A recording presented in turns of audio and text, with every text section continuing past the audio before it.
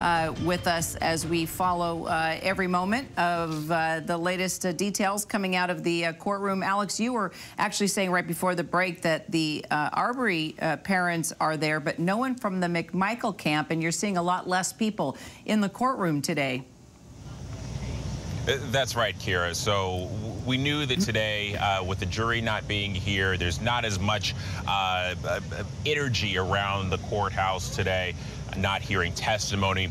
But look, from the get-go, the parents of Ahmaud Arbery, Wanda Cooper Jones, also Marcus Arbery, have been invested in even on a day like today, where you have this charge conference and all the talk is very technical. We were talking about earlier how they're arguing over conjunctions, right, and, and, and, and how that can impact a trial uh, Wanda Cooper Jones is inside and taking all of this in. She's been uh, very, very uh, invested uh, throughout this entire trial from the graphic images to the language uh, now being discussed by by attorneys in this case.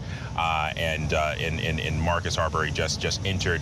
On the other side, we, we, have not seen anyone from the McMichael family.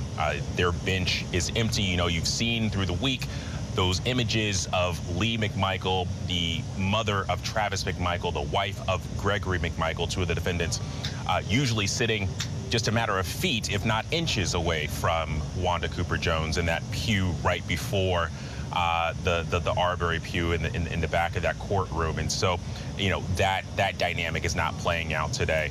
Uh, and also outside of the courtroom, things have died down considerably uh, after yesterday. We saw that swell of hundreds of black clergy who descended upon Brunswick to show their support specifically for the Arbery family. Lots of prayer circles, lots of vigils. They held a march, rallies, uh, and, and also had fellowship. Uh, but all of that's sort of dissipated uh, now Friday heading into this weekend. Uh, Shauna, let me get you to respond to something that civil rights attorney Lee Merritt uh, came out and said today. He says that the prosecutors will make, quote, strong push, a strong push, uh, that defendants shouldn't be charged on a citizen's arrest defense, that they haven't established it in order to establish a citizen's arrest defense. You have to establish that you witnessed a crime or were in the immediate knowledge of a crime. Uh, and Merritt saying that he believes there's now going to be a huge debate uh, over this about whether or not the jury will be instructed on citizens arrest defense. What do you think? So it's an interesting thing because it requires that you have the, reason, the reasonable suspicion that a crime has occurred or that this person has has done this crime. The reason the citizen's arrest portion is going to be very important is because under Georgia's law, as it was at the time of the incident, it allowed people to detain people if they reasonably believe that they just committed this crime. Now, why does that factor in so important in this particular case is because these these charges of false imprisonment require that you detain someone or rob them of their personal liberty without having a legal basis to do so. So if they're acting under the citizens arrest law, they had the legal basis to detain him. Now, of course, if they were not, then they were def it was false imprisonment because they were detaining him against his will. So that's how this citizens arrest law is going to factor into this because these are almost charges that are built on one another because they have to first prove that they were either doing this citizens arrest and that will determine whether or not they had the lawful right to hold Ahmaud Arbery or whether they did not. So it's a very significant point and I think you're going to see it heavily argued. Mm. Is it unusual that all three defendants um, are, are charged with the same nine counts? Well, it, it, seeing as this happened in concert, it's not unusual. Each person actually, you know, did a part in containing him with these vehicles. Two of them were in one vehicle. Uh, Mr. Bryant was in another vehicle. But the objective, it seemed, according to their previous statements, were to corner him and to get him into one place where he could not go. So that's typically why you see that. And you see what the state did was they covered their basis with the attempted to commit a criminal felony, which would be the false imprisonment. She charged them with false imprisonment, aggravated assault with the uh, vehicle vehicles as well as aggravated assault with the shotguns. If the, any of those felonies are shown to, and the jury determines that they were actually, these three men are guilty of them, that then feeds into the felony murder charges that we see. Because felony murder requires someone to have died in while you were committing this felony. So that's why those underlying felonies are also vitally important to the state's case. Alex, do you want to weigh in on the charges? Your thoughts? Well, I think something that was interesting, and we were talking about uh, th this, uh, whether or not the defense of uh, these defendants uh, executing a citizen's arrest. Well, the prosecution really kind of drilled down on this idea of probable cause uh, with Travis McMichael during cross-examination. You heard that it was two-part, right?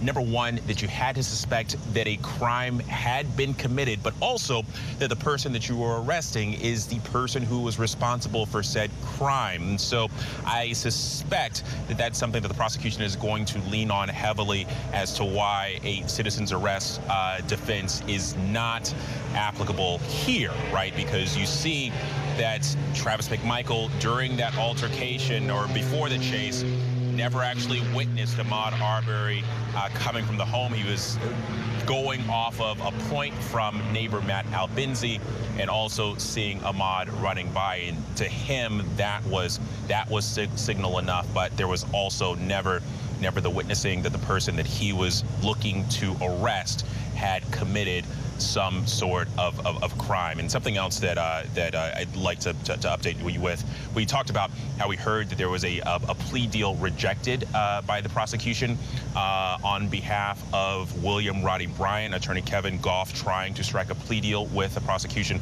Uh, we just uh, got word, a producer confirming inside the courtroom, that with Wanda Cooper Jones, that yes, in fact, she too was notified, as well as her attorney Lee Merritt, that there was a, uh, a, a, plea deal proposed uh, that has been rejected by the prosecution. What's the range of penalties that we're talking about with these charges, Shauna? Some of these charges carry lifetime. They are looking at significant time, including the lesser charges, which typically you don't see. Some of them carry a maximum of 20 years. So this is a very weighty sentence for them. And going back to those charges, Kyra, I'll also highlight this is that when we talk about this idea of citizens arrest, we have to remember that Travis has been asserting this self-defense. I had to shoot. I was protecting myself and my father if he was not acting underneath the citizen's arrest with that self defense, you have to consider provocation. So now they look at the actions he took prior to the self defense to determine if he could have provoked them. So this citizen's arrest portion is going to be vitally important to some of the underlying defenses and some of the underlying charges as well. All right, uh, uh, the character in the courtroom uh, that always seems to be making news and creating to our conversation, uh, defense attorney Kevin Gough. Let's see what he has to say now. These two cases are, are cited. Well, let's go ahead and take it up then. Um, let's get back to the charge in just a moment. I didn't realize I had no motion for mistrial, uh, which needs to be addressed on a timely basis. So this is the first time I become aware of it. I'll go ahead and see, Mr. Gough, what you have. Your Honor, we cited Moore v. Dempsey and Frank v. Mangum. Uh, their cases cited footnote in the Musladin case, uh, but we're filing this motion for mistrial based on inherent prejudice the proceedings in the case. Uh, I have recounted, uh, incorporated in all the previous issues that have been brought to the court's attention. I have added uh, information, I believe, since the last time we addressed the court on the related motion. Uh, and I have also added in a couple more articles uh, relevant to this matter, and I have attached the photograph that I took yesterday. I think that's exhibit one uh, of what the demonstration looks like, looked like yesterday on the lunch break uh, from the, the steps at the top of the foyer to this courtroom. Uh, and you can see, Your Honor, that not only uh, are the, the individuals participating in this event well within the, the First Amendment perimeter that we had requested at the beginning of the trial, they're well within what I understood to be the court's parameters for that. Uh, you can see speakers I can't identify them from behind and their views obstructed, but they are the speakers at yesterday's event who are apparently some several well-known, nationally revered figures in our country, speaking literally at the front door, I would guess five to eight feet, probably seven to eight feet, beyond the front door to this courthouse. Uh, I, I see what looks like a microphone stand in between them.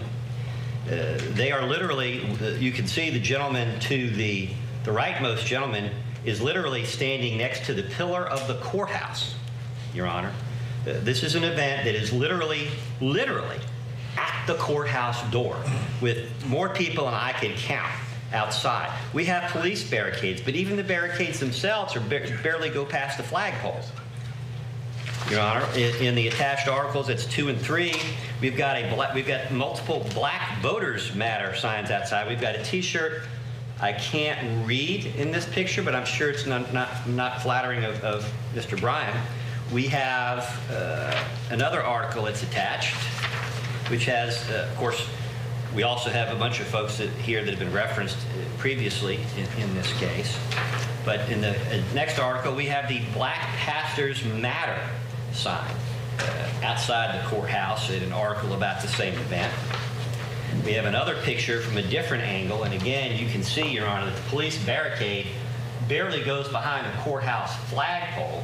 And again, you can clearly see uh, you've got people up on the courthouse steps during this event, literally standing. It looks like one of them's leaning against the middle courthouse pillar in this case, in, in this for this courthouse, Your Honor. And you have Pastor, and that's Exhibit 4, you have Pastor Jamal Bryant, a revered figure uh, in, in both the, the liturgical community and the community at large, calling for a prayer wall against racism amid, amid the Arbery trial. I, I can't say that I was outside. I don't know if they completely ran around the courthouse as they intended, but clearly, again, there's a lot more going on here than ministry. This is advocacy, advocacy against our client, uh, and it's trouble. Directing your, your Honor's attention to Exhibit 5. This is a picture, which I don't know why the printer is not better than it is. It's brand new. Uh, but Your Honor can see, and I'm sure Your Honor has been seeing through the trial, the public gallery, we know that the first pew is, is cordoned off for security purposes. And then we have two other full pews or benches, and then we have a partial bench behind it. The picture is taken from the second seat on the front row of the jury box. I think it was yesterday. And it's very clear that that location, which is where juror 380 sat for much of the first week of the trial, I've lost track of where they all sit. They changed from recess to recess. But it- it's pretty clear that pretty much everybody in the, in the jury box, which is, depending on the time, nine or 10 out of the 12, have an unobstructed view of the gallery in this case. Now, you know, I have asked the court, and I understand, you know, there aren't a lot of cases on, on this issue. And the Supreme Court itself, although it's given an indication, several of the justices on the First Amendment issues, they are technically open. So it's not that I don't appreciate the struggle that the court has in dealing with all this, but we have several jurors who uh, would seem to be subject to influence or intimidation just by the comments that were made during the jury selection process. And particularly, Your Honor, you know, we have a, we have an issue with juror 380 at this point. I don't know what to do about it. Well, I've read the motion, I've seen the facts, and you don't need to go over it. Then I won't. Uh, But I have made it, uh, filed the motion for the record. Uh, I stand on the argument that was presented. I would ask the court to grant a mistrial of this case based on the inherent prejudice to Mr. Bryant. From the remaining defendants. Understand.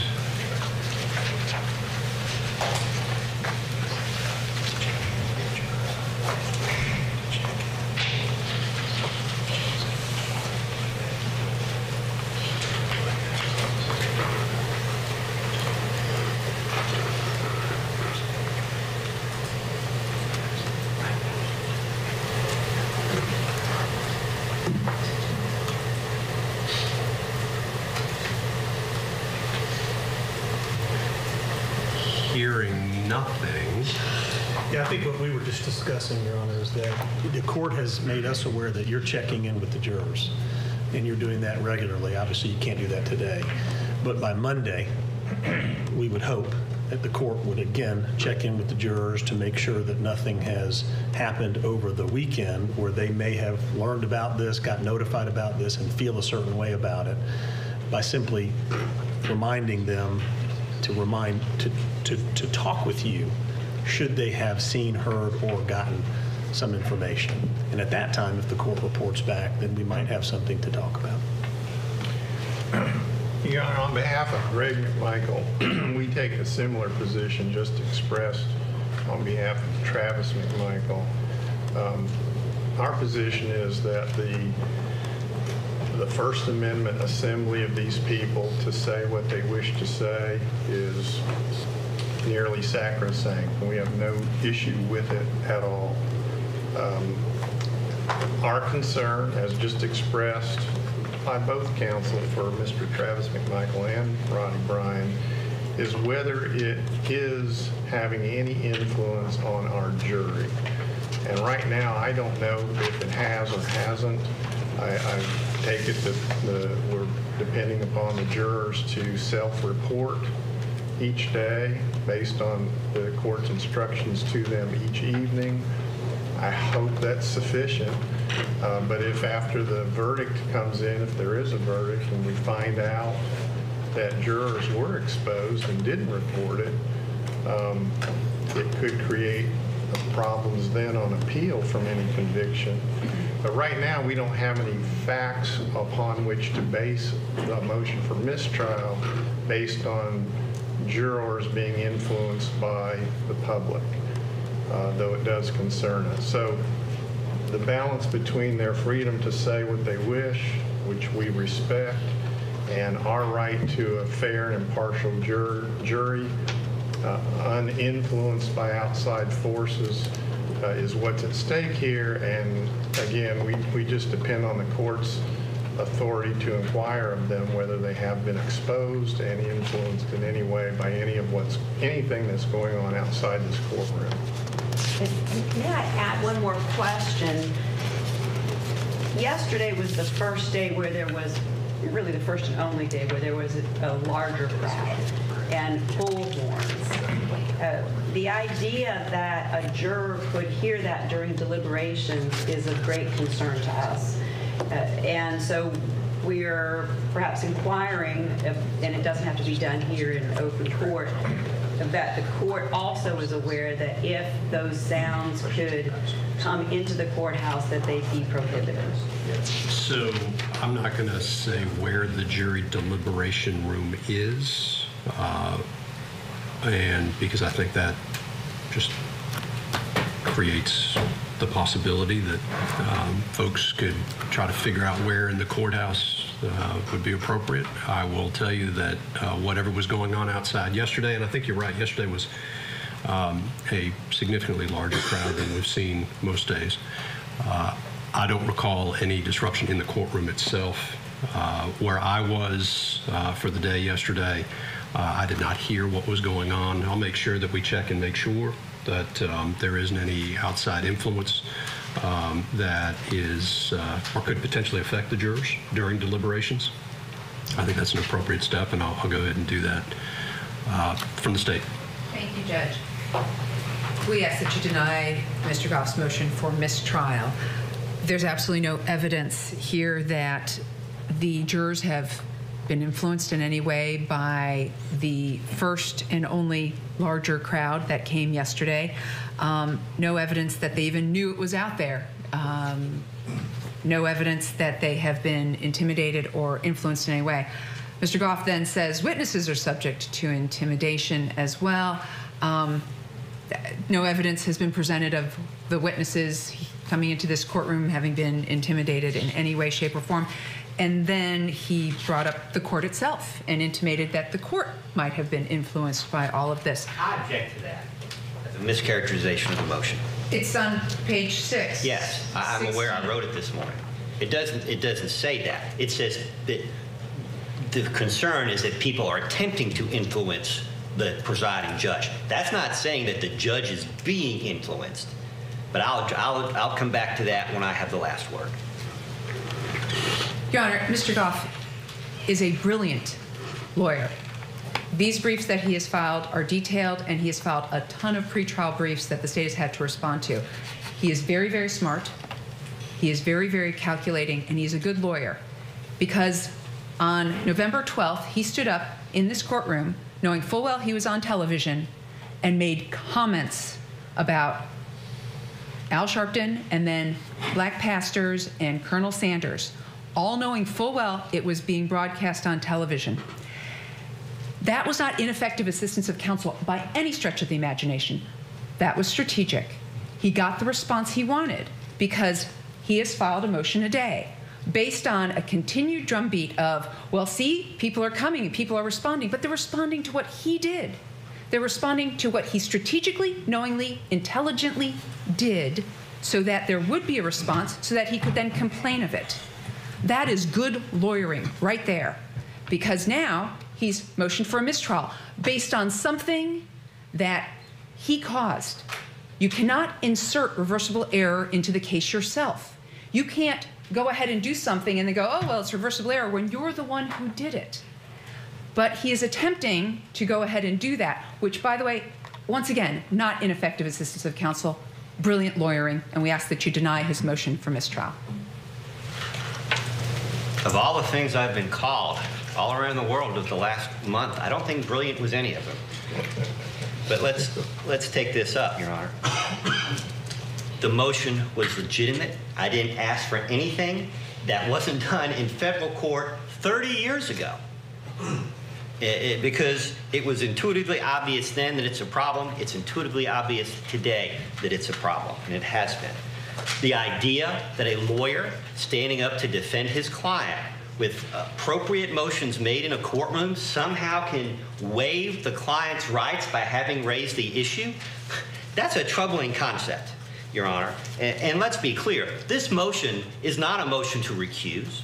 We have never filed a motion to recuse in this case. We've never even suggested that the court should do so. We've asked all the court officers in this case to disclose any basis that might arise, and we assume that when we don't receive information, that there's nothing to discuss. That's not the issue. The issue is the attempt of people in the media or people using the media, particularly people that are associated with the Arbery family or their lawyers, whoever it's coming from, however it's coming, there is pressure being exerted on this on these jurors. There's pressure, consciously or unconsciously, being put on witnesses. There's pressure, conscious or unconscious, being placed on this court. That is the problem. It doesn't matter whether the jurors are being influenced. It doesn't matter whether the court is being influenced. It doesn't matter necessarily that the witnesses are being influenced. But it does raise serious questions about the propriety of the proceedings and the integrity of the process itself. It is unfortunate that this case raises in a way that maybe hasn't come up before with the activities of third parties. Now, I'm not saying that the state had no role in any of the stuff that's gone on in media frenzy or the GBI from the beginning of this case, but obviously, much of what's happened is the, the result of third party activity in this case, spectator activity, for lack of a better phrase. The state's fundamentally mistaken, and I think the court is not giving full credit to the argument that's being made here. Yes, if there's actual prejudice here, if the jurors are all staying up saying they can't be fair, if Your Honor were to say, stand up saying you couldn't be fair, if a witness were to stand up saying I can't feel like I can tell the truth, that would be actual prejudice. And we wouldn't be having this discussion. The court would, be, on its own, sua sponte, be taking appropriate action to ensure the rights of, of these defendants. I have no doubt about that. The question here is inherent prejudice. That does not require any affirmative activity in the gallery. It doesn't require any affirmative statements of jurors or anybody else. The argument is that it is inherent prejudice. Now, this is not 1915. This is not 1923. There are not thousands of people outside with pitchforks in, in, in baseball bats. But I would respectfully submit to the court that this is the 21st century equivalent This case has been infected by things that have nothing to do with the guilt or innocence of these defendants, largely without the, the, the, as far as I can tell, it's not like the state is out there during this trial giving press conferences or something, but still, third parties are influencing this case. They've been doing it from the gallery in this courtroom. They've been doing it outside. this is what a, a public lynching looks like in the 21st century, with all due respect. They don't have to have 10,000 people outside. They don't have to have 100,000 people outside. Perception is reality. We have, we have sealed these jurors off. We hope we have. We have sealed them off. And it doesn't matter how many people are outside. It doesn't how violent they, they appear to be. It doesn't take much and you've got witnesses and you've got jurors who are worried about their careers and their livelihoods when this case is over. And they'll be aware of what's going on. They certainly were aware of it before they got here. They talked about it during the voir dire process. Just because they haven't put a, a gallery up, uh, uh, what do you, they haven't put a podium up outside with, with a hangman's noose on it, doesn't mean that this isn't a trial despite the best efforts of this court. This isn't a trial that's been infected by mob violence of a woke left mob. And whether people realize that they participated in that or not, I'd like to think that the vast majority of the people outside this courthouse really have no interest in, anything but justice. I, I want to believe that. I, from a lot of people I know out there, I think that's true. But the perception is the reality. And the media have fed that perception and created a reality, whether it's true or not. Just like other people have created a false narrative, and the falsity of that narrative has been made very apparent through the trial of this case. That becomes the reality. This is what a mob dominated trial looks like in the 21st century, and we're asking for the mistrial.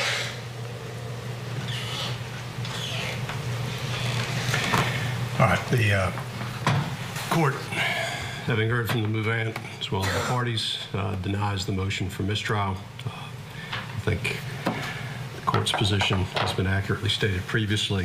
I thought appropriate, given the mistrial filed, that um, we have it on the record. We're going to take a lunch break. We're going to be in recess for an hour. Thank you.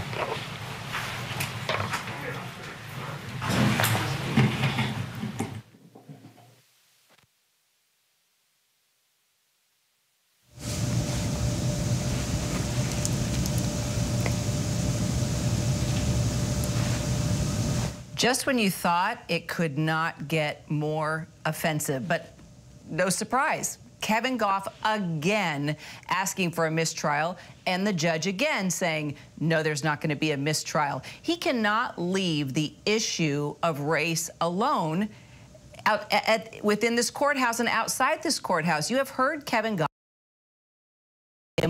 murder trial day after day after day bring race into this into this trial saying that black pastors are a threat that black pastors are intimidating uh, the jury. And now he has pushed it to to just the ultimate offensive comment calling this a public lynching of the 21st century. Does he even understand what a lynching is? Let's bring in our Alex Presha. He is outside of the courthouse. Also, Bernarda uh, Villalona. I know uh, Bernarda is going to have something to say about this. And Shauna, you too. I, I, I, I can't even believe he went there, even calling a prayer wall a threat. I mean, this is this is just, he took it up another notch, Bernarda. I, am just, I'm astounded that he even had the nerve to call this a public lynching. Uh, he, you Clearly, know, you're I'm, speechless. I'm speechless because I cannot believe the amount of disrespect and racism that we just experienced coming out of the mouth of this man, an attorney, a person, a public figure that people look up to. He's in Glynn County. He's part of that community. For him to have the audacity that the mere presence of a black pastor, of a black person inside of a courtroom is intimidating, is threatening, that is a shame. And that is clearly, clearly such a violation of our Constitution, just of our own aura. All of this is just so frustrating to me. And oh my God, I, I, I just can't. I'm just so disgusted and mad at the words that just came out of this man's mouth to call it a public lynching. You know, he is the only attorney from Brunswick. He's a local boy. I've been even seeing out on Twitter, they're calling him the Brunswick Bubba now. Uh, I mean, Shauna, it, it, it, I, I don't even know where to go with this because he knows the judge is going to deny a mistrial because he brings this up almost every single day. And then today, it, it was like it was his last hurrah, like the, the, the, his last chance to get in the most offensive comments about this uh, th this trial and what this trial is centered upon. You know, it's already he, he, he's already receiving backlash because hundreds and hundreds of black pastors have shown up. With, by the way, he makes the sarcastic comment about black pastors matter. I mean, he, he's being sarcastic. He's throwing in, he had pictures up trying to talk about uh, these black leaders leaning up against the, the courthouse and leaning up against the wall like they were some sort of predator waiting to pounce uh, on people uh, that were here supporting the Arbery family. I mean, Shauna, I, I really am, am astounded. You know, we've watched so many of these trials, but boy, is it just a reflection on, on, on what we're seeing here in so many different ways. I mean, I agree, Kyra. This is exactly why these conversation and these national, you know, attention is being brought to these type of trials because there are individuals of this same varietal everywhere, and I think that that is the bigger problem. The fact that as he went on and on, he started saying things again, just straight from brain to mouth. You know, it, it it was appalling. The fact that he would even find a prayer wall threatening. I mean, even in war, clergy and religious leaders are seen as people that are exempt. They're seen as people that are neutral and to bring peace to environments. So the fact that he would even attack that on that level is mind blowing to say the very least. But let's not remember there may be someone on that jury that feels the same way he does. Let's remember, he is from this area. He may reflect some of the morale and thoughts of people in that vicinity. So, all you need is a juror to say at some point in time, I felt intimidated. I felt like this was too much. I heard it, I saw it, it influenced my decision, and bam, you know, we're in trouble on appeal. So these are things that you have to look at. He's looking at as an attorney, and I think what he's doing is he's appealing to the people in that in that jury box. I don't think this is as much for the outside person as it is for his record to say that I knew that this was a problem. And I think that he's counting on one of these jurors possibly speaking up to say, yes, I feel the same way, and to the judge, and having that problem created. So I think that's a lot of his motivation um, for why he's saying the things he's saying. And, and, deep down, on some level, he must identify because if we notice, anytime he gets on a roll, this is the type of words we hear, the type of verbiage we hear, the type of absolute wildly mind blowing things that come out of uh, Mr. Attorney Gough's mouth. And Alex Presha, you are there outside the courthouse. You know, you you have been right there in the middle um, of these prayer vigils and these conversations and this gathering outside the courthouse. You know, Kevin Gough saying this type of advocacy against my client is troubling. Could you please put into perspective? what you have seen and heard, and if it appears troubling in any way, uh, a prayer wall, a prayer vigil, a conversation, a national conversation about race? Well, first, Kyra, he, he mentioned a, a, prayer wall. He suggested that it was a ring that at some point surrounded the courtroom.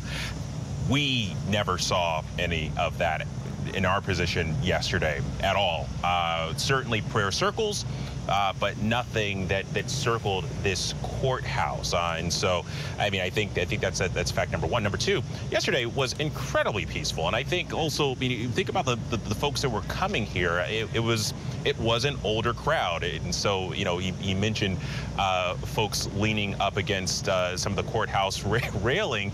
Well, yeah, maybe folks that actually kind of like needed a break or needed something to brace themselves with because it, there were a lot of there was a lot of standing and and you know there, there there's not a, a lot of uh, places to sit uh, when you're when you're at an event like that uh, yesterday. So I mean that's that's what kind of came to mind. But uh, look.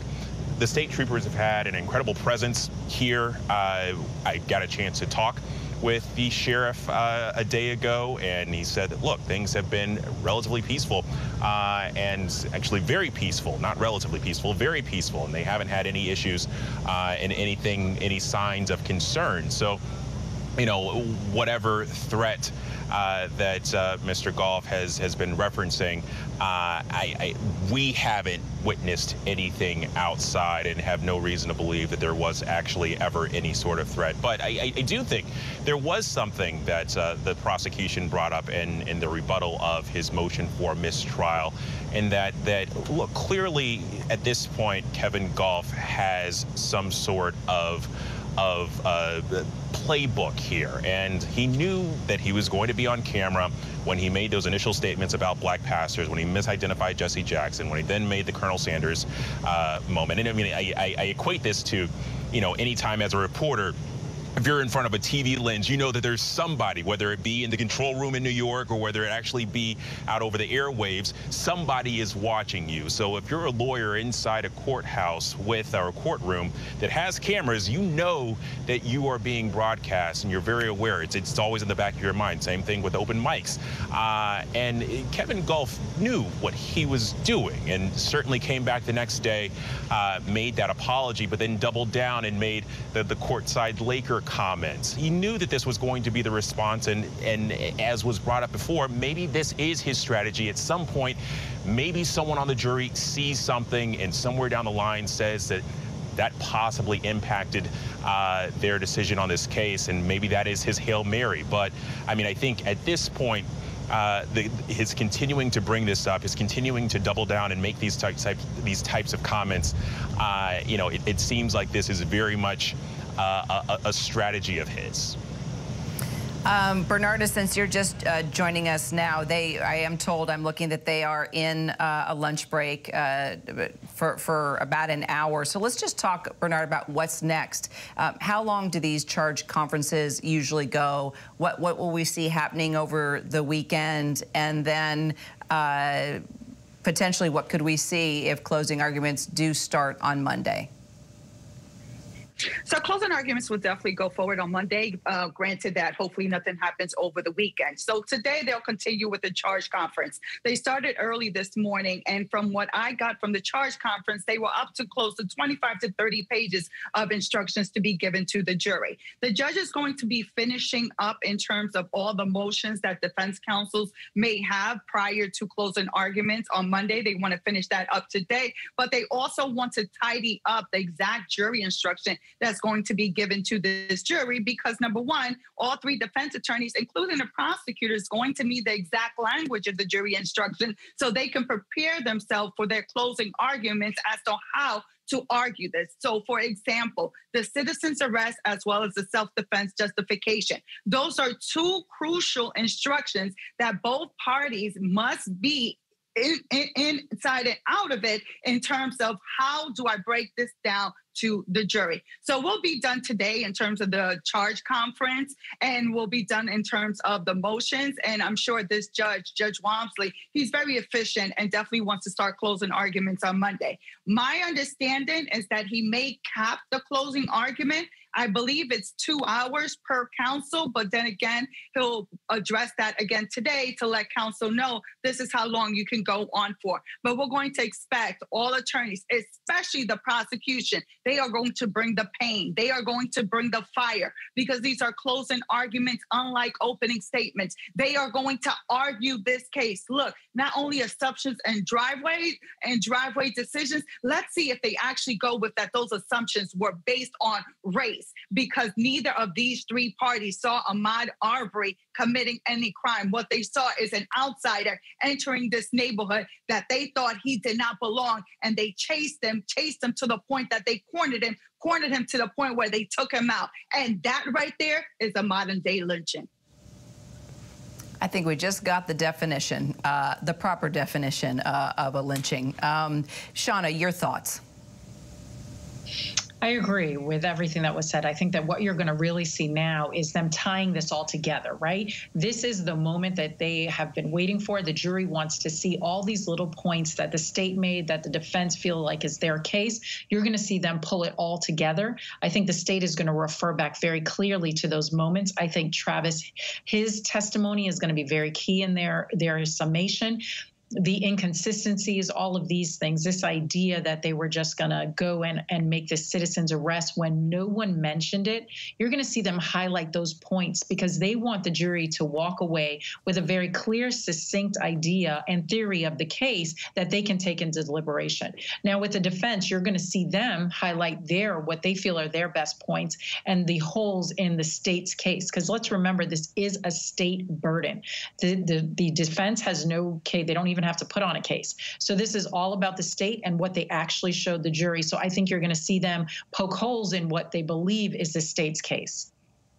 Shauna and Bernarda, Alex, thank you so much. Uh, we are going to take a quick break while they are in a lunch break, but it doesn't mean we're going to stop our conversation. You are watching ABC News Live, and we will be back right in a moment.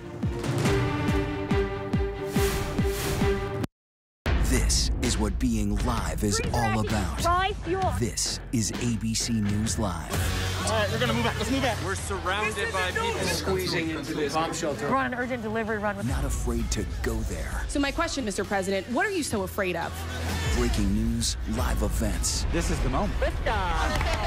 Streaming straight to you, anytime, anywhere. You just met one friend right here. You're watching ABC News Live. Thanks for streaming with us. All right, here we go. You ready? Let's do it. Yes, it's the show America wants and America needs right now. This is What Would You Do? Let's go. How are you? How cute. Yeah. So, what will you be watching Saturdays on ABC News Live? What would you do? Hey, I guess I just found out. the What Would You Do Marathon, 12 to 6 Eastern, every Saturday on ABC News Live my favorite show. Admit it. These days, what you need to know seems to change just about every day. What is it that you really want to know, need to know? To help you not just get through your day, but to make the most of it. Feel smarter. Feel better. Feel happier. Well, how about a third hour of Good Morning America? GMA 3, what you need to know. Now streaming on ABC News Live. It's all about you. This is American history. A violent white mob, a brutal attack, 300 black Americans killed right here in America. Now, it is time to uncover Tulsa's buried truth. The gripping story brought to light in a new podcast from ABC News. Available now on Apple Podcasts, Spotify, or your favorite podcast app. Sex, gambling, fraud, betrayal, and murder. Cutthroat Inc., the podcast. A family on a mission to find their son. A year's worth of conversations with the killer. Cutthroat Inc. Subscribe for free now on your favorite podcast app.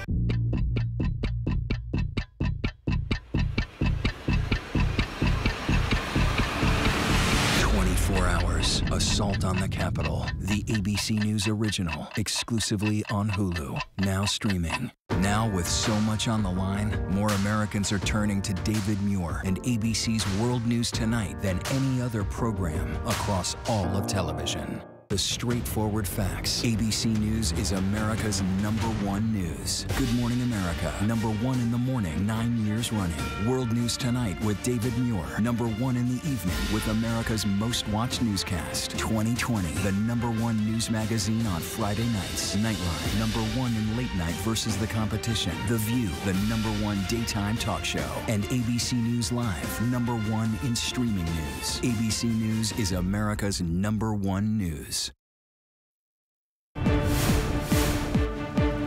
And welcome back to ABC News Live. I'm Kyra Phillips. We are following the court proceedings in the trial of those three men charged in the death of Ahmaud Arbery. And just before the judge took a lunch break, we heard some pretty astonishing comments from defense attorney Kevin Gough. He represents William Roddie Bryan, the man who took the cell phone video of that fatal day.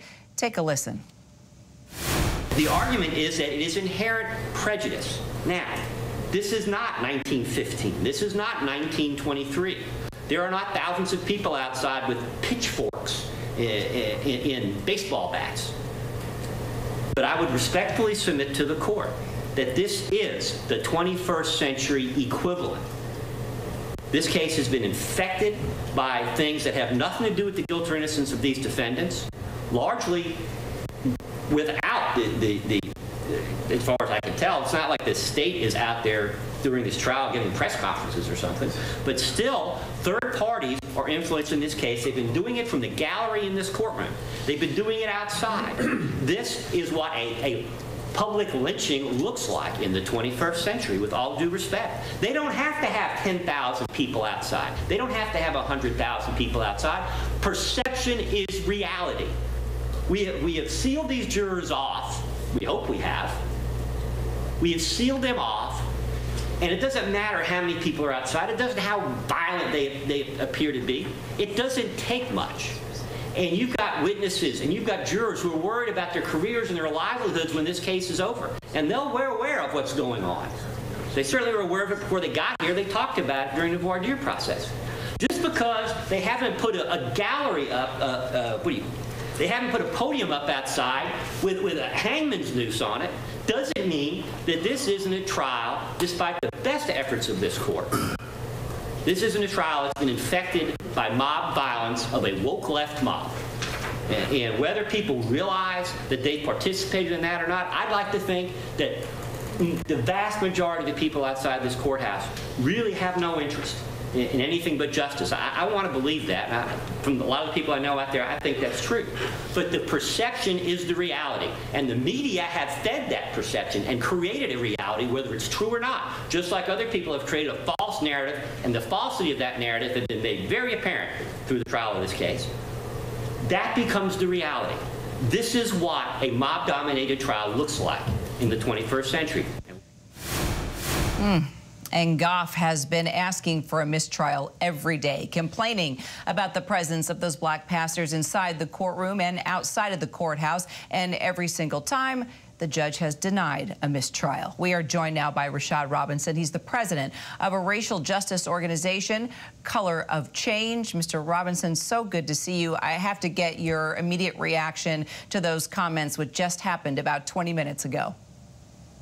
I wish it was surprising. I wish it was surprising that this is the strategy that's being deployed.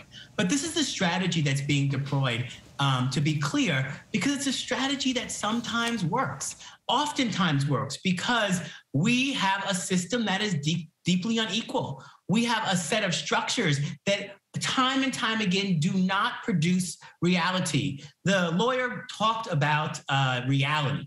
The reality was that the defendants um, were not arrested for over two months, even though the video surfaced. We watched as the, the then district attorney tried to find all sorts of reasons not to um, press charges. We found we watched as police and others did not hold these men accountable in the beginning. So the idea that people are watching this case closely, recognizing all of the ways that time and time again um, our system proves itself not to be broken, but to be operating exactly the way it was designed, which is to not deliver justice um, when Black people are harmed and hurt, even on video um, you know, his um, sort of plea, um, those words that may seem outrageous to so many of those listening, are really tailored and designed to get one or two of these jurors to um, sort of raise um, um, some concern, to sort of align themselves with what he is saying. And this type of strategy only works because we have a system and we live inside of a culture in which racism and which um, killing of black people is okay. So, taking all that in, absorbing everything you just said and what we just witnessed in that courtroom, what we've been witnessing every day in that courtroom, specifically by defense attorney Kevin Gough, how do you think this trial will be looked upon in history? And, and how will the verdict impact, impact that? Well, it's up to all of us to determine how we tell the story and tell the true story of this moment. Regardless of what the verdict um, produces, all of these antics in court should once again sort of help us recognize the ways in which our legal system does not produce fairness, is not designed to produce fairness and why we have to continue to work for structural change even while we work to um, get convictions. So, of course, we want a conviction here, but recognizing that a conviction alone does not change the fact that the reason why there is so much news coverage of this case, the reason why there is so much attention is because of um, the fact that time, so many times before this, and so much um, uh, data points leading up to this gives us this idea that we might not actually see justice. We might not see justice delivered on something that so many of us saw with our own eyes. And so, to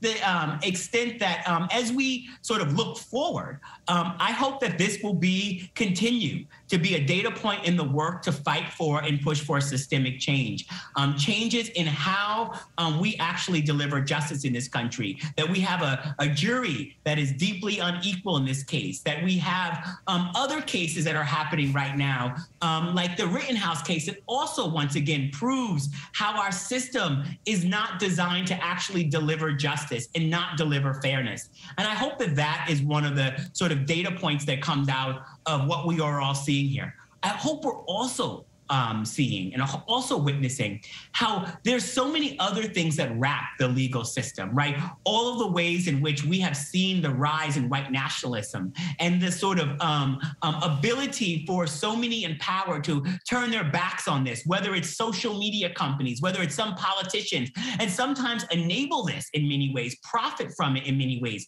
There are so many folks um, that sort of created this hostile environment that allowed this situation to happen happen. Because racism is not just about the individual interactions between the defendant and the defendants in Ahmaud Arbery. It's also systemic. It's systemic in that a culture is created that made these men, that allowed these men to not only think they could do it, but then to believe that they could actually get away with it. And then for a while, almost actually be in a place to get away with it, unless there had been activism, engagement, uprising. Why is it in a situation like this that people even had to speak out? Why did we have to push back? The system did did not work on its own. And I think that's another thing that we need to take from um, all of this. As I look over your left shoulder, until justice is real, you know, the impact is not just uh, going to take place here in Georgia. It's already taking place there in Georgia, but nationally, Rashad. Absolutely, you know, and um, and the fact of the matter is, is justice isn't about a conviction. Um, that's accountability. And accountability is incredibly important. But you know, nothing will bring Ahmaud Arbery back. Nothing will bring him back to his family um, and his loved ones and his community. Um, and and in all of the sort of money and time and energy that's been wasted, all of the energy that is being used to have to fight for justice in this situation, the, the talent and brilliance and fight of people that could be used for other things, the sort of opportunity cost that comes with us um, having to constantly stand up in these moments, right? And then to watch, um, you know, this lawyer stand in front of this um, court and you and talk about lynching, um, and to talk about lynching, which is what happened to Ahmaud Arbery, um, to talk about lynching, which is um, a deep painful and unforgivable legacy in this country and to throw it around so casually um, because it does not hold any weight to him because it's all sort of a game um, and and to think that um, it could work um, is a recognition of you know how so much of this is just too close to call and how we all have to do the work to actually make justice real. Mm. You know, in a recent New York Times article, uh, you said when the public sees such incidents with their own eyes, it helps to form their understanding of real world harms and to strengthen the demands of civil rights movements. Such a powerful statement, Rashad. Do you think when white people see the video of Arbery being killed, that they see it the same way as black people? And I ask that, I mean, it is perfect timing to, to ask that question after just seeing and what you said. Clearly, Kevin Gough and his idea of a lynching um, is quite different from the reality of what a lynching really is. Yeah. Well, I think it's important to understand that all white people are not the same, right? We we're different um, in different ways, and we have different opinions. And I think about all of the people that came out and spoke up and stood up um, in the summer of 2020 after the murder of George Floyd. The people who raised their voices and took to the streets, made demands in their workplace for racial equity, um, all sorts of things that we've seen. I think about um, the white people in a Starbucks in Philadelphia who took out their interact, took out their phones and film that police interaction because they thought something might not be right. Who maybe a couple of years before might have looked at that same interaction and been like, "What are those guys doing?" I believe we have made so much progress. Um, in this country. Just because we have moved to sort of uh, seeing racial justice as a majoritarian issue doesn't mean our systems and our government and our structures are governed that way. It doesn't mean that we can fully deliver on all those things yet. But I think it's important to recognize that I think that there are a whole lot of white people that do not want to associate, associate themselves with the, that statement, who feel um, ashamed that it was said and feel outraged that someone could be so cavalier and so, um, you know, and say something with such, you know, um, you know, such a disregard for its impact um, and don't want to associate. And I guess to those folks, for those of us that do this work in racial justice, we want to invite more people of all races to stand up and speak out. We don't change systems by only certain communities working. And these systems that are broken right now, the systems of justice, the rise in white nationalism that we're seeing all around the country is not just hurting black and brown people, it's hurting white people. The folks that uh, Kyle Rittenhouse went out and shot on the streets were not, were white folks, and so you know this level of um, of pain that we will continue to see unless we create real accountability and new norms for all sorts of institutions that have enabled this rise from, like I said before, social media platforms which have largely remained unaccountable and allowed these groups to um, organize on their platforms, um, district attorneys and other elected officials, police police departments which which have allowed white nationalism to sort of thrive inside of their departments. And that's not me saying it. Those are reports coming from the FBI that is talking about the rise of white nationalism and white supremacy inside of police departments. We need more people of good faith of all races speaking up, standing up against this, and working to change the rules to create real accountability. Real accountability is the road to justice, but the road to justice is going to require rule changes. And so I just want to welcome and recognize that I know that there are many white people that are watching this that are outraged by it as well and are wondering and hoping that some level of accountability is served. And what I hope people recognize that accountability is not justice. Changing the system, making the system work fairly, making sure that Black people and people of all races don't have to stand up and protest in order to make sure um, convictions are actually convictions actually happen. That gets us closer to having a system that works. So I I could listen to you for hours, Rashad. I have to tell you. I mean, just so so eloquent in, in how you are guiding this conversation, um, which, which, leads me to the the makeup of this this jury. As we know, there's only one person of color on this jury. So when you think about um, the jury delivering uh, its verdict, um, is that are you concerned about? About that verdict because of the racial makeup of the jury? I'm concerned for the racial makeup. I'm concerned because of the strategies that this uh, lawyer has, um, you know, that the defense has, uh, you know, uh, you know, moved. I am I'm nervous because time and time again we see situations like this where justice is not served, even when there's video, even when there's a sort of preponderance and overwhelming amount of evidence. And so, you know, I read, I I am nervous about this, and I think that Um, um, I think that it's you know something that why we're why we're all here, why so many people are watching, why so many people are paying attention, because they recognize what we all saw, what we all know happened, and then they recognize that this thing goes into a, a system and a structure that is oftentimes not designed uh, to deliver justice. And that I think is very important for all of us to recognize that the sort of nervousness around this is absolutely something that we should be having. And we should use this nervous energy, translate this nervous energy into the work to actually change the system. What were your takeaways from the testimony testimony of Travis McMichael uh, yesterday, uh, and how do you think race and perception uh, factored into his actions?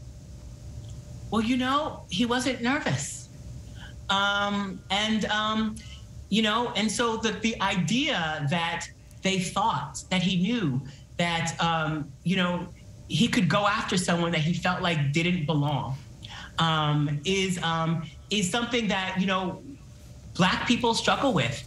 Um, black people struggle with. You know i am the um, you know i come from a legacy of of black folks who were enslaved in this country who built this country for free um, who were sharecroppers. My grandfather used to take me into the voting booth um, with him and um, ask me to pull the levers. He couldn't uh, read or write um, and I didn't know this till after he died. He never got an education as a as a sharecropper. Um, I, that is right inside of you know the experiences that so many of us have with being inside of a country where that is full of opportunity, yet we are sent constant reminders and messages about us not belonging um, and having systems designed to constantly send us messages that we don't belong, regardless of how long we've been here, regardless of what the contributions have been to this country. None of that actually matters. And so, you know, as I listened to that testimony, as I sort of thought about the sort of underlying impacts of uh, being, um, continuing to sort of uh, watch um, and listen uh, to more and more of these stories about um, folks feeling the power and the privilege to send us messages about where we belong and where we don't belong outside of any authority, outside of any sort of system, outside of any rules is a just, it's a reminder about how unsafe we are. But I hope that um, people of all races who are watching are recognizing that this unsafety is untenable for us all in society.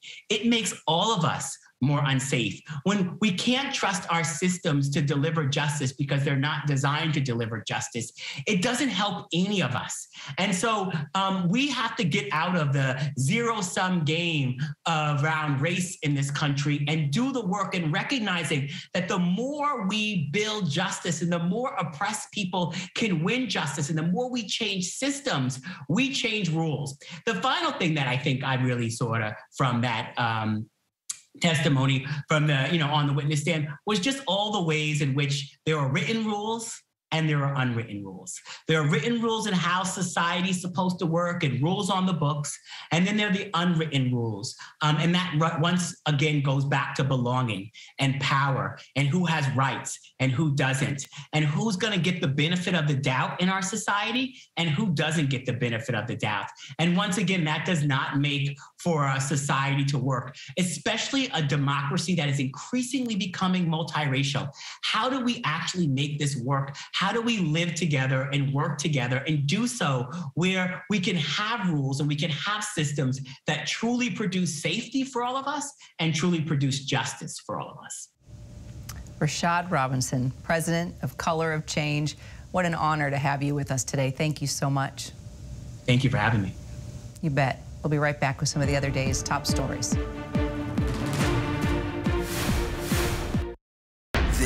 Is what being live is all about. This is ABC News Live. All right, we're gonna move out. Let's move out. We're surrounded by people squeezing into this bomb shelter. We're on an urgent delivery run. With Not afraid to go there. so my question, Mr. President, what are you so afraid of?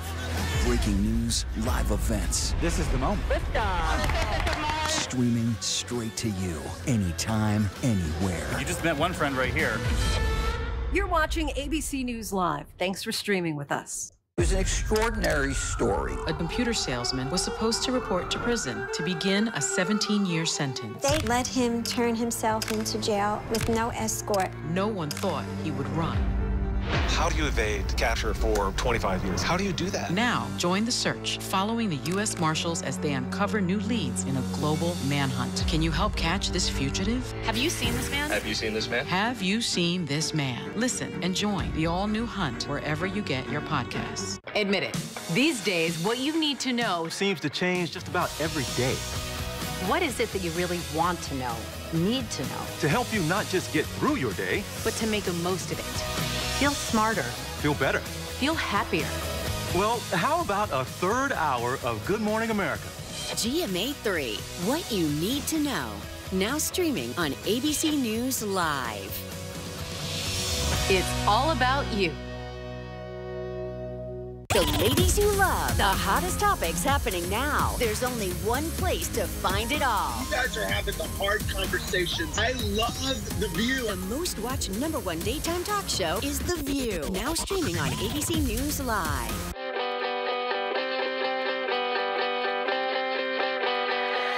When you wake up in the morning, when you wake up in the morning, darling,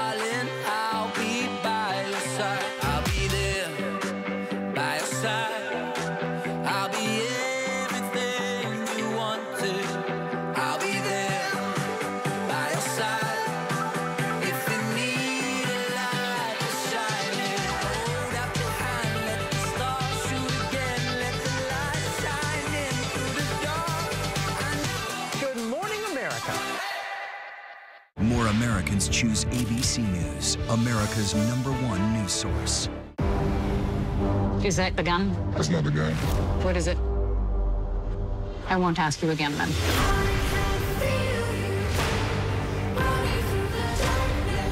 Are you a Nazi? The deeper you go into the black market, You put people to your life at risk. the darker it gets. Why hasn't anyone come out and spoken? It's about the money. That's why we do it.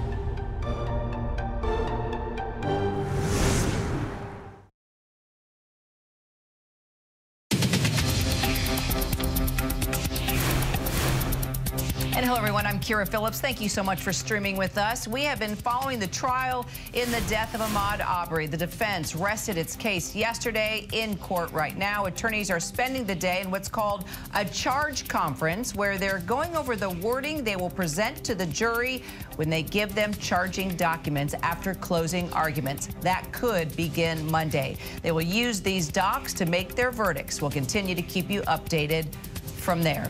We're also following the Kyle Rittenhouse homicide trial. It's day four of deliberations there in Kenosha, Wisconsin. The pool reporter says the courtroom clerk believes the jurors have ordered lunch. We'll bring you live coverage as soon as there's a verdict.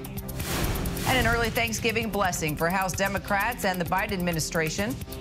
On this vote, the yeas are 220, the nays are 213. The Build Back Better bill is passed.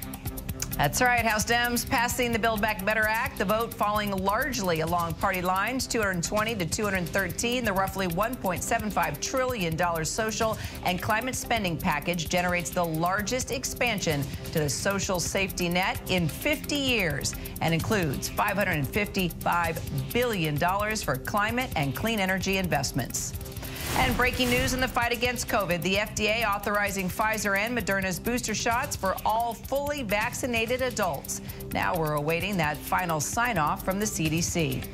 Vice President Kamala Harris is acting president of the United States today, at least for a short time, while President Biden is put under anesthesia for a routine colonoscopy just shy of his 79th birthday. The White House expected to release results of his physical later today. Well, athletes around the world, even the United Nations, demanding to know the whereabouts and well-being of missing Chinese tennis star Peng Shuai, who hasn't been seen in public since accusing a Chinese official of sexual assault. And the WTA even taking a bold move now, threatening to cancel events in China if they don't hear from the player. Kaylee Hartung has more for us. Outrage growing over the disappearance of Chinese tennis star Peng Shuai. Serena Williams, just the latest in the tennis world, to voice her concern, tweeting, I hope she is safe and found as soon as possible. This must be investigated, and we must not stay silent. Oh, what a shot. The Grand Slam doubles champion has not been seen publicly in more than two weeks. Shuai's social media going dark after alleging she was sexually assaulted three years ago by this former high ranking Chinese government official. He has not commented on the allegations. We've uh, been trying to reach reach Peng since the, the day the initial allegations came forth. But to date, we've had no success in speaking to her directly. The head of the Women's Tennis Association now questioning Shuai's safety after receiving a suspicious email, supposedly from the athlete, in which she called the allegation of sexual assault not true, adding, I'm not missing, nor am I unsafe. I've just been resting at home and everything is fine. Thank you again for caring about me. I just find it very difficult to believe that woman who exhibited the courage that she did to come forth with these serious allegations against a very powerful political figure that all of a sudden has changed that tune completely as was was reflected in her email and Kyra, Chinese officials have been pressed for answers by foreign media, but they've repeatedly dismissed the question, saying this is not a diplomatic or a foreign affairs matter. And just yesterday, after a news conference for the Chinese Foreign Ministry, any mention of Shuai's name was scrubbed from that official transcript. Kyra. Well, we are definitely not going to scrub her name. We'll continue talking about it. Kaylee, thank you so much. And now to our exclusive from inside the National Security Agency, the top secret arm of the Pentagon responsible for electronic spying and stopping hackers from causing mayhem. Our Chief Justice correspondent, Pierre Thomas, was given extraordinary access to NSA's Nerve Center, where TV cameras have never been before. Here's a look. You're looking at one of the most sensitive and secretive rooms on the planet. This is military, civilian, contractor, this is Department of Defense, this is intelligence community, this is other agencies of our government. And unlimited reach? Unlimited. The NSA Integrated Cyber Center. ABC News is the first network ever allowed to bring cameras inside. Uh, I did want to show you just kind of the layout here. General Paul Nakasone oversees the world's most powerful electronic spy agency. This room is the nerve center of the NSA and U.S. Cyber Command agencies supercharged with the world's most advanced spyware and most creative hackers to peer overseas into virtually anything that has wires. If you think about uh, what time means in cyberspace, the advantage goes to those that have speed and agility. We conducted our interview in what's known as the Battle Bridge, the place the general goes in a crisis. Uh, that's our floor. That's where we just were. I don't mean to be humorous, but it feels very James Bond. With cyber threats spiking, Nakasone says he's seeking to have his agencies evolve, step out of the shadows, and engage more with other federal agencies and the private sector. What we don't want to have is a failure to imagine what's happening. Who is the enemy? Nation states such as Russia and China and Iran uh, we also have a series of what we call proxies, and then clearly we have criminals. Nakasone says there are millions of attempted hacks against the military every day, and the battlefront at home is no less challenging. Welcome to Dreamport. This is uh, one of two labs that we have in the facility. The U.S. Cyber Command has developed a Dreamport facility, in part to foster innovation in hacking defense and offense. Dreamport built this miniature city to practice real-world attacks to investigate better ways to keep us safe. Dreamport's hackers showing they can turn off city lights, cause a water park to flood, disrupt traffic lights, halt the city's ports. All of the devices that power this model city are real, actual devices that you would find out in the real world. In recent months, so-called ransomware attacks have been exploding. Schools, hospitals, even our food supply chain have been hit. Well, if you would have asked me that a, a year ago and said, hey, uh, Paul, what about ransomware? You know, I probably would have said something effective. That's really a criminal matter. It's not something we do.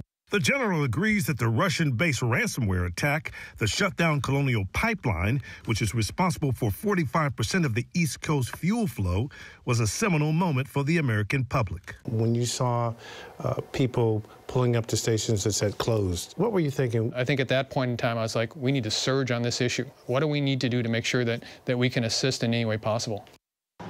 The NSA and Cyber Command are trying to be even more aggressive. They now have special hunt forward teams that travel to other nations to identify hacks and report back to the U.S. and they're now routinely reaching out to critical U.S. companies like Microsoft if their overseas spying or their research operations turned up anything of concern. Kyra? Pierre Thomas from the NSA there in Annapolis, uh, Junction, Maryland. Thanks so much, Pierre. Well, changing gears a bit and talking about the album that every Adele fan is simply obsessed over 30 dropping overnight and she's not going easy on any of us with this emotional roller coaster of an album. Our Juju Chang has all the details on what the critics and fans are saying this morning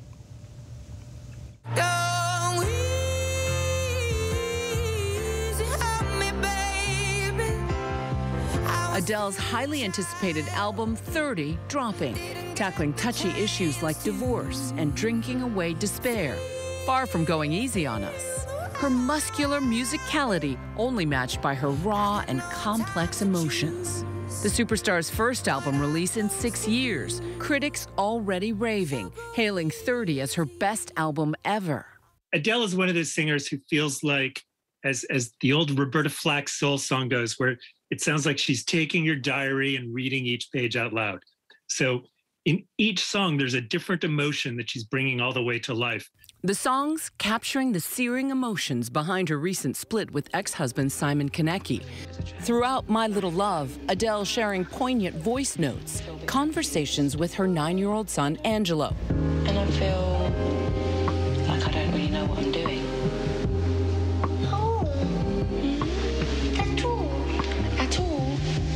In an interview with Vogue last month, Adele revealing that the voice notes were suggested by her therapist as a way to heal. Her new album, Holding Nothing Back.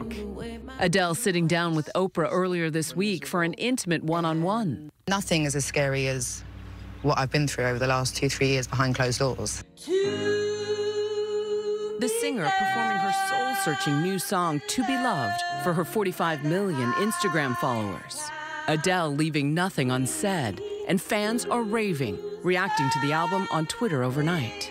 Every song has a overshare moment where it's like, oh, Adele, did you mean to say that? Clearly, what makes her feel brave is the presence of these listeners who she knows are with her all the way. And it's a beautiful case of an artist and her audience lifting each other up higher.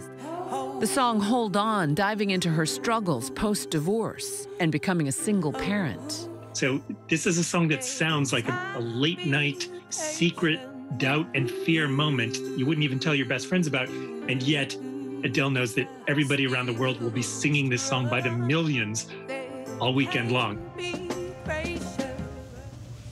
And our thanks to Juju Chang. And it is quite the album. We're going to take a quick break. We'll be right back. It's an extraordinary story. A computer salesman was supposed to report to prison to begin a 17 year sentence. They let him turn himself into jail with no escort. No one thought he would run. How do you evade capture for 25 years? How do you do that? Now, join the search following the U.S. Marshals as they uncover new leads in a global manhunt. Can you help catch this fugitive? Have you seen this man? Have you seen this man? Have you seen this man? Listen and join the all new hunt wherever you get your podcast. World News Now. And America This Morning. The best new video. The breaking news overnight. Emergency crews called to the town of Surfside. U.S. airstrikes hitting targets in Iraq and Syria. The stories people are talking about. You don't want to shave your legs? Don't. I was going to say. Oh my. Got it. And what to expect in the day ahead. ABC World News Now and America This Morning. Starting at 2 a.m. Eastern. Up all night to keep you up to date. Right now, with so much at stake, Sunday mornings, this is the place. Taking on all the tough questions, straightforward reporting, no spin, no hype, no bull. See why Sunday mornings, more and more Americans are now turning first to ABC's This Week with George Stephanopoulos. Welcome to This Week.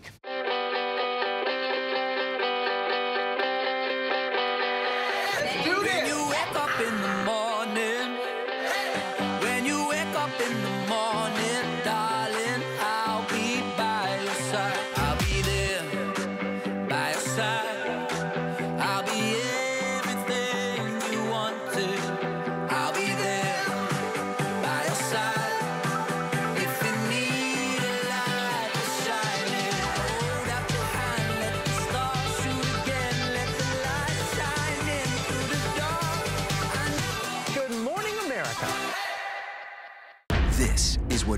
Live is all about. This is ABC News Live. All right, we're gonna move back. Let's move back. We're surrounded by people squeezing into this bomb shelter. We're on an urgent delivery run. Not afraid to go there. So my question, Mr. President, what are you so afraid of? Breaking news, live events. This is the moment. Streaming straight to you, anytime, anywhere. You just met one friend right here. You're watching ABC News Live. Thanks for streaming with us. The straightforward facts. ABC News is America's number one news. Good Morning America, number one in the morning, nine years running. World News Tonight with David Muir, number one in the evening with America's most watched newscast. 2020, the number one news magazine on Friday nights. Nightline, number one in late night versus the competition. The View, the number one daytime talk show. And ABC News Live, number one in streaming news. ABC News is America's number one news.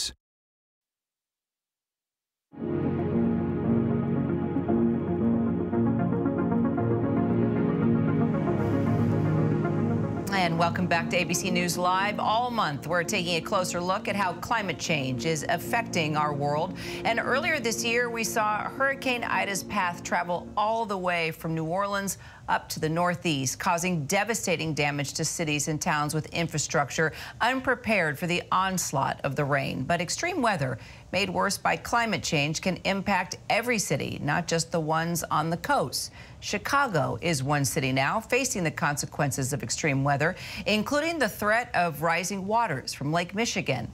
Our Alex Perez has more. Chicago, the gem of the Great Lakes, now being tested like never before by the unprecedented impacts of climate change. Angry storms drenching that famous skyline. More and more extreme weather pounding the Windy City like this destructive flash flooding last year. Or this record high flooding back in 2013, snarling traffic, turning basements into swimming pools, swallowing even the earth in some places, and raising Lake Michigan to levels never imagined. Those directly in the path of these sometimes destructive waves find themselves confronting a stark realization the climate is harder to predict, and the adored shoreline in some areas is vanishing. Sometimes where we're standing, you have water. Oh, absolutely. Absolutely. This, as I said, this was our patio. This was all grass. Jer Slaughter lives here on the south side of Chicago, overlooking the city's famed Lakeshore Drive. Believe it or not, her backyard here used to be a 25 foot long beach. Some people talk about, you know, climate change is this theory, it's in books, but is this climate change in oh, action? baby, you better know it is. It, it, it absolutely it is. Chicago was built on swampland, early residents elevating the city to build and stay dry. But the changing climate is putting that foundation to the test, creating serious problems.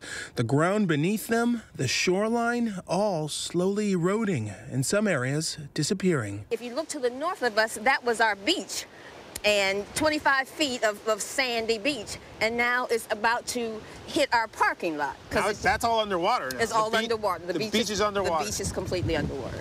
University of Chicago environmental economist Amir Jina notes the effects of climate change, including more frequent heavy rainstorms and more stifling heat, are as much a threat in the middle of the country as they are on the coast when it does rain, it's getting more intense.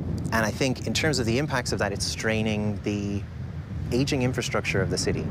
Uh, a city that was built to not deal with these really intense bursts of rainfall is suddenly having to deal with, you know, a few days worth of rainfall falling in an hour. And what does that do to the sewers? What does that do to people's basements? These once in a hundred year events are now happening more frequently, not only threatening lives, but also straining local governments and budgets. It's a very expensive problem to deal with to try and, to some extent, rebuild the city. The city has been playing catch up and is trying to repair some of this damage, but because of the long term changes to Chicago's weather landscape, the city's engineers say Chicago's infrastructure must adapt. It appears that things are changing and the climate is changing, and we're looking towards uh, evaluating that, predicting what the extremes will be in the future so that we can prepare for those conditions and design resilient structures. Millions are already being spent to climate proof some of Chicago's existing infrastructure and massive expansions to these sewage systems. The reservoir here, the world's largest, officials say. Now, I want you to take a look behind me here. This is the older portion, and if you look way on this side, this is the newer portion they're still working on. Once combined, the massive hole could fit up to 22 Soldier Field stadiums and hold some 10 billion gallons of water.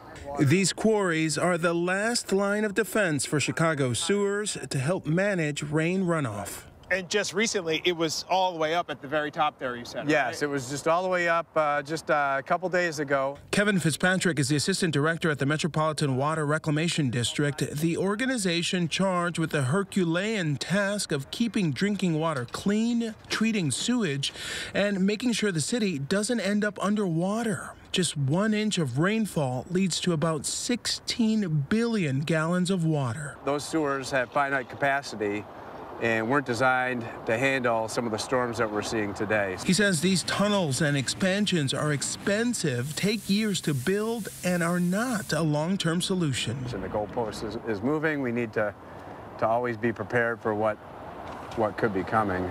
And what could be coming are more drenching storms.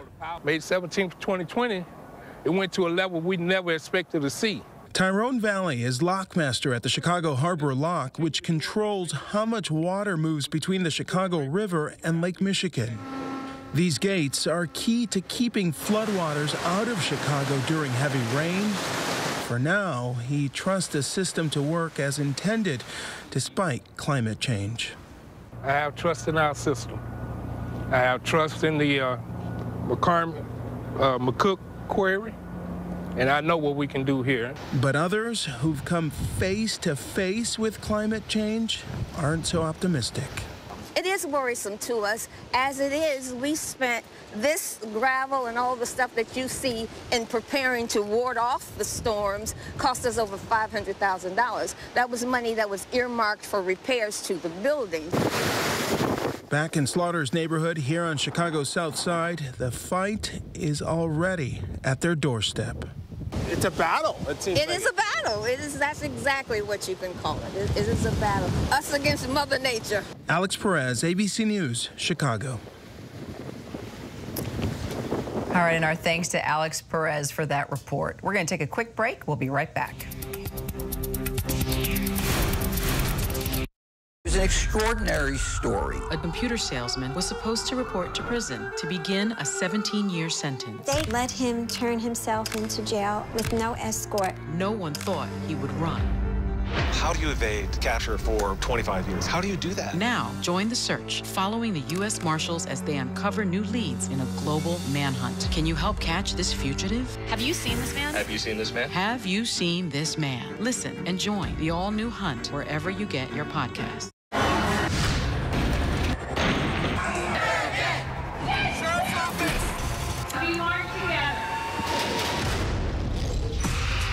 Powerful stories of our time, anytime.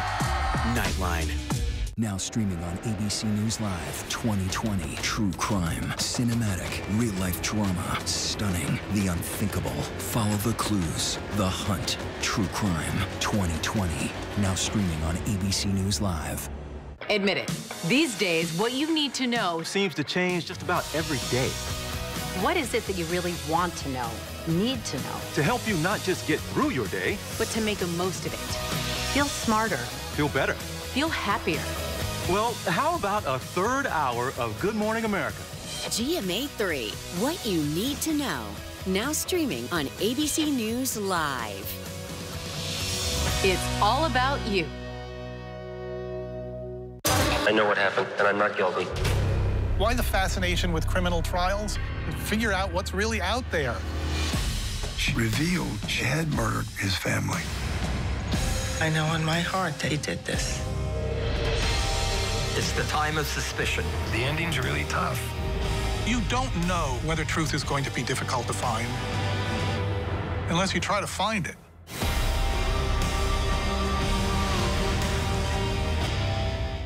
This is what being live is all about. This is ABC News Live. All right, we're gonna move back. Let's move back. We're surrounded by people squeezing into this bomb shelter. We're on an urgent delivery run. With Not afraid to go there. So my question, Mr. President, what are you so afraid of? Breaking news, live events. This is the moment. Streaming straight to you, anytime, anywhere. You just met one friend right here. You're watching ABC News Live. Thanks for streaming with us. The mysterious boyfriend. What does he even do over there? Tell me everything. You'll be okay. No one knows about us. He's the chief executive and she's a kid. You have committed multiple federal crimes. I want to talk to my lawyer. The White House disposed of me like a piece of trash. And they will do the same to you. Impeachment American Crime Story. Tuesdays at 10, only on FX. Available now on demand. The hottest views in daytime are happening right here. We talk about things on this show that people don't talk about. That I can't wait to see. Honest takes from strong women. We need all hands on deck, and we need it right now. This is the time to speak out. Unafraid to get real. We stick by our points of view. We're all seeing it differently, and that's the beauty of The View. And that's why the most watched number one daytime talk show is The View. Now streaming on ABC News Live. Please begin. This is the testimony of Elizabeth Holmes. The Stanford dropout who appeared poised to change the world but didn't. Her fall from grace was spectacular. Elizabeth is finally going to trial. This case will probably go down in Silicon Valley history. But to this day, Elizabeth maintains her innocence. We'll take you inside the courtroom. If history is any indication, Elizabeth Holmes is not going down without a fight. Follow The Dropout, Elizabeth Holmes on trial, wherever you get your podcasts. Are incredibly safe places. A crime will happen. Hey, Mama. My wife has fallen. She's in really critical condition. At that time, I thought it was just a tragic accident. There's still a lot of questions we need to ask. There were small things that didn't totally add up. This is two lives for Harold that have died now. I was shocked. Something's not right. All right, here we go. You ready? Let's do it. Yes, it's the show America wants and America needs right now. This is What Would You Do? Let's go. How are you? How cute. Yes. So what will you be watching Saturdays on ABC News Live? What would you do? Hey, I guess I just found out. the What Would You Do Marathon, 12 to 6 Eastern, every Saturday on ABC News Live. My favorite show. The straightforward facts. ABC News is America's number one news. Good Morning America, number one in the morning, nine years running. World News Tonight with David Muir, number one in the evening with America's most watched newscast. 2020, the number one news magazine on Friday nights. Nightline, number one in late night versus the competition. The View, the number one daytime talk show. And ABC News Live, number one in streaming news. ABC News is America's number one news. This is an ABC News Live special report. Kyle Rittenhouse on trial. The verdict. And we're taking you straight inside the courthouse now in Kenosha, Wisconsin. That is right. After four days of deliberations, we are now hearing there is a verdict in the trial of Kyle Rittenhouse. You'll remember the jurors there uh, deliberating for four days. Uh, this is centered around a very high profile homicide trial at a time where racial tensions and police brutality have shaken our communities and this country. You see Judge Schroeder there on the stand. Let's go ahead and listen in.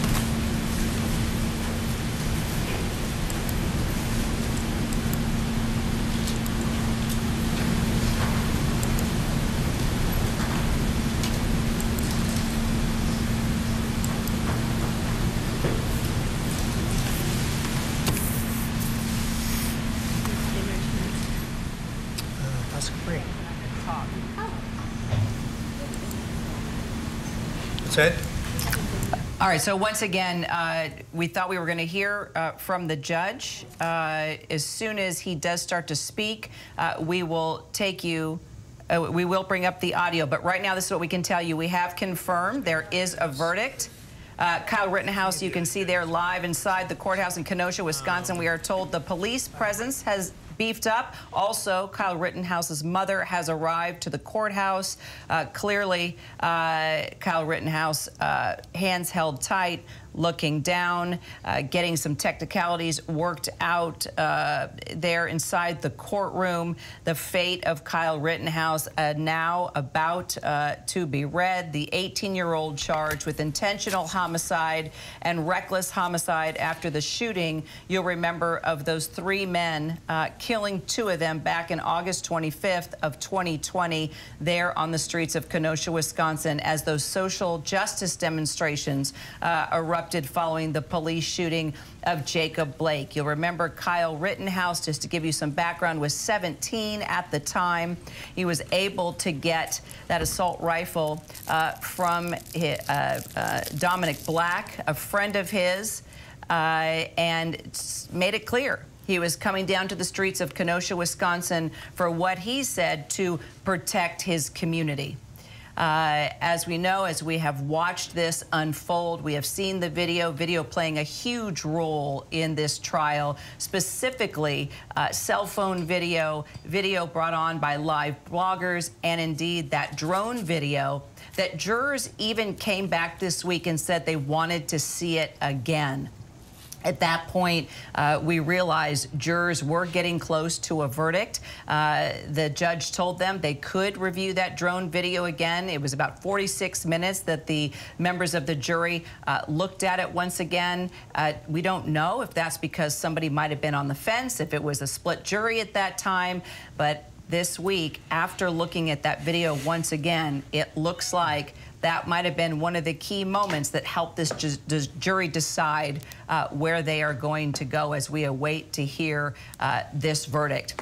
We talked about the increased police presence. We've talked about National Guard troops uh, being called in to Kenosha, Wisconsin, because there is tremendous concern about this verdict uh, and what it means for that community. In a time after the death of George Floyd, the racial reckoning we have seen in our country, there is concern about possible violence. Let's listen in. No, it doesn't need to be. Um, there, there, there can't be any reaction at all, no matter how strongly you may feel. And it's understood that many people do have strong feelings. But um, we can't permit, permit any kind of a reaction to the verdict. And uh, as you can see, there's quite a bit of law enforcement here, and you will be whisked out of here if there is any. So just be aware.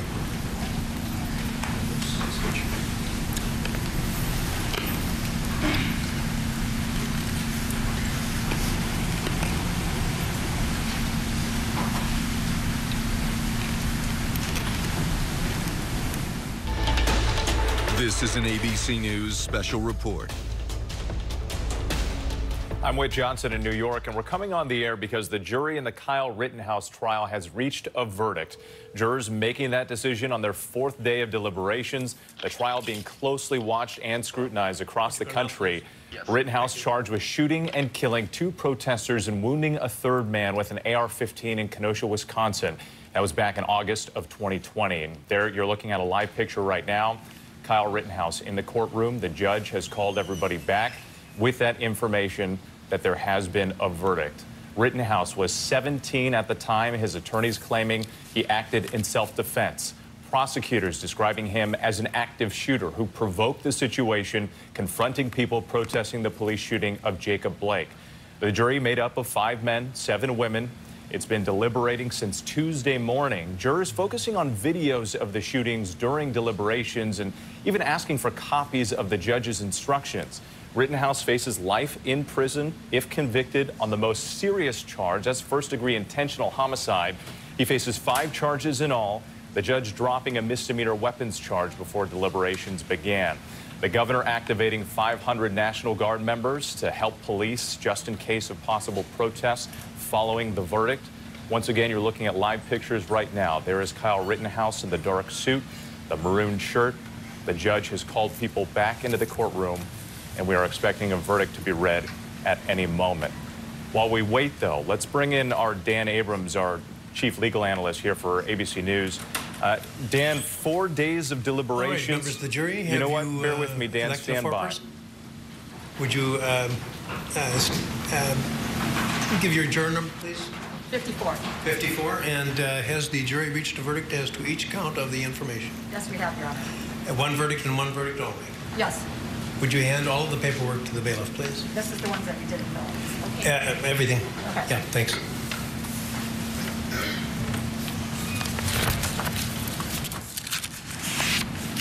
May I see that too, please, uh. And you're listening to Judge Bruce Schroeder right there, getting the instructions uh, from the jury, saying that they have, in fact, reached a verdict.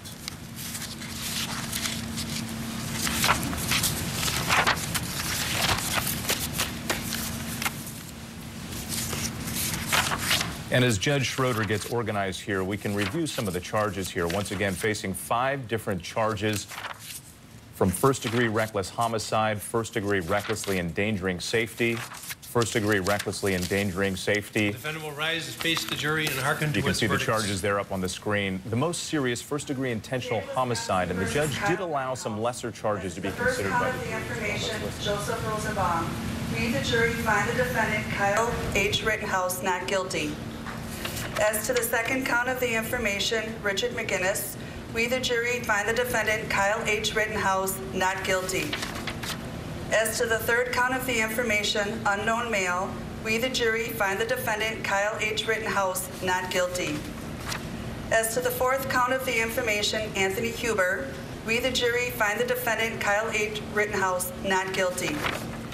As to the fifth count of the information, Gage Grosskreutz, we, the jury, find the defendant Kyle H. Rit- Kyle H. Rittenhouse not guilty.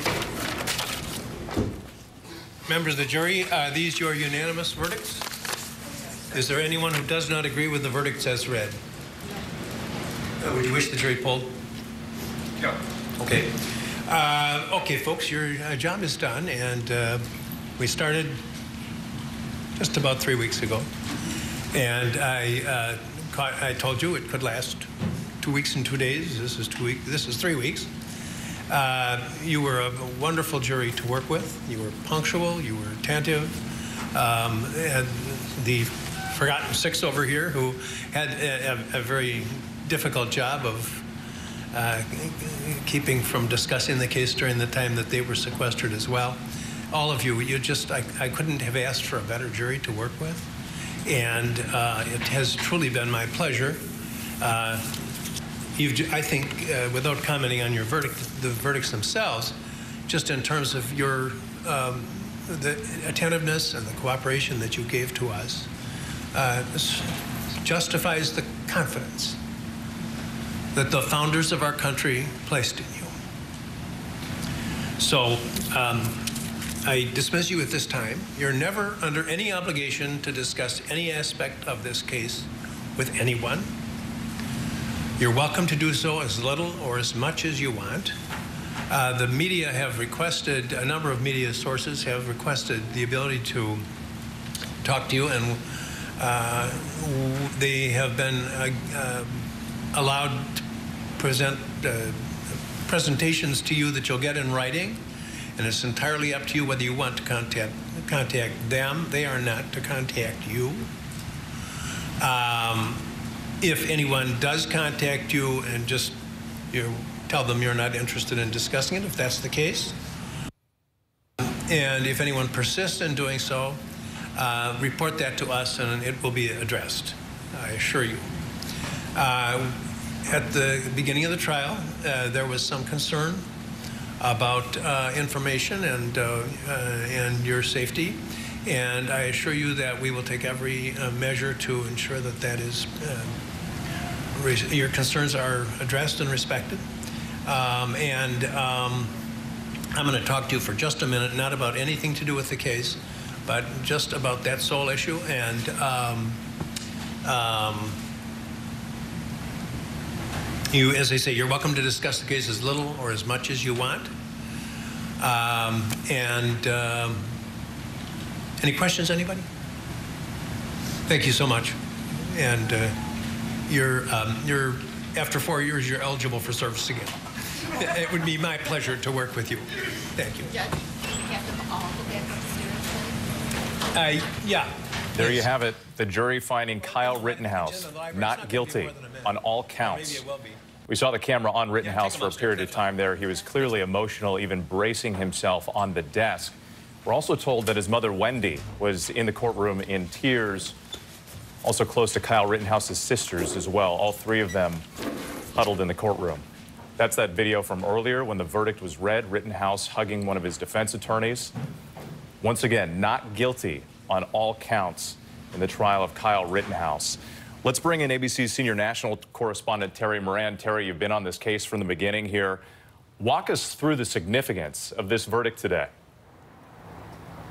Well, it's very significant. First, for the community of Kenosha, uh, this city was traumatized uh, by the police killing of a black man, Jacob Blake, then by the demonstrations which turned into riots over the succeeding days, and then Kyle Rittenhouse showed up with his rifle and took the lives of two of those demonstrators, maiming another. This has been a traumatic time for this community. For a broader, this case came to stand uh, for two things in the country. For one, the concern among people on the left uh, that there are young people people with guns who have political leanings and that they might use those guns to exercise those leanings. On the other side, uh, this was seen as a young man who was out on the streets trying to protect businesses from being destroyed in a riot, uh, and he was caught up in what the jury eventually agreed. And let's remember the jurors heard all the evidence, which most people who are commenting on it didn't.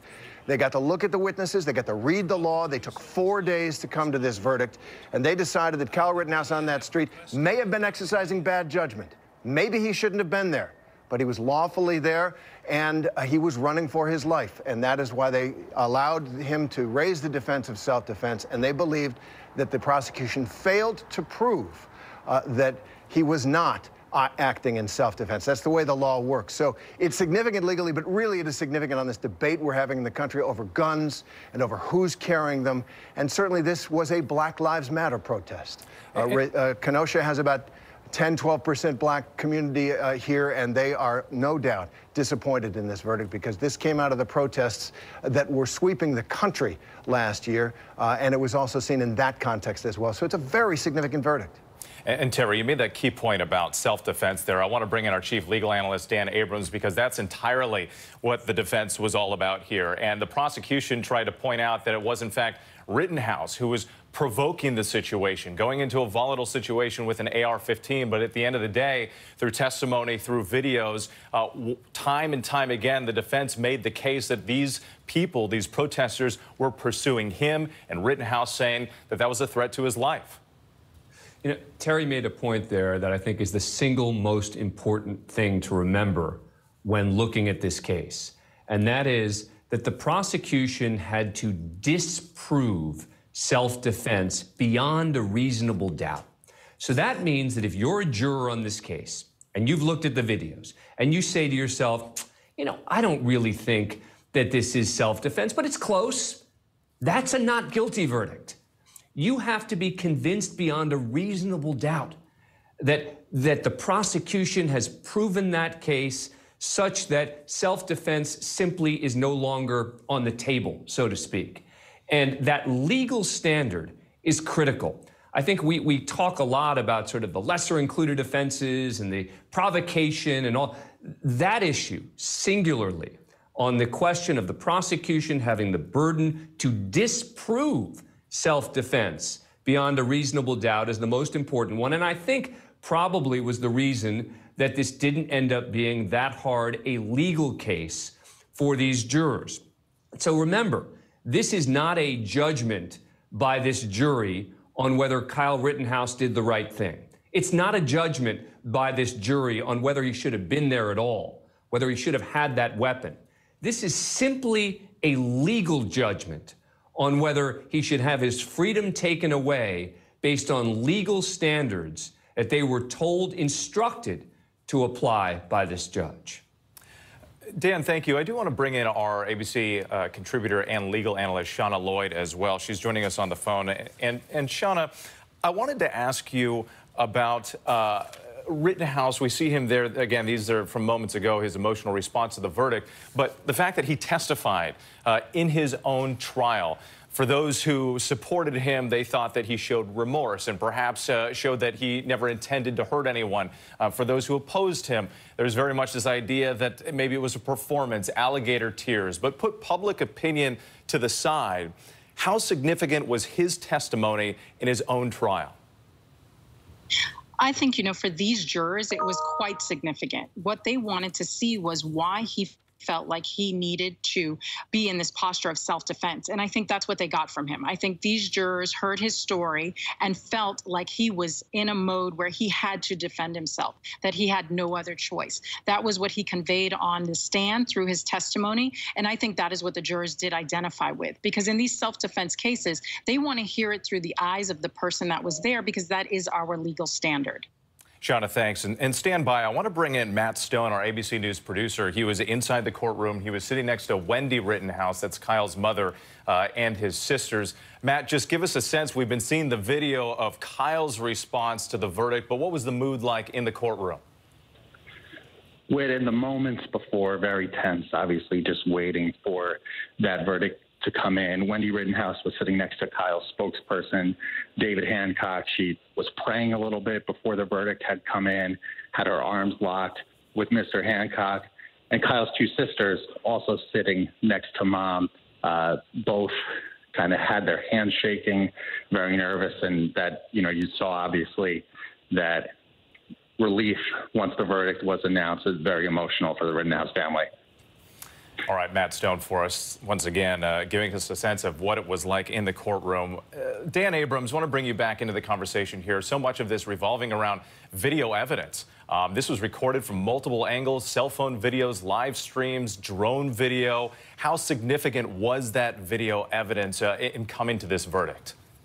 I, think it's absolutely critical. I think this is one of those incredibly rare cases where the defendant taking the witness stand may not have been the singular most important issue in the case. Most of the time, when a defendant takes the witness stand, the case comes down to that. Do the jurors find him to be credible?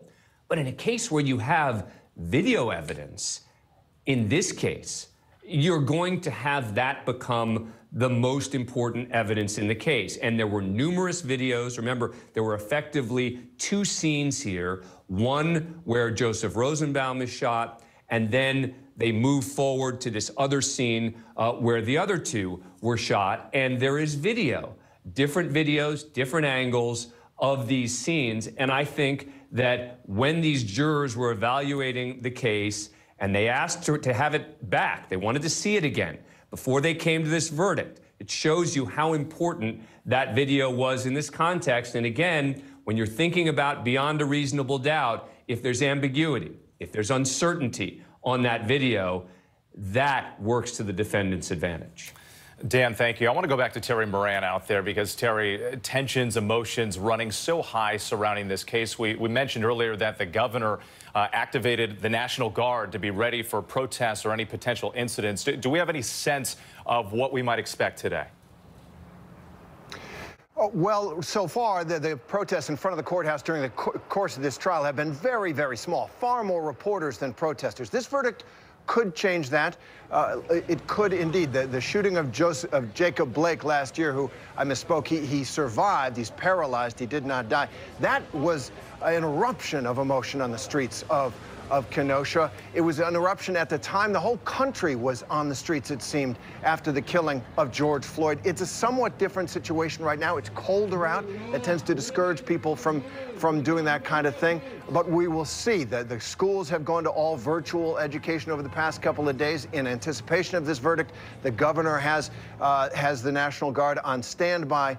But I don't get the feeling at this point that, that you would see the same kind of eruption. Let's see what happens tonight. And, and finally, this sense that this case did come to stand for more. A, a lot of people are concerned about the gun culture in this country. And Kyle Rittenhouse uh, and the others who were on that street, after several nights of protests had turned violent and businesses had been destroyed, it looked as if the country was coming apart, uh, perhaps with some people armed on one side. And that is why so many people on the left are upset uh, about this case and probably about this verdict. It remains a problem in this country. We can't solve problems through violence, whether with uh, burning down businesses or with guns.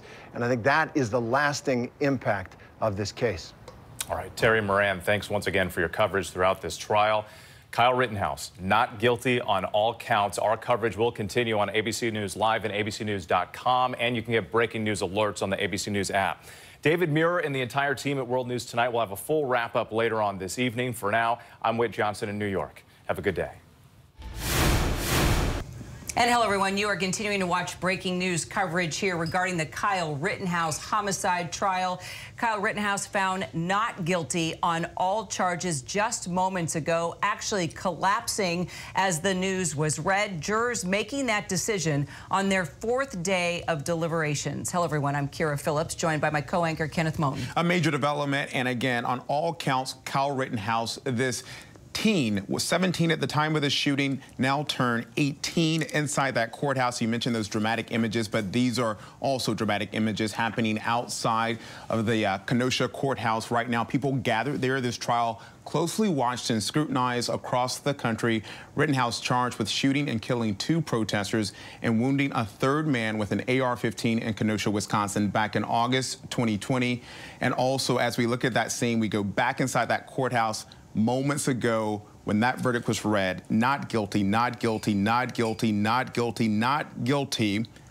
All five counts there for Kyle Rittenhouse. His knees seemed to buckle. He fell back into that chair. His lawyers, Kyra, tried to tell him to breathe, to breathe, because obviously this is a moment uh, that he had been waiting for uh, since that incident happened. Of course, at the crux of their case and at the center of their case was a self-defense argument there. Uh, as uh, Terry Moran, our Terry Moran just mentioned in our special report on ABC News, uh, there were many protests happening in the streets across the country, uh, but that was a case where everyone was watching because there was video. And his mother, right at that moment, you can see his mother crying, his sister with her hand on her mouth as uh, those not guilty uh, verdicts were read. You can see his two sisters next to his mother crying in tears. They were brought into that courtroom before the verdicts were even read. Um, they were holding hands. They were praying. Clearly, for that family, their prayers uh, were answered. Again, another shot of Kyle Rittenhouse. You could see, as you pointed out, his knees buckling, shaking, dropping to the ground, having to be lifted back up, uh, holding on to his defense attorney there. Before that verdict was read, the judge, Judge uh, Bruce Schroeder, actually said we're going to whisk you out of here fast, uh, depending on what the verdict is. And if it was not guilty, he was going to be rushed out of there, and he was. The moment after that, uh, we saw him leave that courtroom pretty fast uh, with law enforcement presence around him. For more, let's bring in senior national correspondent Terry Moran, former homicide prosecutor Bernardo Villalona, and trial attorney C.K. Hoffler the former president of the National Bar Association. Thank you all for joining us. Let's get right to our Terry Moran, um, who was in that courtroom um, during some of these days of the trial. Um, outside of the courtroom now, Terry, what can you tell us? Well, when I was inside the courtroom, uh, you could tell that the jurors were leaning in to this case. This was not a jury where people were falling asleep or, or, or dawdling in, the, in their duties. They were certainly focused on this case, and, and that was good to see. They took their time with it. Uh, this was seen by a lot of people around the country as kind of a slam dunk for the defense after Kyle Rittenhouse test, uh, testified.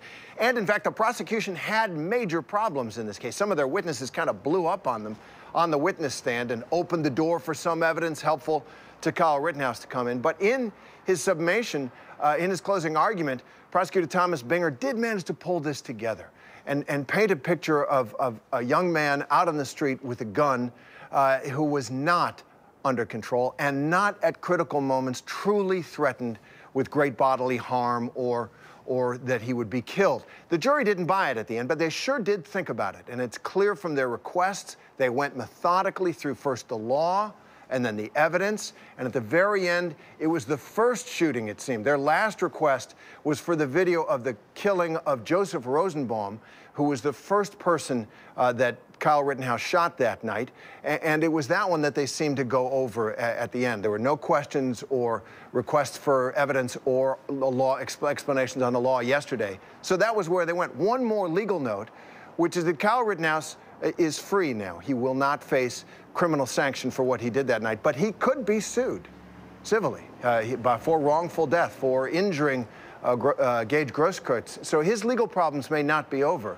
Uh, because the, that will be a different standard. It might be harder for him to raise the self-defense issue. But on this instance, where he faced life imprisonment, uh, he is acquitted on all the counts. Bernardo, clearly uh, the prosecution could not disprove that self-defense case.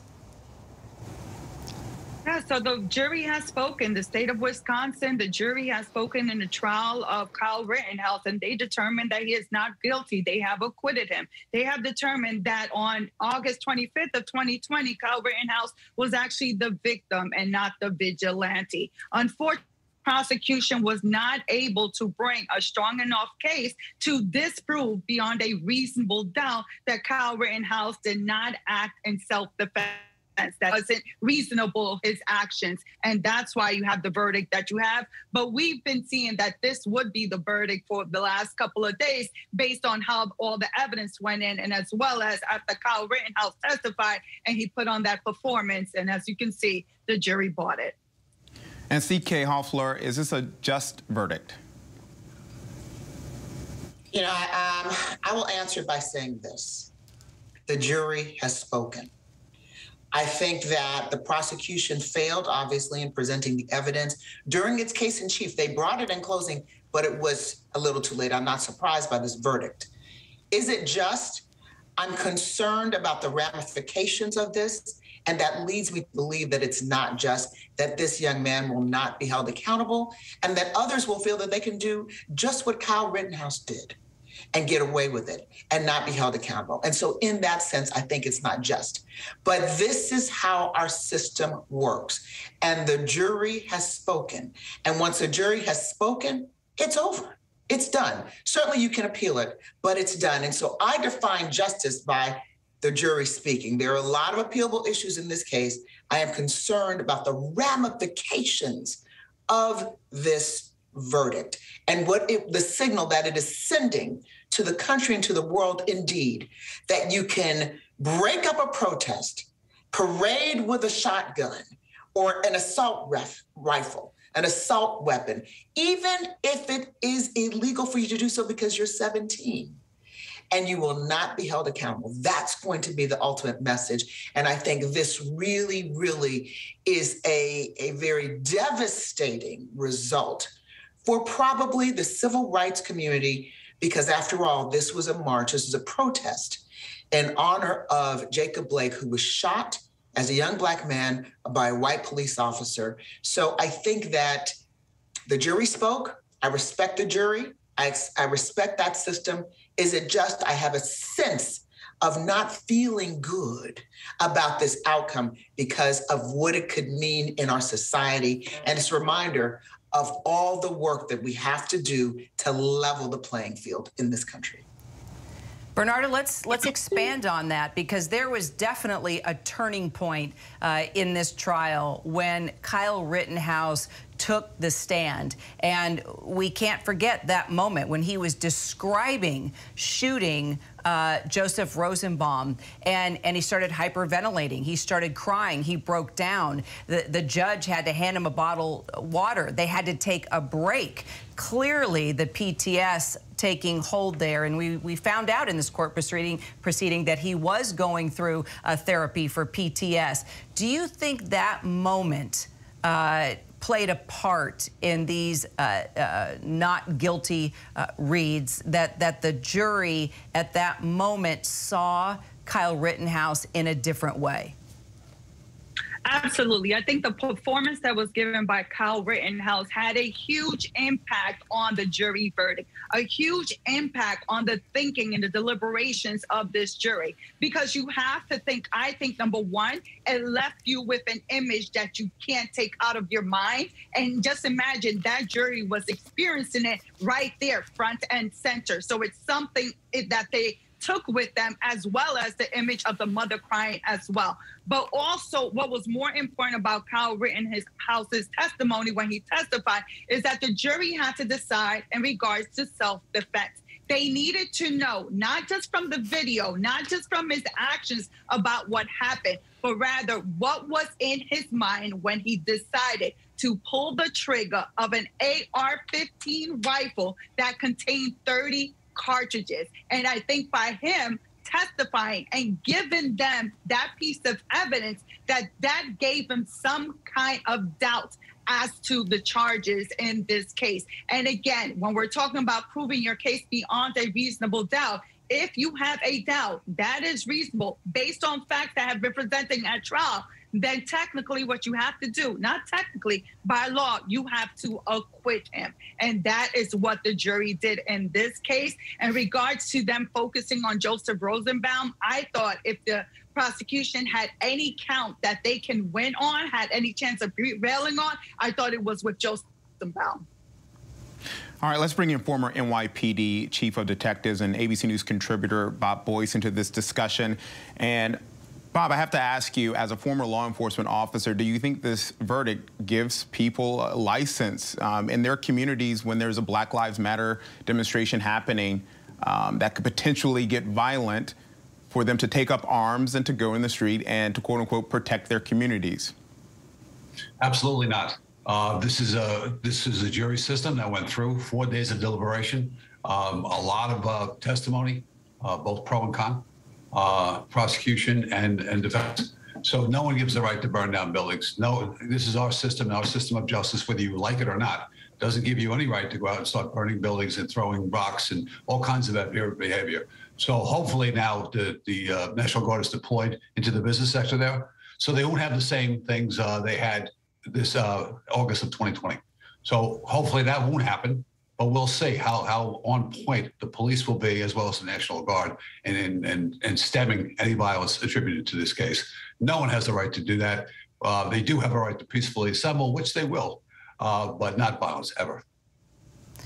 Terry Moran, let's talk about the video e evidence for a moment. Clearly, there were two very pivotal pivotal uh, moments uh, during this trial. One was when Kyle Rittenhouse took the stand and, and he broke down, as Bernarda said, gave uh, uh quite a performance that clearly made an impact on this jury. But the video evidence, um, there was a turn of events uh, this week when the jury uh, had two questions for the judge, one being, could they review the video if they wanted to, and could they do that in private or would it have to be in the courtroom? The judge saying by law they would have to view it in the courtroom, and they wanted to see that drone video again, uh, and they watched it for about 46 to 49 minutes, I believe. I can't remember the exact time, but what what did you make of that? Do you think that's because there was somebody in in among those jurors that wasn't quite sure if they thought, you know, he had had provoked the situation, Kyle Rittenhouse had provoked uh, the violence and the killing of Joseph Rosenbaum at that moment. Um, go into a little bit of detail about about that time this week when they wanted to review that video specifically. Well, that may, Kyra, be what happened inside that jury room. that's my own reading as well. If you look at the way they asked the judge questions, five questions, they said, can we have first the law, the first six pages or so of the jury instructions, which dealt with the law of self-defense and how you cannot raise it if you provoke the attack, provocation. That's what they wanted to look like and the first uh, look look at and the first count uh, against the about the killing of, of, Joseph Rosenbaum. And then they wanted the video evidence, uh, a lot of it. And then at the very end, the last thing they want was the video evidence about the killing of Joseph Rosenbaum. That was before Kyle Rittenhouse was chased down the street. It was, it was just him and Rosenbaum at that point. And so it, and it does seem to me there was a juror who said last night she wanted to take the jury instructions home. The judge allowed her, perhaps, and this is total speculation, you know, she, she wanted to satisfy in her own mind that she was doing the right thing because clearly that jury was moving towards acquittal. And what the video evidence did here and, and you know, so much of our lives is now on video that it is kind of changing uh, the courtroom behavior. Now, we, uh, we, uh, fake video is, is next, right? Those deep fakes. But this was not. This was ordinary cell phones, that drone video. And what it does is it allows jurors to go out on that street themselves in an experiential way. So they don't have to really just say, this person says he felt threatened, this person says he wasn't threatened, this person said he ran at him, this person says he doesn't. It, uh, the credibility contest, it still is a huge part of being a juror. But because they had those videos, they could A, back up one side, one version or another, and B, get some sense, secondhand but vivid, would I be in fear for my life or great bodily harm? That's the standard in the law. Would a reasonable person put in the same situation feel uh, fear for their lives or fear that they would uh, suffer great bodily harm. That's, that's the law. So they have to imaginatively project themselves into Kyle Rittenhouse's situation. And the video helps you do that. We can all do that. And, and, I think that made it a harder case for prosecutors, frankly, because when you've just got uh, a defendant on the stand saying, I feared for my life, you can tear him apart on cross examination and raise questions about his credibility. But with the video, you can see he gets kicked in the head, right? There are people throwing things at him, bashing him with the skateboard. You can't say on cross examination, well, so you say. Well, you don't have any proof of that because there is proof. And I think the video evidence was absolutely critical. Whether or not, you know, people who watched it believe that it, it, it backed up what Kyle Rittenhouse is saying is one thing. This jury still did. And it also shows that that time they wanted in the courtroom to go over it themselves after they'd discussed it for a couple of days, this jury worked exactly the way we want jurors to work. It seems to me methodically, carefully, together, reaching a conclusion. You know, on social media, everywhere else, everybody's 100% certain what the verdict should have been, one way or another. But certainty on Twitter is, is cheap. In the jury room, it is hard earned, and this, this jury seems to me to have earned it. All right, our Terry Moran, please stand by as we look live outside uh, the Kenosha, Wisconsin courthouse there after Kyle Rittenhouse acquitted on all five counts there in those charges. Um, a lot of reaction is coming in right now. Uh, we're also want to get into the political element of this verdict as well. Uh, we're going to take a quick break, and when we come back, we'll get into all of that. Stay with us. What being live is all about. This is ABC News Live. All right, we're gonna move back. Let's move back. We're surrounded by people squeezing into this bomb shelter. We're on an urgent delivery run. With Not afraid to go there. So my question, Mr. President, what are you so afraid of? Breaking news, live events. This is the moment. Streaming straight to you, anytime, anywhere. You just met one friend right here. You're watching ABC News Live. Thanks for streaming with us. All right, here we go. You ready? Let's do it. Yes, it's the show America wants and America needs right now. This is What Would You Do? Let's go. How are you? Can I hug you? Yes. Oh so what will you be watching Saturdays on ABC News Live? What would you do? Hey, I guess I just found out. the What Would You Do Marathon, 12 to 6 Eastern, every Saturday on ABC News Live my favorite show. Admit it. These days, what you need to know seems to change just about every day. What is it that you really want to know, need to know? To help you not just get through your day, but to make the most of it. Feel smarter. Feel better. Feel happier. Well, how about a third hour of Good Morning America? GMA 3, what you need to know. Now streaming on ABC News Live. It's all about you. This is American history. A violent white mob, a brutal attack, 300 black Americans killed right here in America. Now, it is time to uncover Tulsa's buried truth. The gripping story brought to light in a new podcast from ABC News. Available now on Apple Podcasts, Spotify, or your favorite podcast app. Sex, gambling, fraud, betrayal, and murder. Cutthroat Inc., the podcast. A family truth. on a mission to find their son. A year's worth of conversations with the killer. Cutthroat Inc. Subscribe for free now on your favorite podcast app.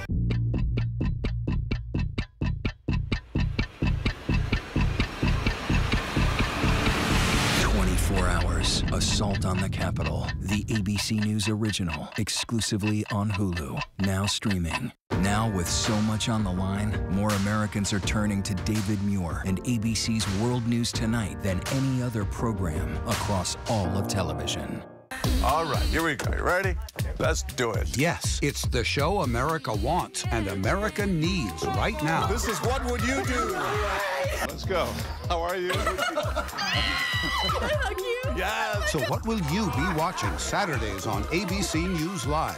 What would you do? Hey, I guess I just found out. the What Would You Do Marathon, 12 to 6 Eastern, every Saturday on ABC News Live.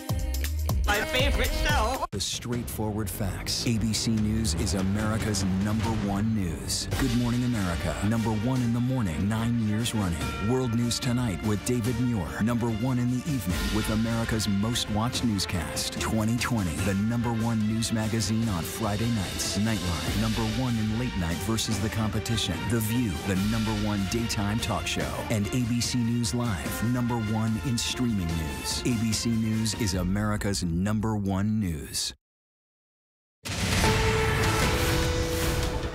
We are continuing our breaking news coverage here on ABC News Live regarding the Kyle Rittenhouse homicide trial. Rittenhouse found not guilty on all charges just moments ago. First count of the information, Joseph Rosenbaum. We, the jury, find the defendant, Kyle H. Rittenhouse, not guilty. As to the second count of the information, Richard McGinniss, we, the jury, find the defendant, Kyle H. Rittenhouse, not guilty. As to the third count of the information, unknown male, we, the jury, find the defendant, Kyle H. Rittenhouse, not guilty. As to the fourth count of the information, Anthony Huber, we, the jury, find the defendant, Kyle H. Rittenhouse, not guilty. As to the fifth count of the information, Gage Grosskreutz, we, the jury, find the defendant, Kyle H. Rit- Kyle H. Rittenhouse, not guilty. Members of the jury, are these your unanimous verdicts? Is there anyone who does not agree with the verdicts as read? Uh, Would you wish the jury polled? No. Okay. And as you saw uh, there in the courthouse, Rittenhouse collapsing as the news was read, jurors making that decision on their fourth day of deliberations, more than 20 hours. Hello, everyone. I'm Kyra Phillips, joined by co-anchor Kenneth Moton. Yes, 26 hours roughly that the jury deliberated here and to find um, not guilty on those five counts. There, you're looking live outside that Kenosha courthouse right now. People gather there, a lot of media as well. Rittenhouse again charged with shooting and killing two protesters and wounding a third man with that AR-15 in Kenosha back in August 2020. He was 17 at the time.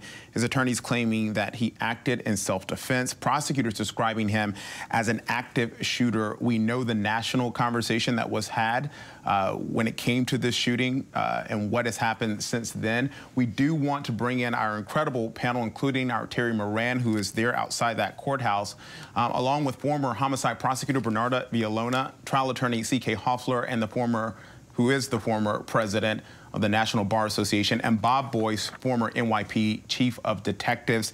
Terry, let me start with you. Um, I mentioned that political element before we went to break. Um, we know that Kyle Rittenhouse was seen as this adopted son of the MAGA movement because of his support for President and former President Trump. Um, we saw that once that money for his bail, his con considerable bell was raised. Uh, he was out in bars. He was wearing shirts that said free as expletive. Um, a few conservative news outlets obviously gave him very favorable coverage. Can you talk about the political element here when it comes to, again, this adopted son of the MAGA movement being found not guilty on all these charges and the way he was found not guilty?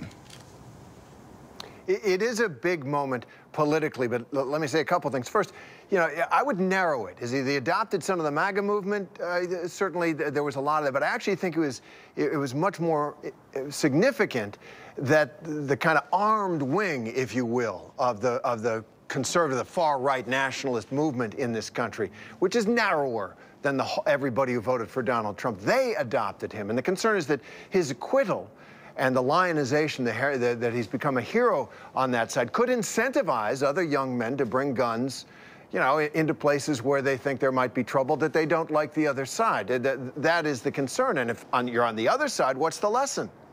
Bring a gun to a protest.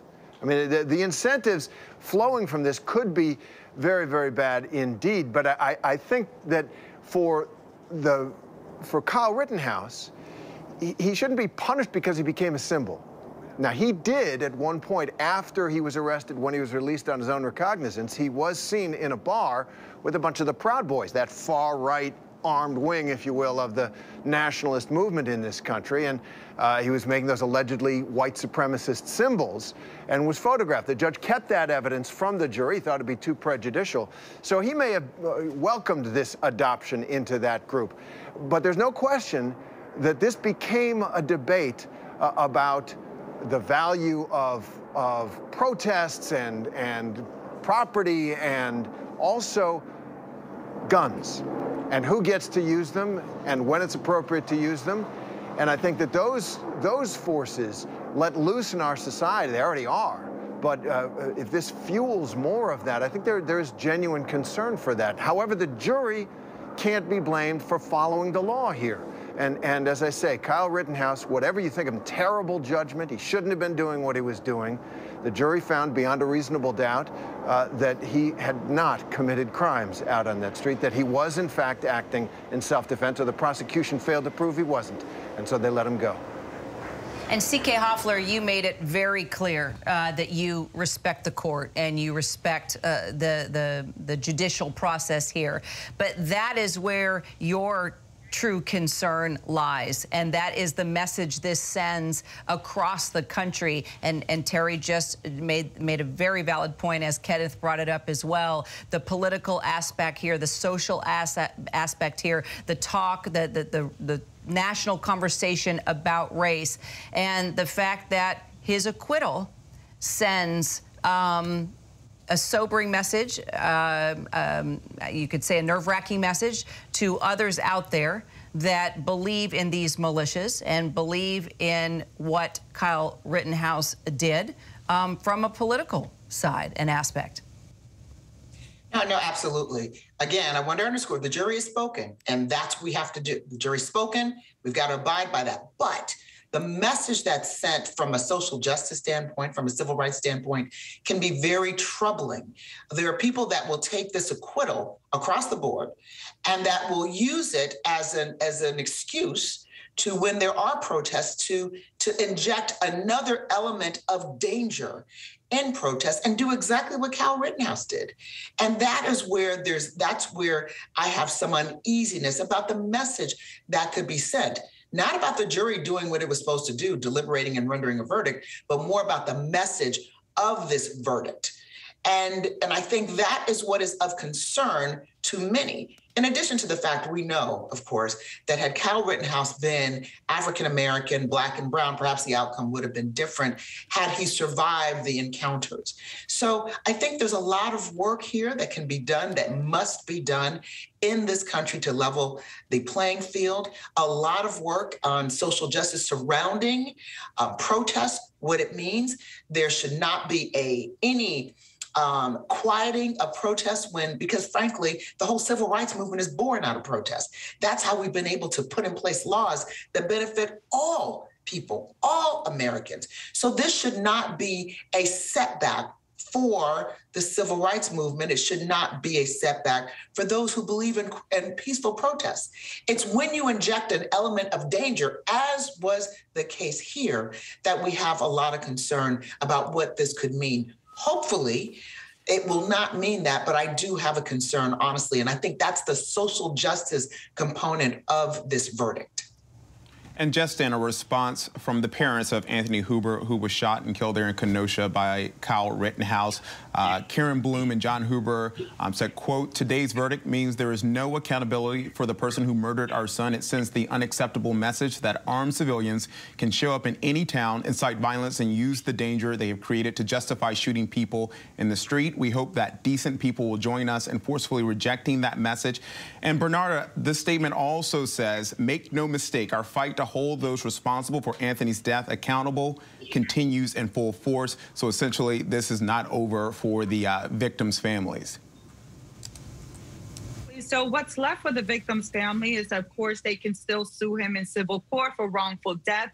Not sure whether they will prevail. However, the standard is completely different. It's not beyond a reasonable doubt. It's more of a preponderance of the evidence. So they can seek some kind of justice in that regard. They can also try to see, we don't know whether the federal government had an investigation and issued any findings in this case. But I highly doubt that the federal government will choose to bring charges against Kyle Rittenhouse. Unfortunately, you know, I feel for the families in this case. I feel for the families of those that have loved Joseph Rosenbaum as well as Anthony Huber because all they were holding out for is some bit of justice, some bit of accountability. And they did not get that through this criminal trial. And we have to respect the decision by the jury. Kyle Rittenhouse decided to be tried by a jury of his peers, and he did. They heard the facts, they heard the evidence, and they applied that evidence to the law and determined that he was not guilty.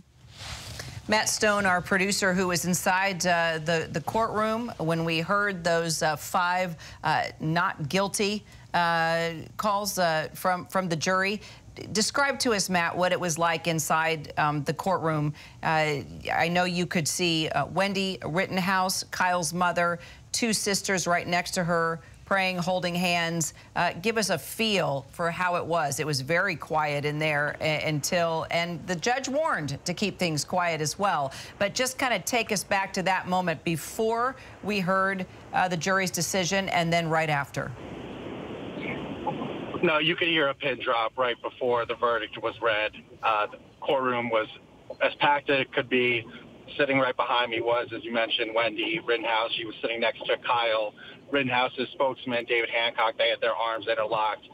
Both of Kyle's sisters were sitting next to Wendy. Their hands were shaking.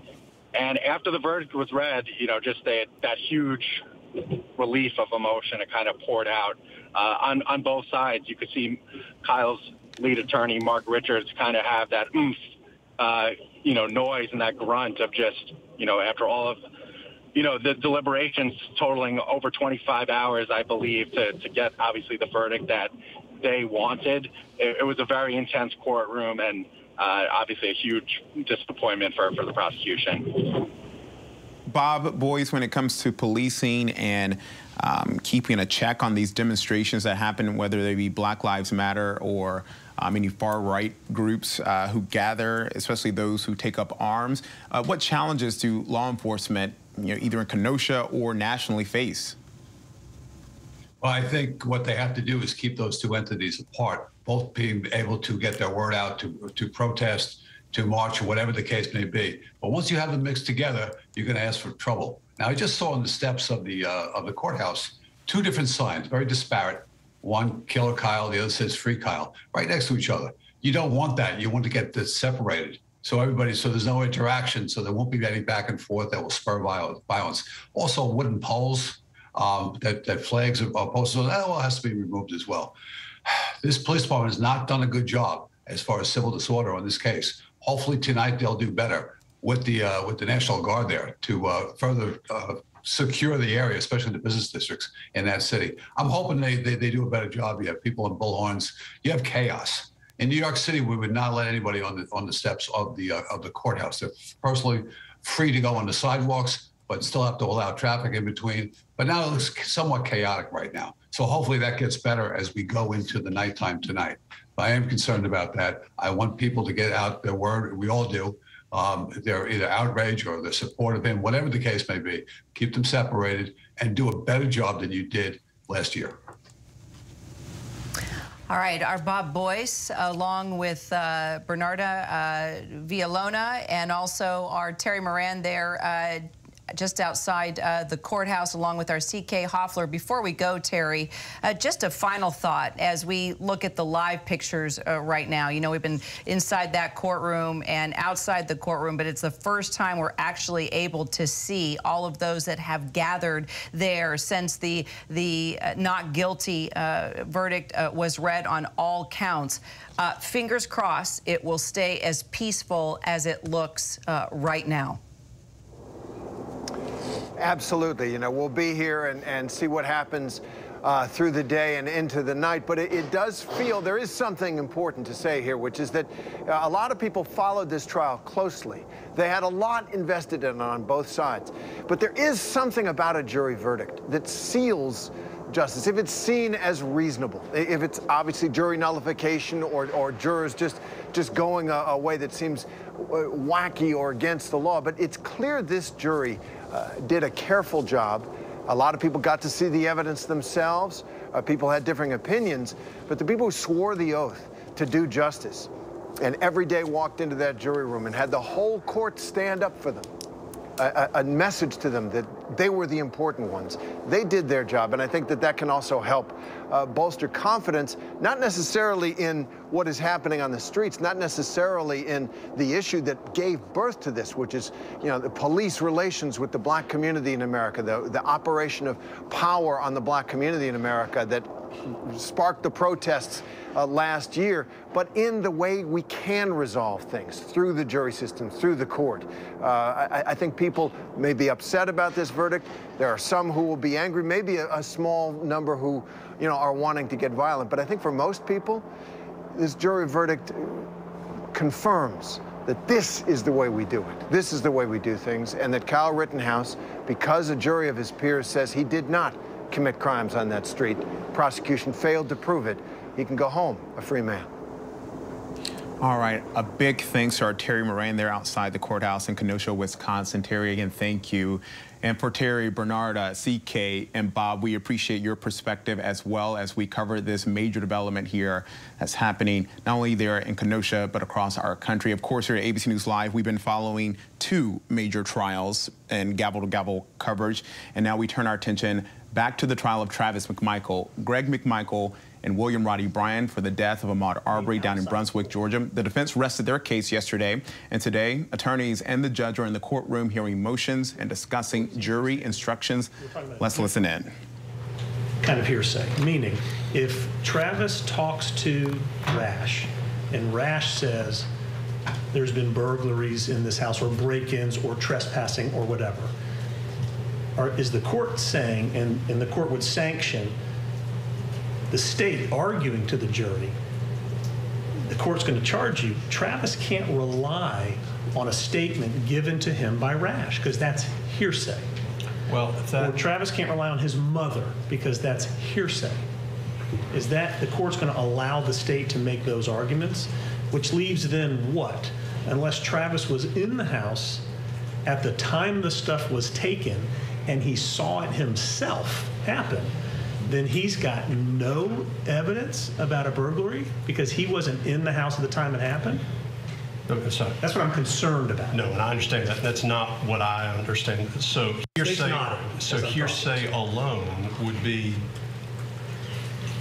for example, if there was there were no videos, they weren't looking at things. If someone just came up and said, "Oh, I saw a video," and he acted upon it, that's hearsay. But if he there there's discussion about this video and he's seen it, then that, that I mean that's the circumstances that we get in some of these cases that are out there, where yeah he's the the individual's being told what was seen on the video. They looked at the video and acted. So I think there's a subtlety there. I understand where you're going with it. I don't think we're using a legal definition necessarily of hearsay. This is this fits in my mind to the facts of the case, given the case law that's out there because what we're talking about here is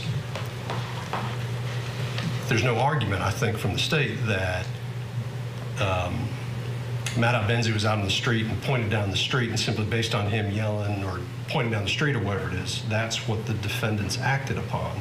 There was more information there that the defense wants to talk about. If it was just Albenze pointing down the street or making some comment, I'm just talking hypothetically, that's what this is trying to avoid. That's what this language tries to avoid, because I think that more tailors itself to the cases that are out there. Is hearsay the proper word? Well, that's the word that was used in the case. May I, may I, may I just jump in for a little bit on the, the point I think I'm hearing uh, Mr. Sheffield make? It, it, it's an excellent one because there are two different uses of hearsay being used. Unsupported statements of others alone. Probably what we're talking about here. And Judge, just to correct the record, Mr. Sheffield just said the state's nodding its head. The state was not nodding its head in agreement with what Mr. Sheffield was saying. The state was nodding its head in understanding of in my mind, I was thinking, okay, I understand where the defense is going to go in their closing argument. So I don't want it to be on the record that I was nodding my head as if I was in agreement with what Mr. Sheffield was saying as he threw that comment out. Let's remove the legal term hearsay. It's going to be a private person may not, not act on the unsupported statements of others alone. State agrees. Mm-hmm. And, and just to be clear, what we're talking about is that the court defining the first sentence of the citizen's arrest statute terms within that. I'm not prepared to go, I'm not prepared to adopt Mr. Hogue's interpretation of the statute in whole, that we can get to that. The, the, the only cases that, that, that define in his presence and within his immediate knowledge at are, that are, that they are synonymous are the misdemeanor cases, the first sentence cases. There are no second sentence cases that define that. I'm just pointing that out. You know, I, I say the first and second sentence thing that we're talking about is one reason why I think the citizen's arrest statute was a mess before it got changed. It's the mess that we are living with, but those two sentences are applying to two different scenarios, and it just wasn't ever real clear until you read, read every single case ever reported on those statutes. And then you see the pattern develop that as Mr. Rubin just said, all of these presence and immediate knowledge cases are usually misdemeanor shoplift, shopkeeper cases. And then there's very few cases involving fleeing felons, very few. I understand that.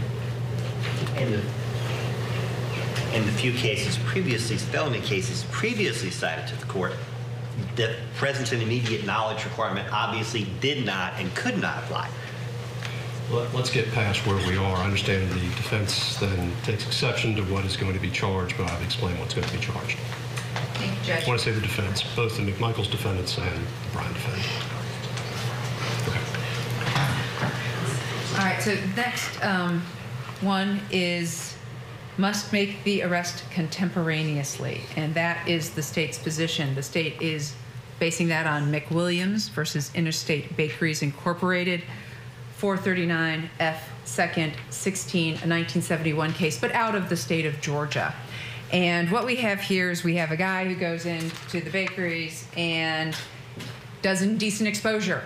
And a woman sees it. He shows up four days later and she's like, there he is. And they arrest him and detain him for the indecent exposure four days beforehand. He then filed suit saying, you know, they falsely imprisoned me because you can't do a citizen's arrest. It's for exigent circumstances, it's for the emergency, it's for the immediacy. If you've got an issue, you know, call the police, have them do the investigation. They take out a warrant, they do what they're supposed to do. And that's basically what Interstate Bakeries said. A private citizen's warrantless arrest must occur immediately after the perpetration of the offense. If the observer fails to make the arrest immediately after the commission of the offense, his power to do so is extinguished, and a subsequent arrest later is illegal. I threw in the word later, that's not actually in the charge. And a subsequent arrest is illegal, and that is actually what we're asking for because that's what the case law says in McWilliams versus Interstate Bakeries. I believe the defense is going to argue, well, that was a misdemeanor case. It's indecent exposure. So that only applies to the misdemeanor. But here's the problem. If the fel- if the if the offense is a felony, meaning the one you just saw is a felony and the person's escaping, then on probable suspicion you can go ahead and arrest them. Um, so I'm trying to come up with a really good illustration of a factual basis. Does the court even want me to try and do that right now? Nope. Okay, I won't. I'll just say we'd like this uh, state's request to charge number 55, which is must make the arrest contemporaneously. Your Honor, McWilliams versus Interstate Bakeries uh, is clearly limited to misdemeanor offenses. Um, it, it's it is merged with Adams versus Carlisle, which is really the footnote that the state is citing out of McWilliams. And in that instance, the holding is a private person can only arrest for misdemeanor offense when that offense occurs in his presence. It must, and it, then the arrest must occur immediately after the perpetration of the offense. So it's not applicable to the case that it, at bar. It's a first sentence.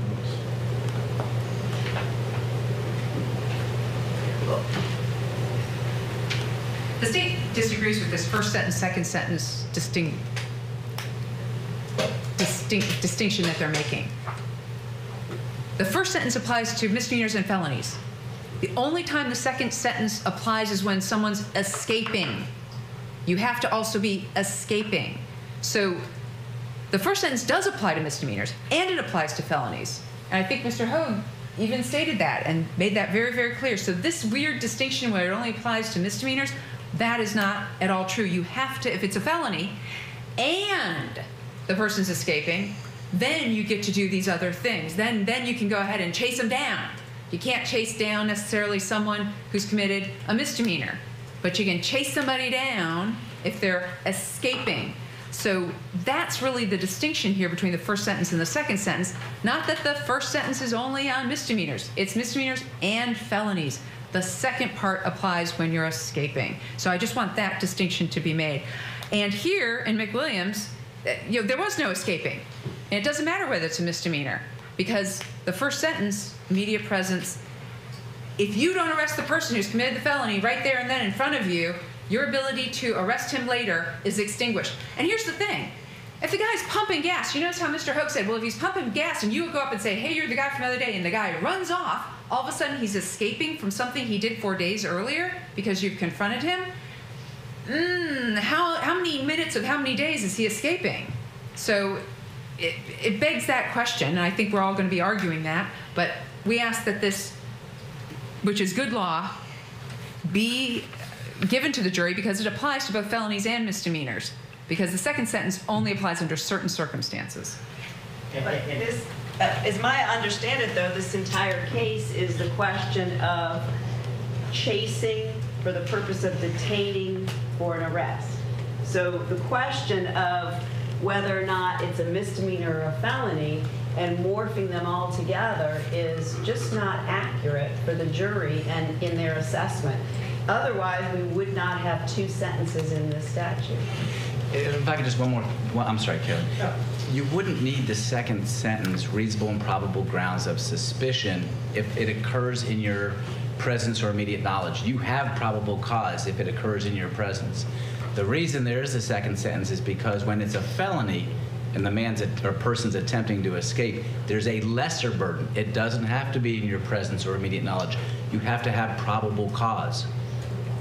If you, and probable cause does not require presence or immediate knowledge. Police officers get warrants for probable with probable cause for events that occurred days earlier, weeks earlier. They get arrest warrants and search warrants under those circumstances. It, it would render the second sentence superfluous if the if the definition is as stated by the state. Your Honor, I, I, I, don't know. I guess it's the opposite of flattery because, you know, I, I, I, filed stuff on this a long time ago, and it seems like as Ms. Dunikoski's standing here, she had had read it. Your Honor, we're conflating two different issues here. The fleeing felon part, Ms. Dunikoski makes a valid point. You can't go back a year later when someone's sleeping in their house and, and arrest them as a fleeing felon. There has to be some flight and just because you have probable cause to believe someone committed a felony doesn't mean you can arrest them. But in this case, if there isn't a fleeing felon in this case, then there never could be. This is the very definition of a fleeing felon. It doesn't have to be fleeing immediately after the crime, but he's fleeing nonetheless. And what Ms. Dunikoski is trying to do here, I, I may take that back. I should not say what she's trying to do. That's not fair. What her argument is trying to do is conflate the issues on the first and second sentence with whether they're escaping or not. Escape has nothing to do with the first sentence, which respectfully has nothing to do with this case. The escaping part has to do with the felony arrest. The doesn't mean that the felony has to have taken place right then, that the person is escaping then. It means that there has to be an exigent circumstance, which is what the court has already adopted that part of the language. And the exigent circumstance for the felony arrest is the flight or escape. For example, if Greg McMichael and or Travis McMichael and Mr. Arbery were bowling buddies or on the golf team together, and he could look at the video and know who he is. Well, he, then at that point, he's got to arrest him or not. He can't come back three years later. But in a situation where the perpetrator is not identified and is fleeing, that's an exigent circumstance because you can't go back and get him later. You got to get him then. And that's the reason that the McMichael defendants are authorized in this case, and Mr. Bryan to uh, assist them in doing that, that's what the evidence suggests. The, the, there is fleeing here in the sense that if he is allowed to escape, there's no guarantee that he is going to be discovered subsequently any more than he wasn't discovered the first time he went in the house, the second time he went in the English residence, or the third time or the fourth. I mean, that's the personification of flight. And that's why this charge should be allowed. But to go back and say that that's got anything to do with whether it's the first sentence or the second sentence, that's a separate matter. And I think it's confusing for the state to present it that way.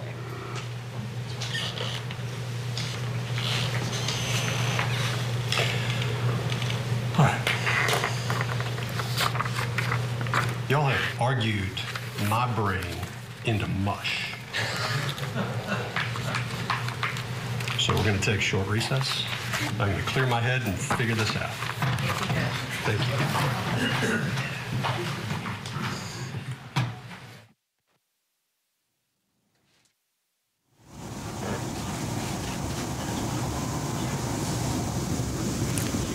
You are watching our live coverage of the three men charged in the death of Ahmaud Arbery. That trial happening down there in Brunswick, South Georgia. I want to bring in our C.K. Hoffler and Bernarda Villalona. Also, our Alex Roche is outside that courthouse as well. Um, CK, you heard the judge there moments ago saying, you're turning my brain into mush. Uh, I think that may be true for all of us. So help congeal it all, make it solid again for us. Tell us exactly what's been happening there as they go through those jury instructions and, and work it all out between the state and the, the between the prosecution and the defense. Well, this is the charging conference, and Kenneth, you know, I've been in so many charging conferences or charge conferences when you're actually going through the language and the jury instructions with the judge. And it is a process that causes you to sometimes not know whether you're coming or going. But an issue here is the citizen's arrest. Because arguably, under Georgia law, for there to be a citizen's arrest, there has to be knowledge or knowledge by, by those who are definitely trying to effectuate a citizen's arrest of a crime being committed. So the evidence that we hear have heard during this trial, thus well during this trial, because both sides have rested their their case, was about perhaps Ahmaud Arbery being seen earl, earlier, um, other dates, not that day, him doing something earlier, but none of the defendants could say for a fact that he was committing a crime, that he was in the middle of committing a crime. So if you're going to effectuate a citizen's arrest under Georgia law, there's got to be a predicate. And so the issue is going to be whether that predicate, whether the elements have been met. The prosecution says no. The elements have not been met. So you can't have a citizen's arrest. And by the way, you didn't announce a citizen's arrest. Ahmaud, you didn't say anything to Ahmaud Arbery about a citizen's arrest. That you thought about this after the fact. You didn't even say anything to the police on the scene right after you shot and killed Ahmaud Arbery. So you weren't even thinking citizen's arrest. That's an after the fact made up claim because now you know you've been caught and you've been arrested and you're being charged. So that's an issue. That's at the heart of this. And the judge just saying you know i don't know whether i'm coming or going because he's heard so much argument on that point. He's going to hear a lot of argument because that's a critical point. Without the ability to have a jury charge relative to citizens arrest that's going to gut part of the defense's ability to defend the actions of the defendants in this case. Just think about it. There's that they're saying we were we were in our right. We could have done this under Georgia law at the time. You may not like it, but that was the law. So that's why you're hearing arguments back and forth. But they've been going at this charging conference for a very long time. And I followed most of it, and it has been pretty, it has been very intense because there's a lot at stake. And the charge that go back to the jury could make a, all the difference in the world, particularly on a self-defense case we just saw the verdict in the Kyle Rittenhouse case, so we know how important it is to have those those um, jury instructions reflect exactly what you want them to reflect, depending upon which side you're on.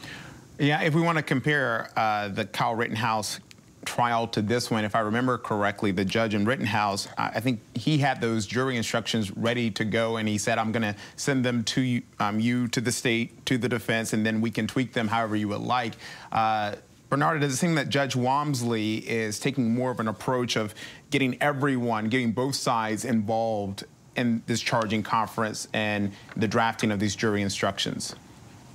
we can't even compare the jury instructions and the scheduling conference that Judge uh, that Judge Walmsley had compared to the judge in the Rittenhouse case because when Judge Schroeder was given those jury instructions, you know it was a hot mess. They had an entire jury instruction conference on Friday, but yet on Monday, minutes before they were about to do closing arguments, they were still tweaking it, tweaking it to the sense that, look, they lost one of the charges because remember, the dangerous weapon, the dangerous instrument charge was actually dismissed, taken away from that. So, in regards to what Judge Walmsley is doing right now, he's doing and approaching this the way you're supposed to approach it. Jury instructions are so crucial crucial to the point that the missing of one word can cause a conviction to be overturned, especially in this case when the defense is arguing about citizens' arrest that's their entire defense here. That's their defense here. So what they are trying to bring in, they want the judge to be able to allow that it doesn't have to be contemporaneously the, the knowledge that they believe that Ahmaud Arbery had committed a crime.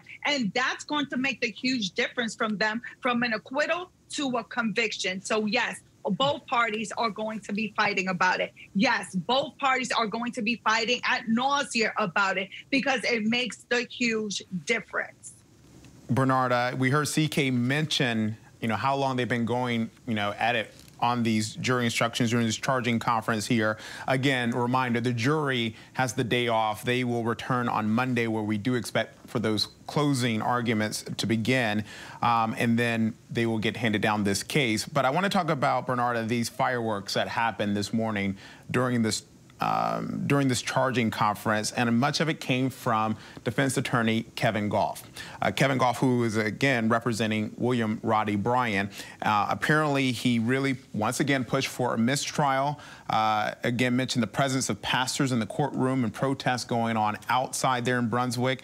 Uh, he said, quote, that uh, this is what a public lynching looks like in the 21st century there.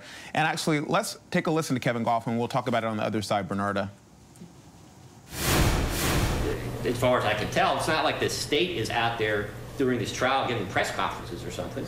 But still, third parties are influencing this case. They've been doing it from the gallery in this courtroom. They've been doing it outside. this is what a, a public lynching looks like in the 21st century, with all due respect. Bernarda, the state argued for denial, saying that the activity outside that courtroom was the result of Gough's own doing. Let's have a moment of silence for Kevin Gough because he's about to get slaughtered in the news and in the media. For him to have the audacity, the audacity to say that this is a modern day public lynching, just the mere presence of black pastors inside of the courtroom or the mere presence of black people peacefully assembled outside of the courthouse and he's calling it a public lynching. Are you serious, Mr. Gough? Where are we going with this? You know, the thing is that Kevin Gough, regardless of what happens in this case, one thing we can say is that he will never be forgotten by his racial overtone comments that have been made throughout the trial. And the one thing I got to give Kevin Gough, thank you for your honesty. At least you're you're upfront with your feelings. The sad part about this, though, is that Kevin Gough is the only attorney from Glynn County and the case is being tried in Glynn County, and the jurors are from Glynn County. So I really hope that those jurors that are listening to this case don't have the mind frame of Kevin Gough. As much, let's just bring it somewhere else. As much as Kevin Gough has been complaining and all day and he's calling it a public lynching, how about you talk about the fact, Mr. Gough, that you reached out to the prosecutor yesterday and you asked for a plea deal? So all this crying and stomping and saying he's not getting a fair trial and my guy is innocent. You asked for a plea deal last night. Let's talk about that. Let's talk about that. Uh, when it comes to that plea deal, uh, CK Hoffler, were you surprised by that late development, or we learned about it actually early this morning about this potential plea deal? I was not surprised at all. I mean, there are always discussions going on throughout a case. What's interesting is that both sides said, no, no, no, it didn't happen. But can I just say one thing, Kenneth, about the, mod- the modern day lynching? What Please. happened to Ahmaud Arbery, what happened to Ahmaud Arbery, arguably is the modern day lynching, period, end of discussion. I don't have enough words to express what you know Mr. Gough is saying. All I can say is just the racial animus coming from his mouth and every orifice of his body is most unfortunate. Having said that, I hope that this charging conference will continue to be as animated as it is because both sides have to fight to the bitter end to get the jury instructions to be correct. What we saw in Kenosha was just a hot mess in terms of the charging conference. Even the judge got confused when he was reading the jury instructions. But the judge controls that courtroom. So if he was confused, the confusion was of his own making. But here, with this case, the judge is taking his time. This is more in compliance with charging conference that, that we're accustomed to seeing. And as for Mr. Gough, he's going to continue to be Mr. Gough. I mean, we should expect no less. And they're going to continue to deny that that he he's going to continue to deny that he was seeking a plea for his client. But I'm very certain, I feel very certain that those discussions have been ongoing from the beginning because he's felt very strongly that his client should not be tried in the same way or considered in the same way as the McMichaels. Let's go live down there to Glynn County where we find our Alex Presha outside that courthouse in Brunswick where he's been since day one of this trial. And Alex, please set the scene for us about, obviously, again, the jury not there. Um, we are not in any type of, I guess, active um, trial. I mean, both sides have, uh, have closed and um, have rested their cases. Uh, so what's the scene there today? Well, Kenneth, I mean, it's it's the polar opposite of what we saw yesterday, right? I mean, it is it's there's nobody right now. I'm looking behind me. There is nobody uh, outside the courthouse steps right now, and, and, and quite frankly, I mean, throughout the day, it's it's been it's been pretty sparse, even with supporters for the Arbery family. Usually, there there there there've been a, a handful, but. Uh, but, but but not a ton. And yesterday, you know, you saw those images. Uh, I think it's a conservative estimation of 300 probably more, but folks who descended upon this courthouse steps to show their support to the Arbery family. It's the opposite today, and it was interesting uh, because we heard those statements from from Kevin Gough. He handed out the pictures today uh, during this charging conference, talking about how he believed that the the support that descended down here in Brunswick was uh, preventing his client from getting a fair trial. Well, we also, during lunch, got a chance to speak with defense attorney Jason Sheffield, who represents Travis McMichael in this trial. Uh, Sheffield saying essentially what he saw yesterday was beautiful. And while he is representing one of the defendants, uh, he completely supports the First Amendment right of those supporting the Arbery family to be here. Uh, and that what transpired yesterday was absolutely well within their bounds, and it's something that that, that even he supports. And even before uh, we took that lunch recess, we heard those same sentiments put forth by the Hogues, who are representing Gregory McMichael. So clearly, uh, you know, with regards to any support that the Arbery family is getting outside of court, uh, those objections that you're hearing from Kevin Gough, he's kind of on his own little island there. And Alex, how much have we been hearing from those defense attorneys or any, even from the state side? I assume the state hasn't been speaking much or if at all. Um, have we heard much from the defense outside the courtroom? Well, you're, right, Kenneth. The state hasn't talked at all uh, to us. But I will say uh, the defense attorneys, they've spoken sporadically. I think uh, since this trial has started, we've only heard maybe a few times uh, from Jason Sheffield. He spoke once the day after Kevin Hogue first, or Kevin Gough first made uh, those comments about black pastors in the courtroom, vehemently uh, putting his position out there that he thought those comments were asinine. And then the second time that we've heard from Jason Sheffield, Sheffield was again today backing up uh, what he saw yesterday, calling it beautiful. It's it's it's interesting whenever he does choose to speak with us. I know he's had like some one-on-ones and some pull-asides, but whenever he decides to come in front of the podium, uh, that that makeshift podium that's been established there, usually it is to battle back some of the comments uh, that have made been made by uh, uh, other defense attorneys, namely Kevin Gough. All right, Alex Presha outside that courthouse there in Brunswick, Georgia. Thank you so much. We really appreciate it. And, you know, we are following, obviously, the major developments that are happening out of Kenosha, Wisconsin, too. And let's go back and we will continue to monitor that case in Kenosha, Wisconsin after the not guilty and the acquittal of Kyle Rittenhouse. But we want to take you back into the courtroom in Brunswick, Georgia for the Ahmaud Arbery case. And the judge is speaking. Let's take a listen. fails to make the arrest immediately after the commission of the offense or during escape in the case of a felony, his power to do so is extinguished. That's what the court intends to charge. I understand there's an exception from the, uh, the defendants. Judge, if you charge the jury the way you're, you're contemplating, you are directing a verdict for the state. You are, and you are rendering the second sentence in which it describes reasonable and probable grounds of suspicion meaningless. It's in there, presumably, for a purpose. It's a different burden than immediate knowledge or presence. And so I would, I would urge the court to reconsider and, and eliminate this, let the state argue what they're going to argue. We have built this whole case around the probable cause, the second sentence, last phrase that Travis McMichael and Greg McMichael had on February 23rd for events that happened previously. And you are gutting all of it if you give this particular charge.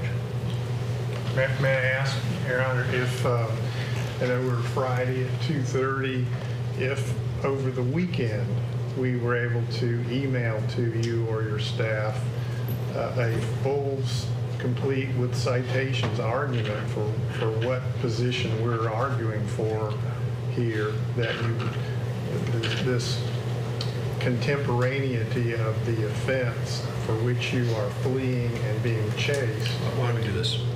This is what I intend to charge. I'm not going to reopen all of the charges. I understand the, the significance of the charge that is presented. Uh, I will, if I'm provided something, at least on a timely basis over the weekend, where I can digest and the state then have an opportunity to digest and respond. Um, this charge, I will remain, um, it, it, the intent is as I've described. But if I'm provided different authority than I've already been provided, I will go ahead and reconsider upon the presentation of um, any additional authority that may come. Could I shoot for, say, midday tomorrow? I'll get, I'll be working on it all morning, tonight, in the morning, not Sunday, but sometime tomorrow, get it to the court. And we want to take you now to a press conference in Kenosha, Wisconsin, where that not guilty verdict was reached today for Kyle Rittenhouse. This is attorney Mark Richards. The jury Let's did take a to listen. him today. Um, he wishes none of this would have ever happened. But as he said when he testified, he did not start this. And we're thankful in more ways than one that the jury finally got to hear the true story. And when I say the media, I'm talking about social media and things like that. The story that came out from the beginning was not the true story. And that was something that we had to work to overcome in court. Um, and we think we did that. You said that you were both at times doubtful and confident. Did the length of the deliberation time uh, instill more confidence, or was that instilling a little bit of uh, work? No, doubt. Um, I, I never predict how long a jury's going to be out, but it was the longest jury deliberation I've ever been a part of. I had an 18 hour and a 17 hour. In one was a federal and one was a state case. Um, it was torture. And this might sound like a small thing, but the judge wanted us to be within 10 minutes. Obviously, my office isn't within 10 minutes, so we had to sit in that room on the third floor, and it was hell. What did you talk about the decision to put Kyle on the stand? Was that a close call for you? Do you think that made the difference in the case? You want the truth? Yes. Had to put him on. It wasn't a close call. Um, at certain points, we wondered whether we would put him on. Um, we did. Uh, we had a mock jury, um, and we did two different juries, one with him testifying, one without him testifying. It was substantially better when he testified, I mean, to a marked degree, and that sealed it. But in Wisconsin, if you don't put a client on the stand, you're going to lose, period. What do you see as the crucial moment in the trial? There were a lot. I, I, I, I mean, I think, I think it, it's at the beginning. But when Attorney Binger gave his opening statement and said those things that Kyle chased Rosenbaum down, I, I don't know where that came from to this day. It was ridiculous. Um, and that gave me something to really show and argue to a jury that this isn't fair. It's it's not a game, and I think that was huge. Corey, you know, my co-counsel, and I stress the word co-counsel. He was not a second chair. Was incredible. Um, we fought over who got to cross-examine Gaige Grosskreutz. Um, he won. Um, and he did a better job than I would have. This case has gotten caught up in issues of racial justice, the Second Amendment, self-defense. What does Kyle, what does your team want this verdict to be remembered for, his case to be remembered for? You know, when I took this case, um, I was hired by the two first lawyers. I'm not going to use their names. Um, they wanted to use Kyle for a cause and something that I think was inappropriate. And I don't represent causes, I represent clients. And the only thing that ended up mattering to me was whether he was found not guilty or not. Is that what Kyle feels as well? Is that what Kyle wants, or does he? I believe that's what he wanted. And I had, you know, I told him when I first met him, when he was in custody, that if he was looking for somebody to go off on a crusade, I wasn't his lawyer. And Mark, Mark, throughout the week, you said, you know, when I caught you in between court. You, you I never talked to you. uh, that you were nervous, that you know, you, you, didn't know what the heck was going on in that jury room. Uh, looking back on you know all that time waiting, nearly you know 27 hours to uh, this afternoon, uh, can you kind of walk me through sort of those hey, range of emotions? I mean, I expected we kind of picked amongst ourselves, our wives, our friends, my associates in the building and I had Tuesday at 4:30, so I was way wrong. Um, nobody had it going past Thursday, and you know there was talk today about whether they were going to deliberate on Saturday. I've never seen a jury, and I don't mean this as a slight to them, I, but they didn't have a lot of questions. We had no information that they ever fought. Um, they were just working through the issues, and you know, so it didn't. It, it was the time that made me nervous. There wasn't any information coming out. They submitted five questions over that whole time. They never asked to rewatch the videos, you know, beyond those five questions. Was that concerning or puzzling question, you know, for you? Hey, you know, I was afraid of a compromise. You know, I know it's been reported that we asked for lesser includeds. We objected to all lesser includeds. Um, Kyle was questioned on lesser includeds because he has to be, but that wasn't our wish. That wasn't Kyle's wish. And we, as time went on, were afraid that there would be some horse trading in the jury room. Um, and that's what really concerned us. And Mark, you've been visibly frustrated with the prosecution multiple times. No. How would you characterize your I was a prosecutor. Corey was a prosecutor. And I never went after somebody like they did. And when they put on the Khindri brothers, knowing that they were lying, that is a problem. This isn't, as I said in my closing argument, I'm not going to, you know, it's not a game. And you're playing with an 18 year old kid's life. And they were willing to put those guys on. Detective Howard and Detective Antaramian had both interviewed them, and in their police reports said, We know you're lying. I can't ask that question when they're on the witness stand of the detective because one witness can't comment on another. So they put them on. They knew they were lying.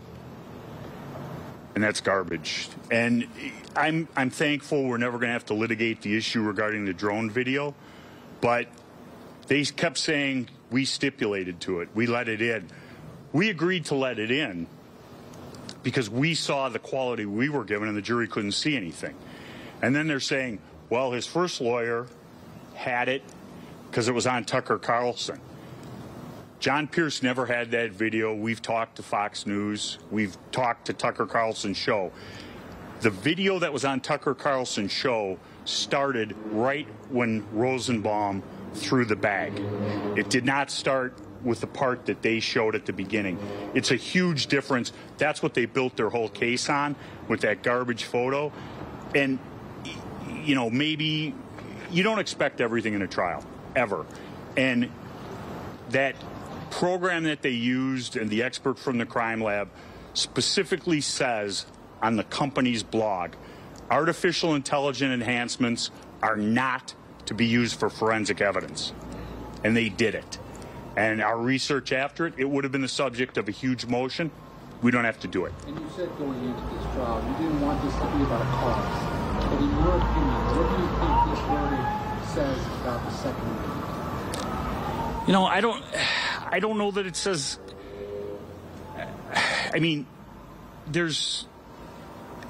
I personally don't like people carrying AR-15s around. You know, there was so much anger and so much fear in Kenosha on August 25th that people did arm themselves. And, I, I, you know, we knew from the beginning that if you read that statute correctly, I know everybody thought I was crazy. If you read the statute correctly, he was legal in having that firearm. And obviously, once the evidence came in, the judge threw the charge. Um, they threw the curfew. And those were things that the state wanted to, you know, kind of hang their hat on so they could argue he couldn't be there, he couldn't own the gun. What was the first thing that Kyle Rittenhouse told you after the arrest? Thank you. Mark, with the surviving victim, Dave Grosskreutz, uh, said in an interview in recent days that watching Kyle testify, it looked like a, a kid who got caught doing something wrong. I'm paraphrasing. Uh, what does Kyle want the families of the, the two men killed to know about how this all played out? Because he repeatedly talked about feeling like he had no choice. But clearly, there, there's, there's. If if Mr. Grosskreutz and some of the other people had let Kyle go to the police, there would only be one individual dead. Um, they referred to him, and I talked about it as an active shooter. Anybody can look up the definition of an active shooter from the FBI, law enforcement. He didn't meet it, but the way that those words are so charged, that's what they used. They wanted to paint him as that. Um, you know, I wish nobody died. I wish I never met Kyle Rittenhouse. And I don't mean that because he was a bad client. I just mean because then this wouldn't have happened. Whether or not he feels he had to do it, is he remorseful? Does he feel bad about for those families? I, I think he does. We've talked about it. Um, there's been so much talk about whether the tears were um, genuine. All I can say is when we prepared Kyle and we worked on his testimony, there were things we couldn't talk about in my office because it got too emotional and he couldn't handle it. He's in, you know, counseling for PTSD, so he doesn't sleep at night. Um, it, it, remorse, I think, manifests itself some other ways.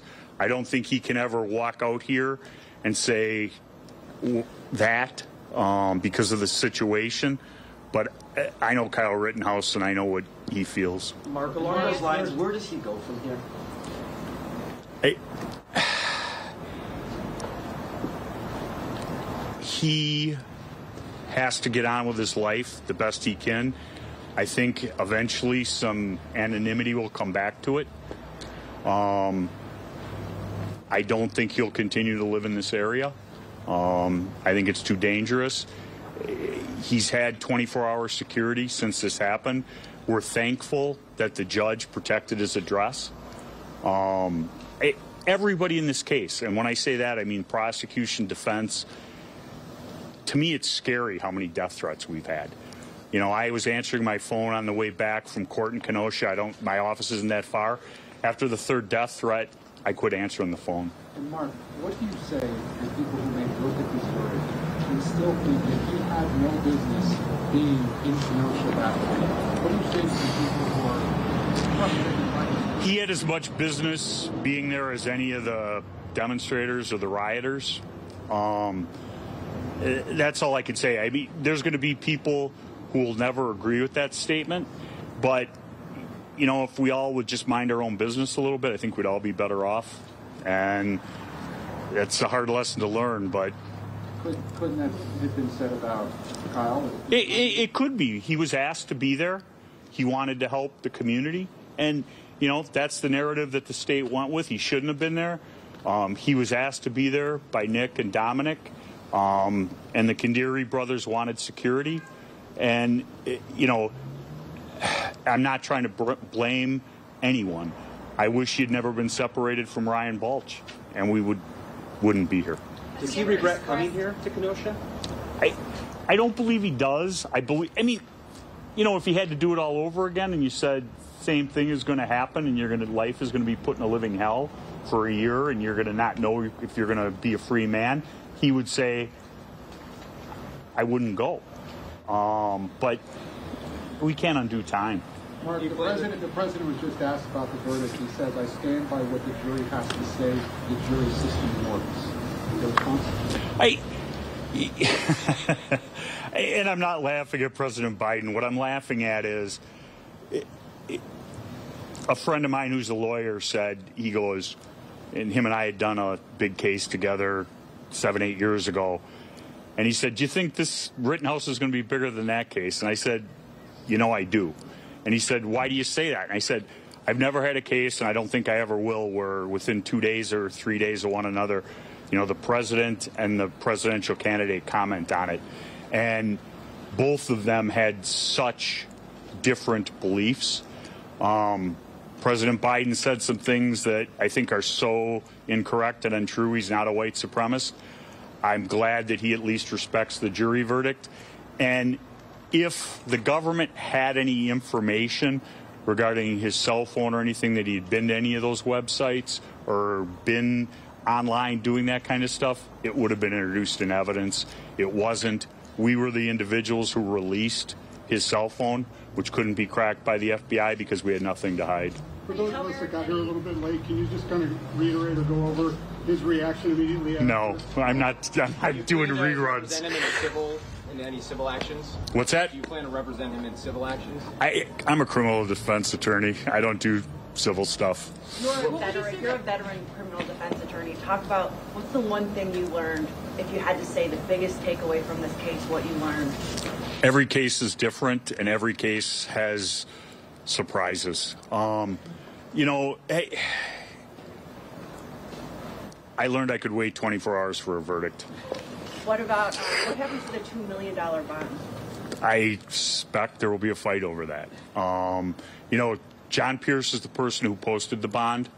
Um, all of that money was raised on behalf of Kyle.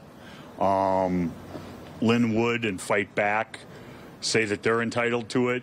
Um, there was, and when, when I I'm using round numbers, but there was half a million dollars I think that came directly from Wendy Rittenhouse from money she had raised. So there's going to be a fight over that, and I'm just thankful that there will be a fight over that because if he had lost, it wouldn't have mattered. You know, Kyle had aspirations to be a first responder. Is that still He wants to be a nurse. still wants to be a nurse? What would you say your biggest takeaway is from this 25 plus hour jury, jury deliberation? What do you think that that says? I need to be more patient. Now that he has been acquitted, can you look back and point to a pivotal moment that was successful for you that you think created this outcome? Getting rid of the first two lawyers. And, you know, that might be a smart alecky comment, but I mean that. And I got my best friend, Corey, to join, who I trust. Um, and to be able to work with somebody who you don't have to check their work, you don't worry about what they're going to be doing. You give them a project and it's done as good or better as you do yourself. It's priceless. There's been a lot of commentary on the prosecutor's performance in this case. What would you say being up there with him every day? I, you know, I, I you must have got here a little bit late. Um, I, I've known Tom Binger for a long time. I knew him when he was a civil lawyer. Um, I'm disappointed with some of the things he did, um, and I've said why. Such as what?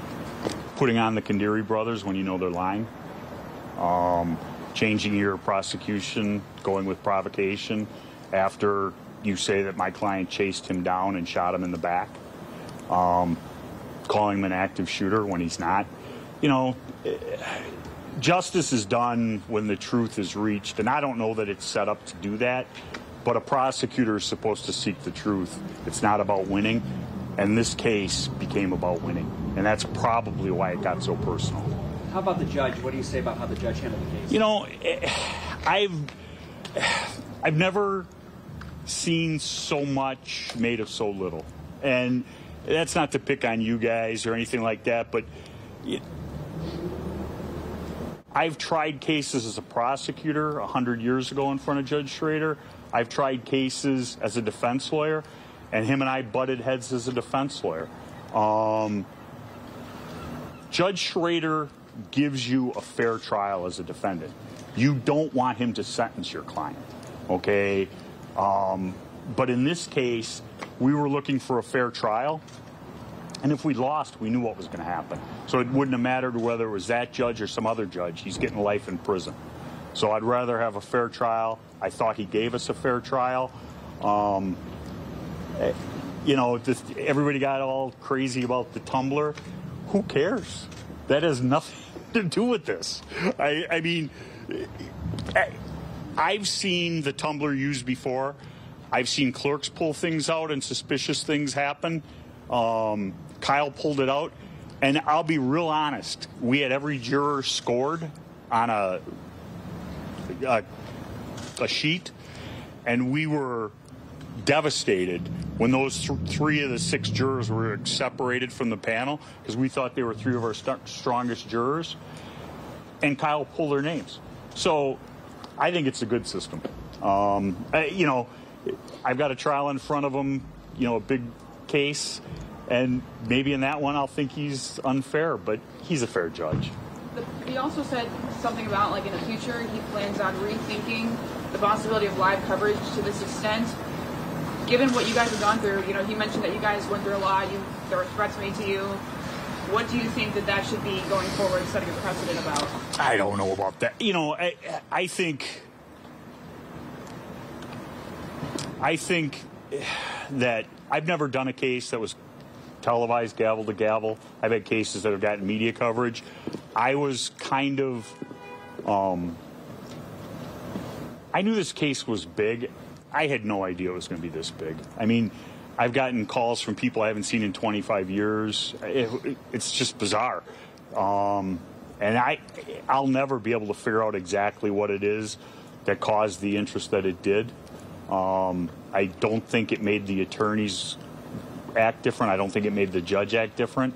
Um, I suspect when everything cools down, if there was another big case in front of Judge Schroeder, he'd let the cameras in. Mark, will Kyle say anything to the crowd that's gathering down there now, or will you on his behalf? I, you know, about, I mean, I don't, we don't know that there'll be trouble, but you know, there's people gathering. By the time we left, there were more and more people showing up. Do you think he anything he might say could uh, make things go better than I, I think I don't. Um, the people who are going to end up causing trouble, they don't want to hear from Kyle Rittenhouse. I, it, it's you know, what remain calm. I, you know, What do you think the wider implications of this verdict are, if if any? I don't, you know, I don't think it's, the, I don't think it's that kind of case. I mean, you know, when when you want to talk about implications and precedent and things like that, is it ever going to happen again? You know, is there ever going to be just a total unrest in Kenosha or some other city, and that's going to happen?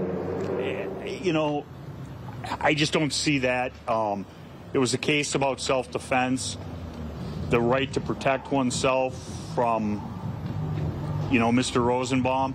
Don't want to speak ill of the dead, but he wasn't a nice person, and everybody knows why. And a lot of that didn't come in in front of the jury.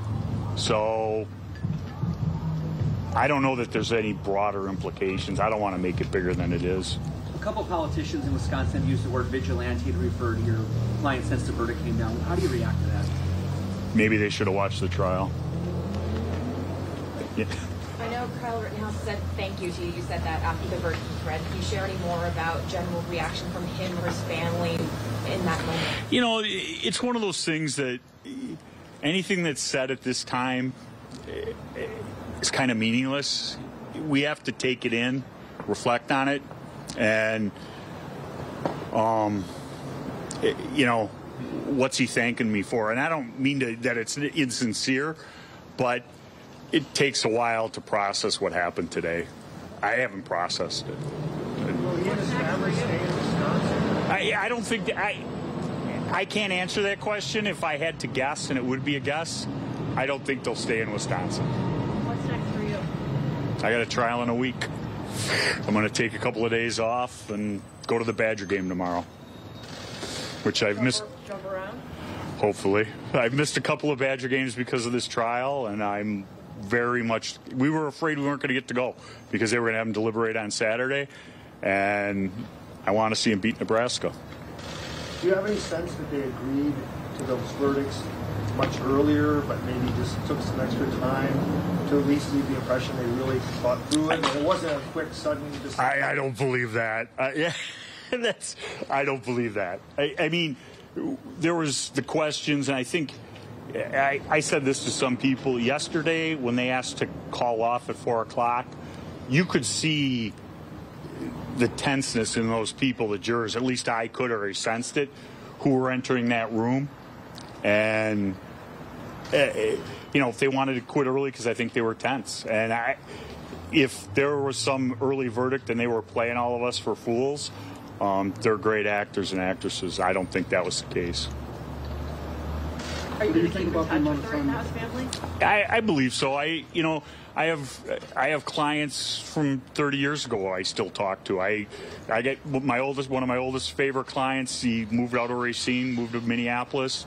Um, he texted me congratulations. I talk to him once a month. I try to stay in touch with clients who want to stay in touch with me. Um, I like to see him do well, and I hope that Kyle does. Do you think that they'll keep a low profile? I hope so. What do you think the amount of time that the jury took to do this says about how they handled this? They took it very seriously. I, it, as I said, it's the longest jury I've ever had out. Um, wow. Can I go home? Go home. Anything else we haven't asked you? Mark, do you think he'll ever talk? Probably. I, I'm not in charge of his media. I don't have anything to do with that. Yep. Thanks, Mark. Yep. We've been watching Mark Richards, the winning defense attorney in the Kyle Rittenhouse trial, responding to that not guilty verdict, talking about the big moments of this trial, giving his own analysis, speaking on behalf of his client, Kyle Rittenhouse, after he was found not guilty on every single one of the five charges. This after almost four days of deliberations and a 14-day trial that has marked national headlines since those shootings happened August of 2020. Joining us now, former homicide prosecutor Bernarda Villalona and trial attorney C.K. Hoffler. Bernarda, it seems that Mark Richards there, um, obviously after winning a very, very big trial like this one, uh, he seemed uh, I'll let you actually say the word, uh, what you exhibited, uh, what he exhibited there and what you saw from him um, when it came to his reaction. Again, he said that uh, the first thing Kyle Rittenhouse told him after that acquittal was thank you.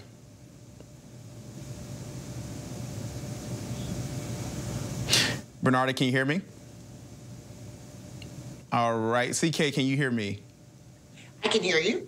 All right, CK, I'll ask you while we uh, connect with Bernarda again, which is uh, how would you describe that response there from Mark Richards, and how did he seem to you after winning that big verdict? Well, I think, you know, when you win a big verdict, and I've been in that position, um, when in more in a civil case context, of course, with big verdicts, um, you feel you don't want to boast, you don't want to brag. You're really thanking God that you made it through, you know. And he had a lot of, you know, he did express that they had some doubts during times, but he was a little bit flippant and he wanted to justify his position and Kyle Rittenhouse's position. He was critical of the prosecution in a way that typically when you win, you don't beat up on the other side, um, typically, even if the press is asking you that. But I think he feels a sense of vindication as well as you would expect. And he is somewhat protective, of course, of his client. Kyle Rittenhouse and just saying, you know, he just turned and said thank you. Well, at that point, Kyle, um, if he had lost, Kyle would have gone straight to jail and possibly would have been sentenced to life um, because this judge is tough on sentencing. I don't know if he would have been tough on sentencing Kyle Rittenhouse. We never would know. So I think, you know, he was kind of, you know, just kind of relieved, laid back. He's going to go chill. And um, he was wanting to get out of that press conference and go on and have a little bit of a break because he's got another trial coming up. Um, I some of the things that he focused on in the trial um, gave us insight as to their strategy. Um, we saw that a lot of money was raised. Kyle has been a poster child for a lot of different conservative groups since he was arrested. And so we did get a sense that, you know, they had focus groups that we would expect. And all of that takes a lot of money. And this was a very well financed defense, multiple attorneys, and um, and you could tell in the courtroom. A lot of money raised by supporters, um, but apparently Kyle Rittenhouse's mother also brought some money to the table. We learned there, and you're right, CK. There were a lot of behind-the-scenes things that we learned about listening to Mark Richards there. And again, you mentioned that he criticized the lead prosecutor Thomas Binger and said he was disappointed in some ways uh, with the state's case there, especially with calling Kyle Rittenhouse an active shooter. Um, and you also mentioned the fact about the big moment of the trial when Kyle Rittenhouse took the stand in his own defense, broke down. Uh, we learned there were mock juries uh, that were were put together to see whether or not he should take the stand. Let's take a listen to Mark Richards and what he said. Had to put him on. It wasn't a close call. Um, at certain points, we wondered whether we would put him on. Um, we did. Uh, we had a mock jury, um, and we did two different juries, one with him testifying, one without him testifying. It was substantially better when he testified, I mean, to a marked degree, and that sealed it. But in Wisconsin, if you don't put a client on the stand, you're going to lose, period. That last part, Bernarda, if you don't put a client on the stand in Wisconsin, you're going to lose. Uh, that would surprise me a little bit because that seems to have played into their strategy.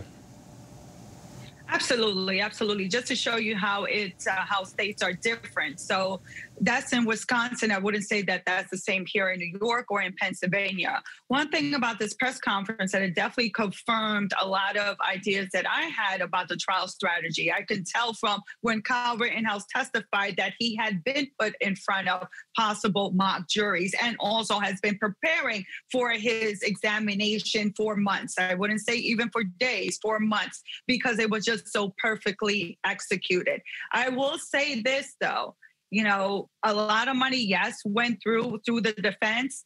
And you can see it at times that it's said that the prosecution's office has all the money. They have the backing of the government. You definitely did not see that in this case. If we compare it to the trial of derek chauvin you saw all the resources that was put in in that case, especially since you had the Attorney General's office that flipped the bill on having a jury consultant come in to assist with jury selection and all the doctors and experts that were brought in. Here, you barely had more than two prosecutors inside of the courtroom. I commented on this before, but I found it very disheartening that those prosecutors, Mr. Binger, did not have the backing of his office in the sense of usually when there's a big trial, especially a, a trial of this capacity, you will have at least other assistants come in and watch you on trial. You'll have people help with the technology. You have people organizing your, your evidence, but you didn't see any of that here. It was like he was left on his own island to dry. And Bernarda, we're getting a lot of response in right now. We know the lead prosecutor, Thomas Binger, is saying that the jury has spoken in this trial. Um, the DA there in Kenosha also put out a somewhat um, put out a paragraph uh, as well, talking about obviously respecting the jury. Um, think President Biden essentially said the same thing. That's that statement from Mm-hmm. the DA right there. We respect the jury verdict based on three and a half days of careful deliberations. Certainly, issues regarding the privilege of self defense remain highly contentious in our current times. We ask that all members of the public accept the verdicts peacefully and not resort to violence. Uh, as those reactions come in, I'm curious about what your thoughts going back to Mark Richards, who said if Grosskreutz, um, the third man who was shot and survived, um, that if he had let Kyle go to the police, there would only be one person dead. Assuming he meant uh, Joseph Rosenbaum there. I doubt that. That's an assumption that's being made, but I just wanted to take it a step back as to the statement that was released by the district attorney's office. It was a neutral statement. Actually, you know what? It kind of gave a little bit of jabs because it included that the jury was deliberating for three and a half days as opposed to that it was a quick verdict. Um, so it goes to show you that there was some kind of work that they put into it and that the prosecutor did put some kind of case forward that was enough to go forward and they believed in their case.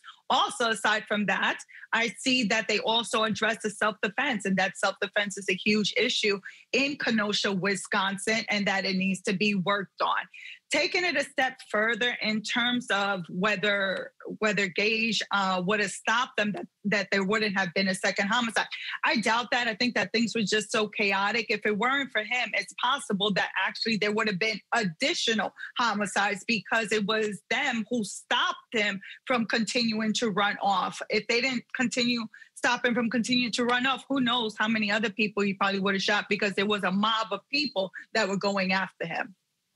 And CK, we know um, Anthony Huber, the other victim in this case, his family put out a statement saying Anthony will have his day in court. They obviously criticize um, Kyle Rittenhouse and the Kenosha Police Department. So not guilty on all charges. Are Rittenhouse's legal problems completely done here? I don't think they're completely done. Now you're going into my zone. Um, you, he really could face civil lawsuits. So could the police department and others. So that is something I don't think his legal problems are gone. He won't be incarcerated, perhaps. He won't face life in prison. So that part is gone. But he probably will have to fight um, civil lawsuits, which I would anticipate the family, certainly of the two deceased um, victims, um, the two deceased men who were killed by Kyle Rittenhouse. So I think he should anticipate that. And I think also the police departments. I mean, there are a lot of things that could be commented on in terms of the lack of attention or what Kyle Rittenhouse was allowed to do and the failures of the police department. I think that's something that needs to be investigated. The Justice Department has already looked at this and decided that it's not going to go forward against Kyle Rittenhouse or the police department at this point. And we don't know if there's any evidence that came out that would change their mind, but I doubt that it would because the jury again has spoken. But civil liability, I think Kyle Rittenhouse can face that in the future. Absolutely. You mentioned the And Department of Justice. I'm And sorry, say that one more time. and maybe even his mother. You know, Kyle hmm. Rittenhouse was 17 at the time that this happened. There's been a lot of discussion over what was his mother doing. His mother drove him. There are different accounts of where she drove him to, but she knew very clearly that he had this assault weapon and he was going to Kenosha. So there could be civil charges levied against Kyle Rittenhouse, his mother. But you know, from the standpoint of many people, as long as he's out of jail, he can fight. Um, as long as he's not going to jail for life. So even though there's civil charges and he may or may not have the resources to pay for a judgment, but I don't think his legal troubles are over. One thing we do know, it does appear that, um, according to his attorney there, Mark Richards, that Rittenhouse will not continue living in Antioch, Illinois, just over the border there um, from Wisconsin because of the death threats. He's had um, security around the clock there. We don't know if that will continue. Uh, but just moments ago, President Biden spoke from the White House lawn following a physical examination this morning at Walter Reed National Medical Center. He spoke about the Kyle Rittenhouse verdict. Let's listen in.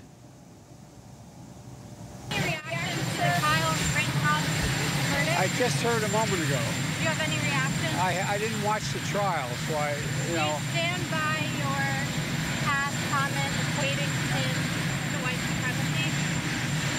well, look, I stand by what the jury has concluded. The jury system works, and we have to abide by it. Sir, what is the state of your health, sir? What is the state of your Again, President Biden speaking on the South Lawn of the White House, um, his brief comments about the Kyle Rittenhouse verdict that again, the whole nation is talking about at this point. Um, a big thanks to our panel there, C.K. Hoffler and Bernarda Villalona, uh, for speaking with us and putting it all perspective. As we heard from Mark Richards, the attorney, the defense attorney for Kyle Rittenhouse. They're sticking with us because we're going to go back to the other big trial that we're covering right here on ABC News Live, and that is the trial and the death of Ahmaud Arbery, where the judge has been listening to both the prosecution and defense as they have this charging conference um, and get those jury instructions together. You see Judge Walmsley. Let's go back into the courtroom. Ahmaud had survived, and we were having an argument about what was going on out there. But we're not having that kind of argument. Ms. Dunikoski has every bit of law she needs to make her case without this piece. I think If I could put one point on, on co-counsel. How many people am I going to get attacked by? Well, we're, I'm not, just, a- just to having a conversation, I take it, and just, to- just to add a point, and I, I- and it's, I think it makes it clear, citizen's arrest never was completed. It, it ended. It was a, an attempted citizen's arrest that stopped at the point of the front of uh, the McMichaels truck. And then it turned, if, if it was a citizen's arrest at all, up to that point, it then turned into a self-defense case from the defense's point of view, or a self-defense case from the state's point of view. Tell you, I- I'm inclined to leave it there. I'll, I'll continue to think about it because there's more that- to it than just what happened in front of the truck. There are the various interactions between uh, Mr. Arbery and uh, the McMichaels on Burford. There is the, there are a number of interactions uh, just, well, mainly Burford is what I'm thinking about, all which is part of this larger interaction, which would be the attempt to detain or arrest, depending on how you want to say that. So if one thinks about it separate from the actual incident that resulted in the death of Mr. Arbery, and we look at it in the broader sense from the moment, for example, um, the McMichaels left the driveway and were trying to detain him or arrest him, he, he has the right to resist that in some way or run away, um, if necessary, to prevent the arrest. That's where I'm getting hung up. So I'm going to keep it in there for the time being. I'll spend some time over the weekend thinking that through, just as there's another charge out there that we need to. And, and but at this point, I'll, I'll plan to give it with the understanding I'm going to spend some time thinking it through. Thank you, Judge. So, All right, going I got- on. We got one standing. Oh, sorry. Your Honor, the court might consider the alternative of taking the last sentence under 31640 and adding it to the sentence under 31641, because respectfully to learned co-counsel, there is a third issue. The- That, that issue is assuming that the arrest of Mr. Arbery was unlawful. Does that convert or translate into a license to kill? I would submit not. It, it, the court needs to, needs to charge the jury that last sentence that in resisting, the person being arrested would not be authorized to use force that is unlawful or disproportionate to the amount of force necessary to prevent the unlawful force being used against the person. Under these facts, a jury could conclude, arguably, that the arrest was unlawful, but at the same time that the force used to resist that arrest was excessive and disproportionate. Otherwise, what we're doing is we're translating the right to resist an unlawful arrest effectively into a license to kill if we don't explain to the jury what it means to say whether such force is reasonably necessary to prevent the arrest or not. You need that last sentence, if not that whole paragraph, you need that last sentence in 31640 for the jury to understand the concept that excessive, the concept of excessive force applies both to the defendants on trial and to the person that is deceased. And all this talk about whether Mr. Arbery is a defendant might be relevant on issues like how you burden shifting and charges and all. They don't apply here. But in terms of the rules rules for the use of force, the fact that Mr. Arbery is deceased has absolutely nothing to do with the legal analysis here. Moving on. Is that okay, Your Honor? 26832. 268, this is criminal trespass. I believe we all had agreed to this and it was pre-charged. It was pre-charged. Correct. And then the state, I did. that- that- I don't believe I agreed to the criminal trespass charge. It was in, I think it's already been charged to the jury.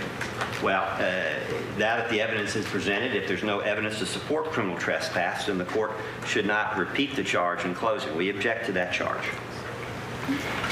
Court plans to keep 26832. and then the state requested um, duty owed to a trespasser. And the state is requesting this because there's a duty owed by a landowner or his agent to not willfully or intentionally injure a trespasser. And this is based on Mansfield versus Caldwell Construction, a 2000 case. And the duty owed to a trespasser is to avoid willfully or wantonly injuring that person. Even when the property owner knows that it is customary for trespassers to come upon the, the premises, the duty owed is merely to refrain from willfully and wanton- wantonly injuring him once his presence is known, and no duty of anticipating the decedent's presence is imposed. In other words, you can't set traps. You can't go ahead and do something to harm this person. In this case, we thought that it was appropriate to let the jury know that just because they may consider, I don't know if they will, they may consider Mr. Arbery a trespasser, that somehow being a trespasser allowed someone to commit aggravated assault or false imprisonment or shoot him. And that is why we asked for this charge. Interesting charge if Mr. English were on I was going to say, I- the court doesn't plan to charge on it. Uh, This addresses a landowner or his agent, I- and I think there was, I believe, through Mr. English himself, if not one other witness, discussion about whether they were acting as agents for the landowner. So And I didn't know if that was going to come out. I had no idea if Mr. English was going to go ahead and, because I filed these in July, say that, oh yeah, they were acting as my agent, if they had. So, the, yeah, the court does not intend to charge them. All right, and then we had burglary in the first degree, which everyone asked for, and it is pattern. We have burglary entry amplified, which is pattern. Your Honor, before we move past 26211, we don't believe that is an accurate statement of the law. Uh, And I would remind Your Honor of the 10 million times that the state referred to the open, open secured construction site in this case. Under Georgia law, Smith v. State, 226 Georgia Appeals 9 at 11 to 12, previously cited to, in the charge submitted, a house under construction which is so completed as to be capable of sheltering people, animals, or property constitutes a dwelling under Georgia law. It's not simply whether it's uh, intended or designed. If it is sufficiently complete that it provides shelter for property, then it is a structure covered by the burglary statute. And one can see in the video that the home while not fully dried in, as a contractor might refer to it, because the doors and windows aren't there, but the roof is there, and the, the expensive tools and building materials inside are clearly sheltered from the rain uh, and most of the wind, and therefore we're entitled to have that language from Smith v. State included when the court charges a jury on what a dwelling is. The state disagrees. Um, This is sufficient because it says, "A dwelling includes any house, building, or structure which is designed or intended for occupancy for residential use. It makes no difference whether the building or structure was occupied, unoccupied, or vacant. However, you may consider occupation status in determining whether or not the structure in question was designed or intended for residential use." Um, So in this case, that covers everything. It's obvious it's a house under construction. Everybody's referred to it as a house. I don't think there needs to be any additional discussion about that. This pattern charge covers everything. Well, Your Honor, if there's no disagreement or discussion to be had about whether the open, unsecured construction site constitutes a dwelling, then why don't we just go ahead and charge the jury that I charge you that the residence of 220 Satilla at the time of these events is a structure under the burglary statute or under the laws of the state of Georgia, and eliminate that so the state isn't backdoor arguing residual doubt as an excuse to convict these defendants. Like that? State asked for the pattern, Judge. Yeah, the court will go ahead and charge the pattern just like I charged in the preliminary instructions. And then the court is not going to charge the jury under Smith v. State? I'm going to charge, I just said I'm going to charge the pattern just like I charged in the preliminary instruction. Yes. So burglary Entry amplified is also a pattern charge. And the next one, burglary intent to steal amplified, is also a pattern charge, and that continues from page 21 over to the top of page 22. And Your Honor, The- I I believe we, with respect to the top of page 22, uh, we've also asked the court to charge on flight, and I think that was generally discussed earlier, but it comes up again here under the burglary statute, reminding uh, the court again that a defendant on trial, there are presumption of innocence, there's all kinds of case law and burden shifting instructions, and that's what makes charging a jury on flight challenging when a defendant is on trial. But as the state has so frequently noted, Mr. Arbery is not on trial, uh, but his conduct, again, is in question.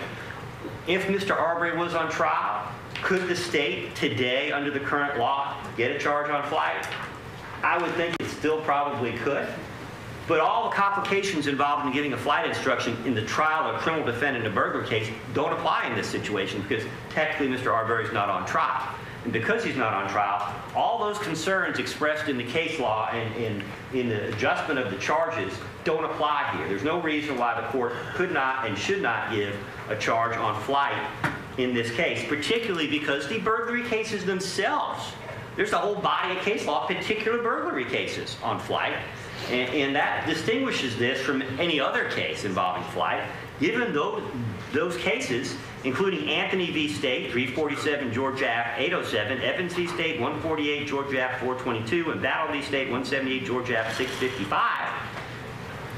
The particular case law for burglary demonstrates why a charge on flight is appropriate in this case. The state disagrees that flight is appropriate in this case. As you know, flight has been disapproved. Um, Flight has been approved for a limiting instruction on behalf of a defendant when the state presents some evidence of flight. Um, It doesn't apply here in this case. I understand the court has already ruled and decided, or they can argue it, um, but that it's not appropriate as a jury charge because it has only been used to limit, under a limiting instruction. Yeah, no, the court doesn't, uh, as I said earlier, the court does not intend to charge on flight. That doesn't prevent the argument. Um, Again, the charge on flight, even I think at this point, would get into some of this discussion about what was in Mr. Arbery's mind at the time. And so again, the court is not going to charge on it. The argument based on, uh, if the argument is made based upon um, reasonable conclusions uh, made from the uh, evidence presented, uh, that, that's fine, but I'm not going to charge on it. All right, Judge, affirmative defenses by the McMichaels. I think this is old pattern because I recognize it. Um, however, the new pattern is a little different, and that is 3.0000. And it reads this way. The defendant has raised a defense that even if he committed the act described in the indictment, there are circumstances that, and then it has parentheses, justify, excuse, mitigate it. Once this defense is raised, the state must disprove it beyond a reasonable doubt. And it's sort of just a general thing. Um, so I think the state would prefer, and well, that's good law, 3.00.00, that it should be generically done for the defense has raised a defense that even if he committed the act described in the indictment, there are circumstances that justify it. Once this defense is raised, the state must disprove it beyond a reasonable doubt. Uh, and then, of course, we're going to go into justification in the use of force in defense of self or others.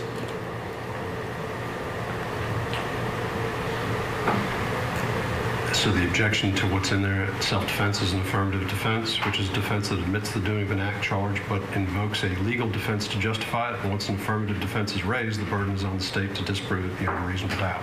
Yes, I prefer the wording from the pattern that I just read versus how they charged it, because it only talks about self-defense. And, and the problem is they've also got the affirmative defense of citizen's arrest. And so the way I just read it is, they're gonna, an affirmative defense is something that basically says, I'm justified in doing what I did. And it doesn't list self-defense, it doesn't list citizen's arrest. It's a little bit more generic because it does encompass both of their defenses that way. Um, as opposed to specifically saying, it's a defense that admits the doing of the act charged, but invokes a legal defense to justify it the state does not think that the words but invokes a legal defense to justify it were patterned previously and are patterned now, and the state just would prefer 3.00.00. I'm, I'm I'm trying to keep up. You know, you Yeah, can speak very the- quickly, and so I'm trying to figure out which part of this you say is no longer Yeah, let me get to suggested it. pattern instruction 3.0000, which was our defense request to charge number nine. Right, none of it. I'm sorry, I'll read it. This is the new pattern jury instructions, and I'll read it very slowly. 3.00.00, affirmative defense definition burden of proof. The defendant has raised a defense that even if he committed the act described in the indictment, there are circumstances that justify, in parentheses, excuse, parentheses, mitigate it. Once this defense is raised, the state must disprove it beyond a reasonable doubt. I like that. I'll give you a page out of this Okay. if you want to take a look at it. That's the charges. Yes, I like that, except where does, uh, do we then say self-defense is an affirmative defense? Oh, it's the very next thing. Okay, all right, okay, no, I'm, I'm not fighting with you. Right. No, no, it's, it's the very next thing. I, I believe we both asked for pattern on 3.10.10, um, and it's the pattern which starts off sometimes, well, that's not the pattern. Um, You're probably looking at the old pattern, 3.101. Let's see. We must have just on that time switched back, I didn't realize. Yeah, there's- I'd done that. The next is, on the new pattern, the next is 31010. No, three- Someti- 31010 is actually self-defense. It's actually 3.01.10. That's right. Just to have a lot of fun with the numbers. Generally, yeah. Right, so justification generally. I don't think anybody's asked for justification generally.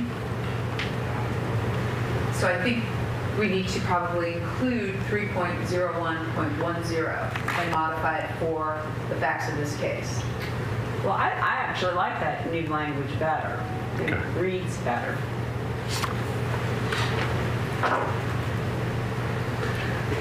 Ugh, okay, so, so here's the thing. I think, let's look at it, I'm talking to the defense attorneys, let's look at 3.01.10 over the weekend because, like, B, C, D, E, and F don't apply.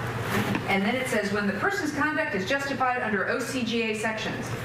Yeah, I, I normally tailor that to the actual, I mean, in this case, I don't think anybody's disputing what the affirmative defenses are. And so it, it can be put in, let's see, the defendant has raised a defense.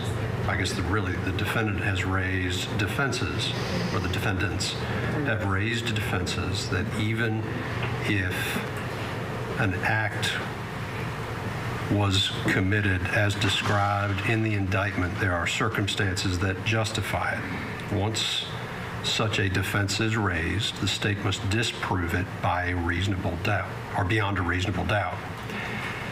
Then 3.01.10, the fact that a person's conduct is justified is a defense to prosecution for any crime based on that conduct. The defense of justification can be claimed in the case of self-defense and citizen's arrest, or, I guess it would be and/or citizen's arrest, Correct. And/or. and/or citizen's arrest. And then you go into 3.10.10, which is justification. Yes. Okay. I'm not sure whether, I said that, but I'm not sure whether we got that. Did we get that? Not getting anybody's attention. We follow. Did we get that? We follow. All right. Just because I said it doesn't mean it was written down at the time I said it. Just want to make sure we've got that. All right, we will attempt to make sure that language then appears in the charge. Okay? All right, so 3.10.10, justification, use of force. This is the self-defense charge. Um, I believe, based on Travis McMichael's testimony, that he was worried about his dad in the truck, that they are going to request, and correct me if I'm wrong, himself or a third person. Correct. All right, no objection from the state. The state understands that. To defend himself or a third person? Correct. Okay. And then the the problem that we have here is The first part, a defendant is justified in threatening or using force against another when one, two, and three is fine. Then we have a defendant is justified in using force that is intended to or likely to cause death or serious bodily injury. So the, we've got two different sections. We've got one that's just basically, hey, we're going to have a knife fight or a fist fight, and the other one is likely to cause death or serious bodily injury. So I think we take out the first subset of one, two, and three, and it just goes right into No. likely. Because there's two different acts that are alleged by the state. The pointing of the pistol would be self-defense also. Of the, uh, I'm sorry, the shotgun. We asked for A and B. Yeah, I, I left it in there because that, that's why I understood it too. There are a couple different acts which this covers, which are all arguable before the jury. And you, this allows the parties to act them, act, act, argue them um, either as use of force generally or use of force deadly force. This just gives the jury what the standard is for both or either, depending on what's being argued. Okay, I understand. So then when we come down to a defendant is justified in using deadly force, he reasonably believes that the use of such force is necessary to prevent death or serious bodily injury to himself, a third person. Well, at that point, if we're talking about deadly force, not the pointing of the shotgun, but the shooting of the shotgun, third person doesn't apply here. It does apply. I'm sorry. It does apply. Yeah, because if the shotgun is taken out of his hands, he's testified he was afraid he was going to take the shotgun and use it to shoot himself or his father. That's an arguable fact. All right. The commission of a forcible felony, which means a felony that involves the use of force or violence against another. And of course, that felony is blank. We would ask for aggravated assault, using fists and punching, and trying to take the shotgun and use the shotgun. Trying to take the shotgun would be an aggravated assault. Well, and the fists punching, because he's, the evidence is he was punched all over the face and the side. There was some testimony that Is- is a fists felony. Which has been defined.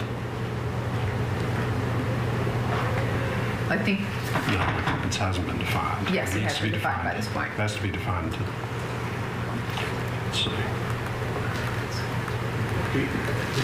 You, you might have to, in the definition of aggravated assault, where you defined um, use of a truck, use of a gun, uh, may have to also add use of hands and fists. Well, actually, or violence against women, aggravated assault is a felony, which can also be defined as. well, actually, it actually doesn't say, it says pickup truck in one location, but it adds to the indictment, it says by objects when used offensively against another person. And so they're going to argue, well, hands and fists are objects when used offensively against another person can cause serious bodily injury. So it actually just generically says objects. Yeah, but then we get into the whole, there's language though that at least I use when we uh-huh. talk about fists that uh-huh. define a fist as uh, a weapon depending on how they've been used. Mm-hmm. So you would need that language, I think, if we're going to go down this path. Okay, state understands. And aggravated assault can also, because I've already defined aggravated assault as a felony. So aggravated assault can also occur with use of fists if you determine them to be a deadly weapon. I think an offensive weapon. Offensive weapon. Yeah.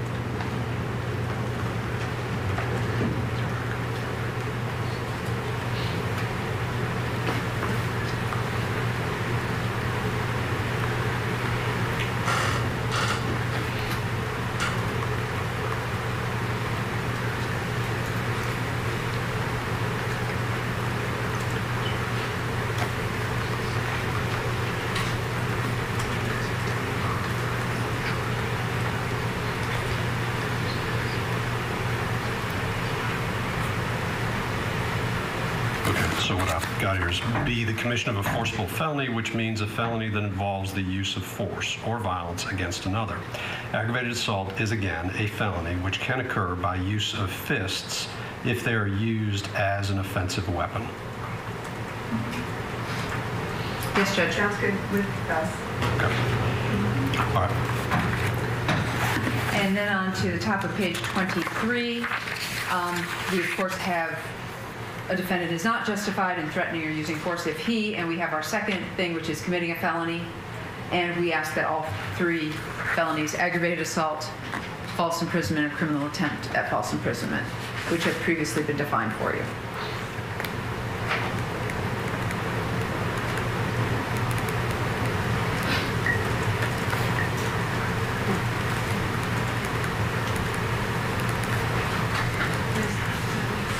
It sounds to me as if it's, if we're now circular after we've just defined justification.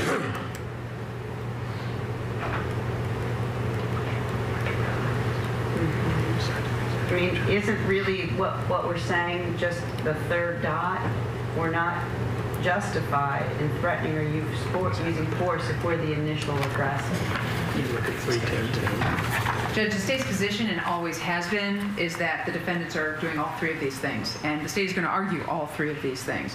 They committed felonies against him, they were the initial aggressors, and that they attempted to provoke him, but provoke his threat or use of force in order to use that against him um, because they wish to harm him. I mean, we're going to go ahead, that we're, we're going to argue all three. And we feel that the uh, facts of the case, we can make a reasonable inference that that's what the defendants were doing doing all three of these things and they're not justified. So we want all three of those in there. We feel we can make a reasonable inference from the evidence based on that.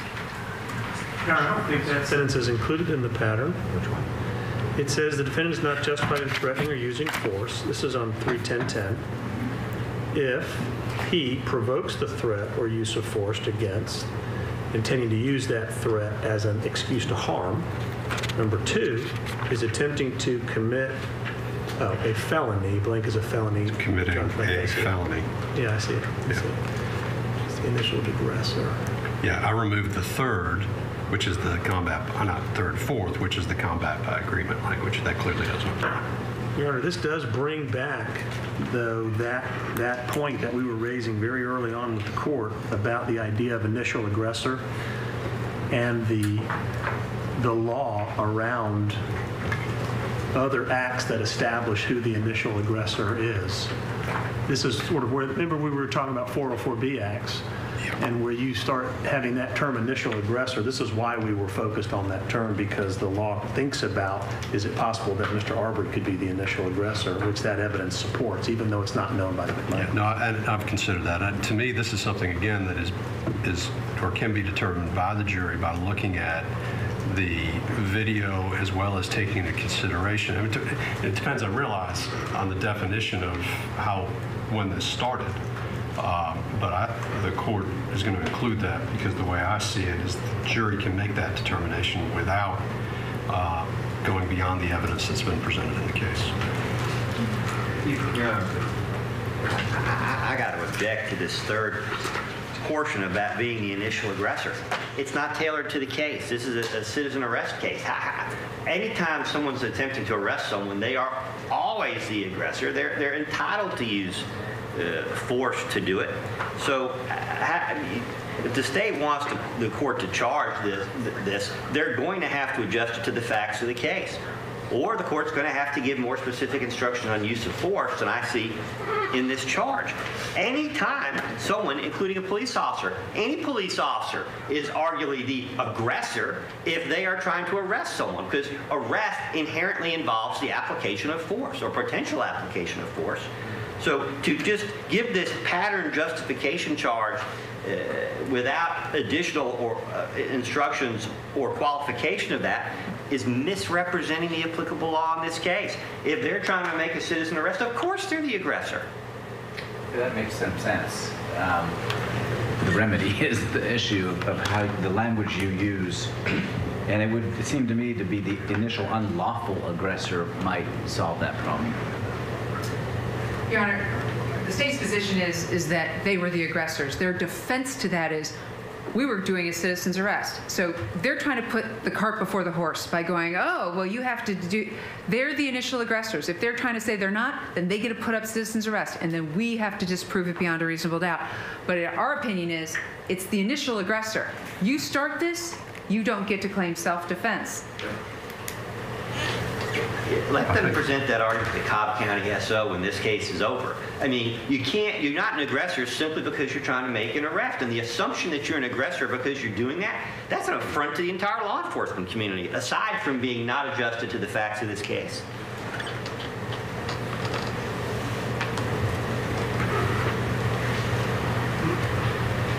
I think it's is an unjustified initial aggression. Aggressor. Uh, aggressor. Yeah.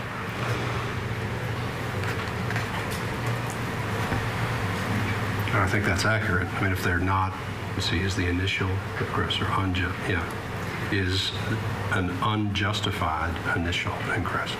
The state respectfully asks not to put unjustified in there. And the reason for this is, once again, the cart before the horse. The assumption is, is that, how put this? Someone who's the initial aggressor, you go, hey, you were the initial aggressor. Well, then you step in front and you go, hey, I wasn't the initial aggressor because of these facts. To say, well, state, you have to go ahead and say unjustified initial aggressor, um, really puts the cart before the horse in this case because the state's going to argue they're the initial aggressors. They're going to argue citizen's arrest. And I really would like to stick with pattern on this, Your Honor, and putting in unjustified initial aggressor. That means somehow there is justification to be the initial aggressor. This conflation of law enforcement, law enforcement officer making a legitimate arrest is completely different than the affirmative defense to a murder case of citizen's arrest. So to compare the two of them is, is not correct. That's not what's happening here.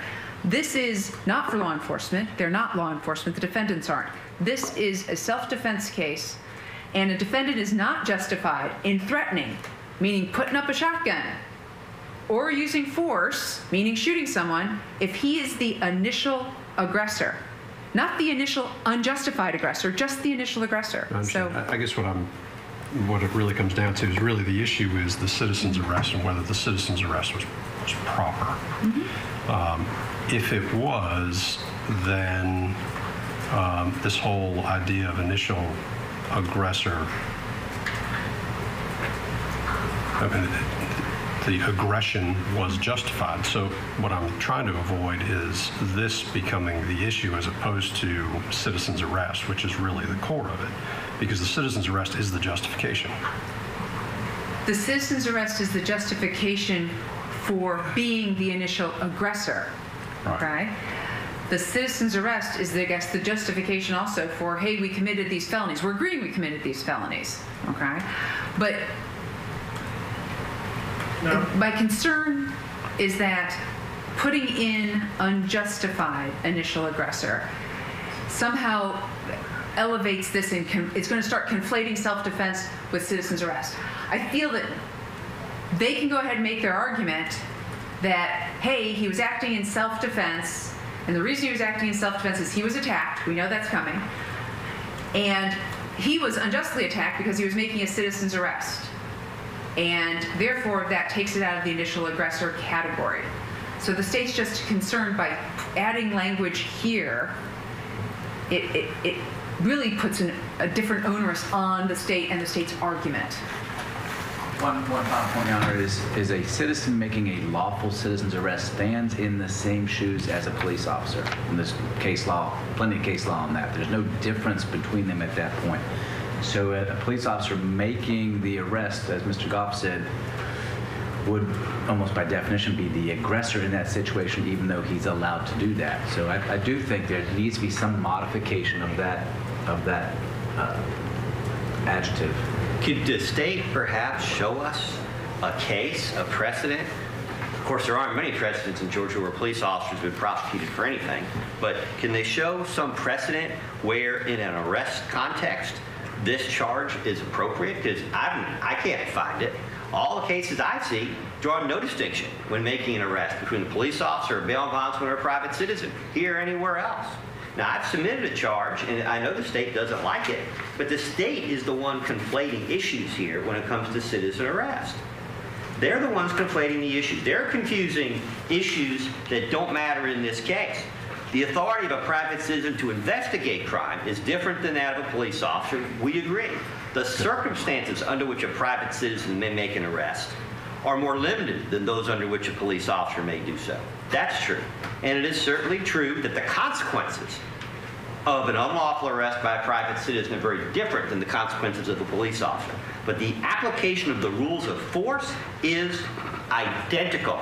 And we certainly want to take that up, certainly today, because I got my, my little layout, the child's, the, I forget what they call it, uh, from the toy store, and I got my police car, because that's going to be our demonstration, part of our demonstrations in front of the jury. So if we're not allowed to argue that, we sure better know before the day is out. Among other things, I'd like to be able to go take the police car and the street diagram back and get a refund. Your Honor, the state does have case law. Yeah. Can I, can I focus us back on where we are?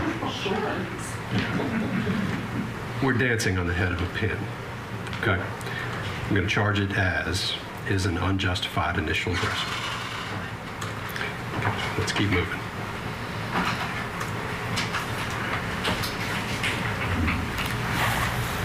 Reasonable beliefs, I believe that's pattern and everyone has requested that.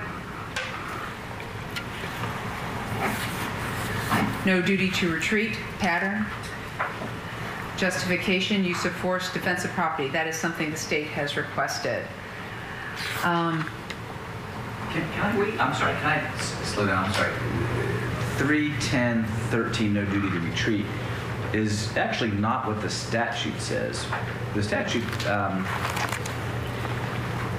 and I know there's code sections, so we don't want to necessarily use the statute, but it says a person who uses threats or force in accordance with the code sections relating to the use of force in defense of self or others has no duty to retreat and has the right to stand his or her ground and use force as provided, including deadly force. And I would ask the court to include that phrase, including deadly force. That's 16 3 23.1. We join.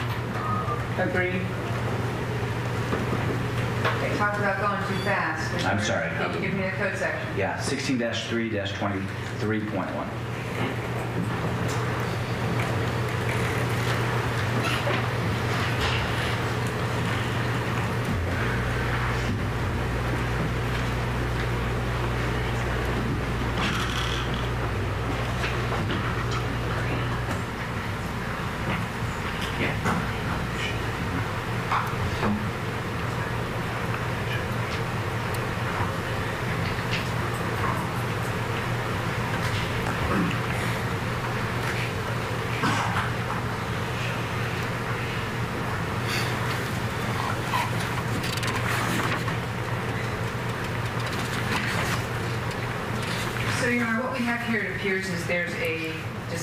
uh, I mean, there's a difference between the pattern charge. The pattern is 3.10.13, and it is, as the court has right here, a person who is not the aggressor is not required to retreat before being justified in using force he reasonably believes to be necessary. And of course, The statute actually says, has no duty to retreat, this is the last, very last sentence, or last part, has no duty to retreat and has the right to stand his or her ground and use force as provided in said code sections, okay, which are self-defense, defensive habitation, including deadly force. Can I, can I back up? I- I'm planning to charge it the way that it is, and, and let me just tell you, it, it is under 31013. 31013 is provides as authority 16323.1, but it also goes through a number of cases, including most recently Reed versus State. But we've got six or seven cases um, that this particular charge um, has been uh, tailored with, and uh, I- I'm comfortable that it's an accurate reflection of the law. Uh, I understand the statute is there, that the charge itself cites the statute and, and the cases underneath it. Okay. And maybe just for streamlining purposes here, Uh, The next one, 3.14.10, use of force in defense of property. That I don't see any uh, authority, uh, any factual basis for that. We'd ask that that be removed. Black flag for Jordan.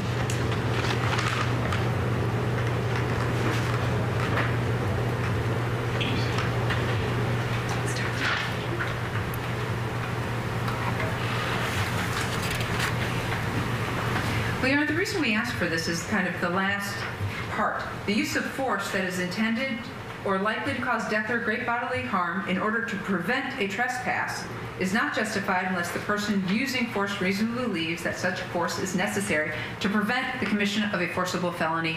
Burglary, theft, and trespass are not forcible felonies. So basically, what the court, what the state is asking is that you inform the jury that you can't go killing people in order to prevent them from trespassing or committing burglary or theft because this appears to be a hey, he's a burglar, must have stolen that stuff off that boat back in November. We're justified in using lethal force at this point. So the state wishes for this charge to be given so that the jury's not under the misapprehension that burglary somehow allows lethal force. Feel pretty sure that nobody thinks that there's such a thing like that, especially after the admonition.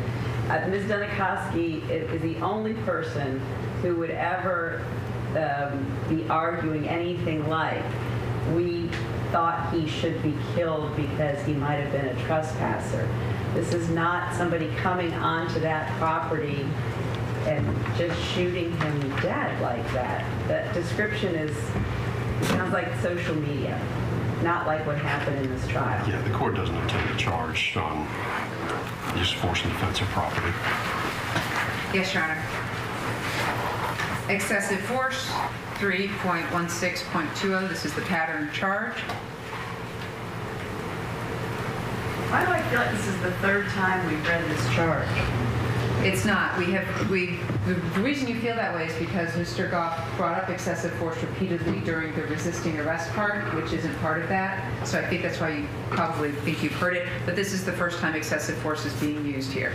Well, hold on, but that gets back to the prior discussion, because how many different times are we getting charged about excess? I mean, I want to charge once. I think some other people in the room don't want to charge at all. But to be charging it two, multiple times, the problem is we have specific rules of force that apply to the context of an arrest, and those supersede general rules that would otherwise apply in the justification charge. Justification covers all kinds of force cases. The resisting arrest and the right to make the arrest, the rules of force that apply are specific to this case. And that's the, what the jury should be charged with. There's no reason to be given this 316-20 charge at all. Actually, there is, Judge, because what we've got is we've got excessive force relates specifically to self-defense. A defendant is not justified in using excessive force while acting in self-defense. So this relates specifically to self-defense, which is why it's right here. And if you decide that a defendant used more force than was reasonably necessary to defend against the alleged victim's threats or use of force, then the defendant's actions would not be justified. So, Judge, that's of course the core of the state's case. You pulled a shotgun on an unarmed jogger. It's excessive force, even if we get there.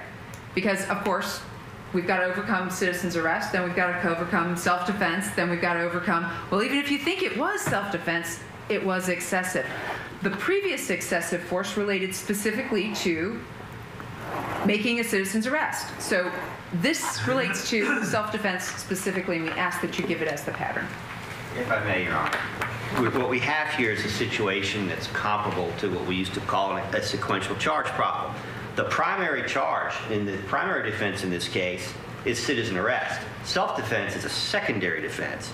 And justification in the rules of force, the rules of force allowed in a citizen arrest context take priority over the rules of force in the general justification charge. For example, if a jury finds that the McMichael defendants did not use excessive force in attempting to effectuate an arrest, then how could they be be authorized to use that force under the citizen arrest, but not authorized to use that force under self-defense. That would make no sense. If, you wouldn't even get to, to addressing the excessive use of force under justification, you wouldn't even get to self-defense until after the jury has considered whether the defendants have, have lawfully effectuated a citizen arrest. You wouldn't get there. And this is implying to the jury that there's two different standards for excessive force in the one situation and the other. There, there, there isn't. The rules of force that apply in this case, which is an arrest context, are what they are. And the state doesn't get, get to come back in and say, well, maybe it wasn't excessive when they were trying to arrest him, but somehow it is excessive for, for self-defense. That's just going to confuse, confuse the jury. There's only one standard as to whether it's excessive or not. The state doesn't get two bites at the apple. I think that's my issue, Your Honor, is it's, it's confusing, and here's why. 31010. 31010 is called, Yep, I'm seeing you flipping, I'm just giving the title of it. Justification and the use of force in defense of self or others. So there's a whole charge that deals with this already. And in that charge, it tells you you can use force if you reasonably believe it's necessary. And then it goes into saying you can use deadly force if you reasonably believe it's necessary and for the reasons that you can use it.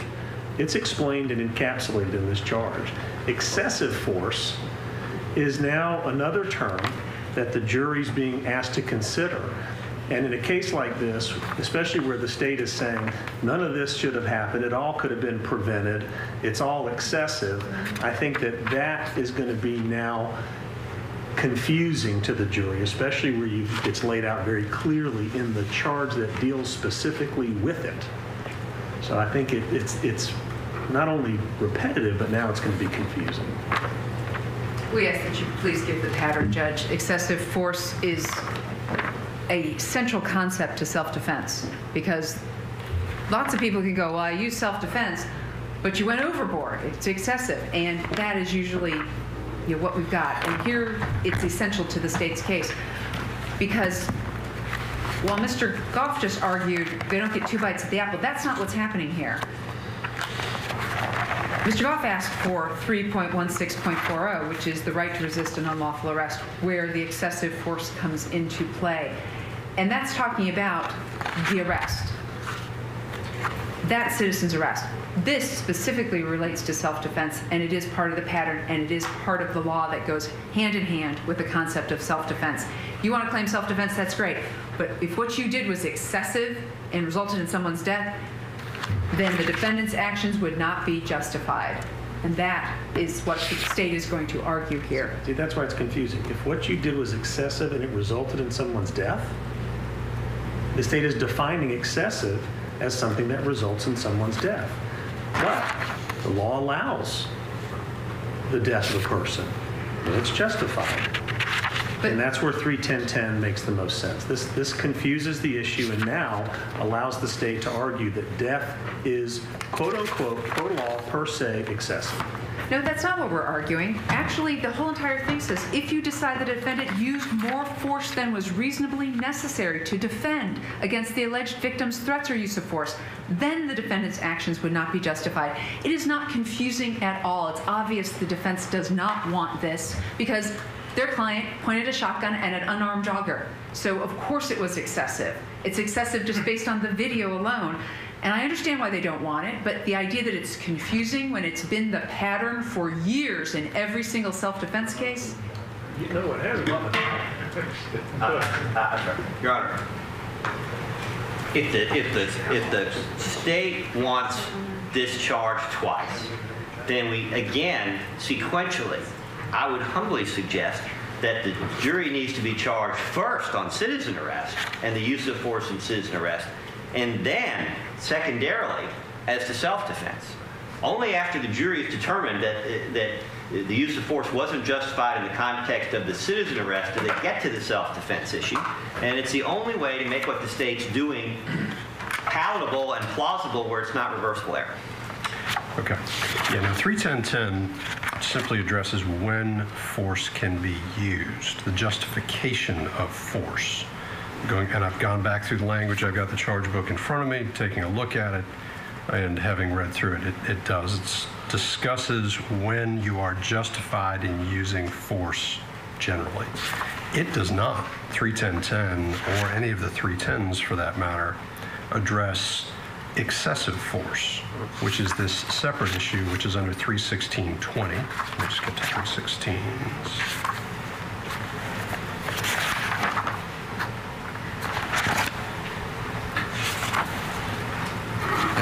So then, Your Honors, you've got also, don't forget, the bottom of 31010, where it says the defendant is not justified. Right, correct. So this is now a... It's not justified, right. When, when you can't when you can't justify the force, which is different than using excessive force when justified.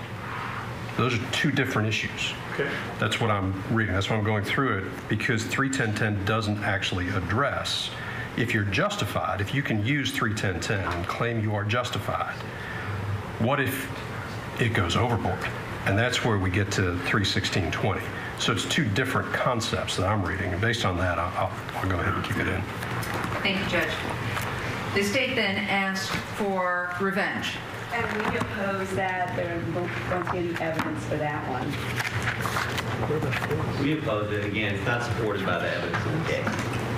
Your Honor, the, uh, it states the defendants are not justified in threatening or using force against another person solely in revenge for something that the person said or did on a previous occasion, no matter how serious the past wrong may have been. On February 11th, 2020, Travis McMichael testified that he saw Mr. Arbery, and Mr. Arbery, you know, lifted his shirt up or something, or then put his right hand in his left pocket, or, or made it seem as if he had a gun. And it scared him. He got the heck out and he went on home and told his dad, and they got their guns and came back down. It scared him. You could hear it in his voice, and his attorneys even asked him, you know, is that you breathing there? And so at this point in time, the state's possession, contention is, is that this, it's upsetting. No one wants to be scared. No one likes someone who scares them. No one likes the unknown. So at this point in time, our position is is Travis McMichael's mad at this guy. Travis McMichael is upset and mad at Mr. Arbery. He scared him, scared him. He ran home. He had to call the police. There was this whole thing that happened, and now he's out to get him. And you can't be out to get somebody and do revenge on them for what they had done previously. And I know they're going to say, well, it actually justified his behavior because he was afraid of the guy and wanted to pull the gun out on him because he was a threat. But our position is it's actually the other way around. He's mad at him, he was scared, and this is revenge. This is, you know, you can't do this. You can't come into my neighborhood. You can't go over that house and, and trespass.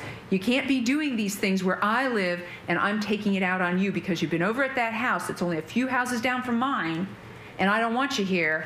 And therefore, that is, you just can't go after somebody in revenge for previously being on a property a few houses down from your property or for scaring you one night. And that is an argument the state wishes to make, and that is why we can make that reasonable inference based on the facts of this case and the evidence and Travis McMichael's testimony here that this was actually revenge for his the prior interaction that they had on February 11th.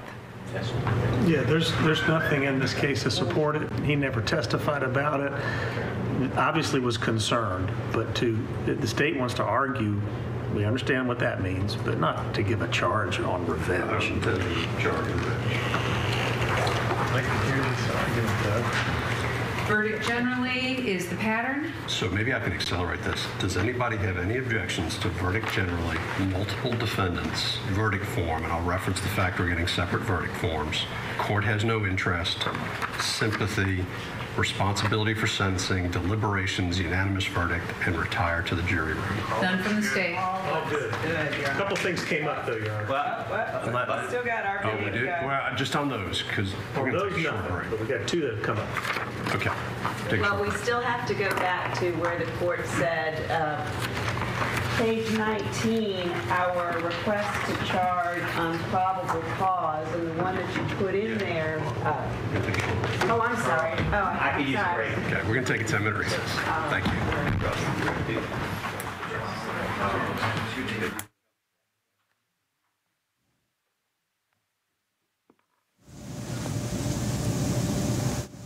You're watching our live coverage of the trial and the death of Ahmaud Arbery happening there in Brunswick, South Georgia. What you've been hearing is Judge Walmsley and the prosecution and defense go through this charging conference as they work through the jury instruction, parsing you know, through a lot of words there that are going to be delivered to the jury uh, on Monday after closing arguments happened and before the uh, deliberations there.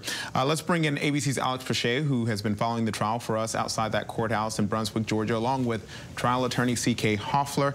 C.K., I've been saying uh, when it comes to this charging conference, it, it appears that we're all getting a legal lesson here. We're all in law school, and thankfully we have you as a professor because you can help us go through this. Uh, things like excessive force the state said, you know, excessive force, that phrase is essential to the state's case. Then we saw revenge, that word out of the jury instructions there. There are going to be separate verdict forms. Walk us through what we heard just moments ago. Well, what you heard just moments ago is just really the state and um, the defense arguing back and forth about every single word in the jury instructions. This judge is being very methodical, I must say, and he's letting everybody speak because he's he's very sensitive on people being able to use something that's being left out or something that's in as an appealable issue, a bona fide appealable issue. So he's giving one everyone the opportunity to speak, and then he's going to rule. And he's actually even on some issues allowed them to come back and brief and give additional authority to support their position.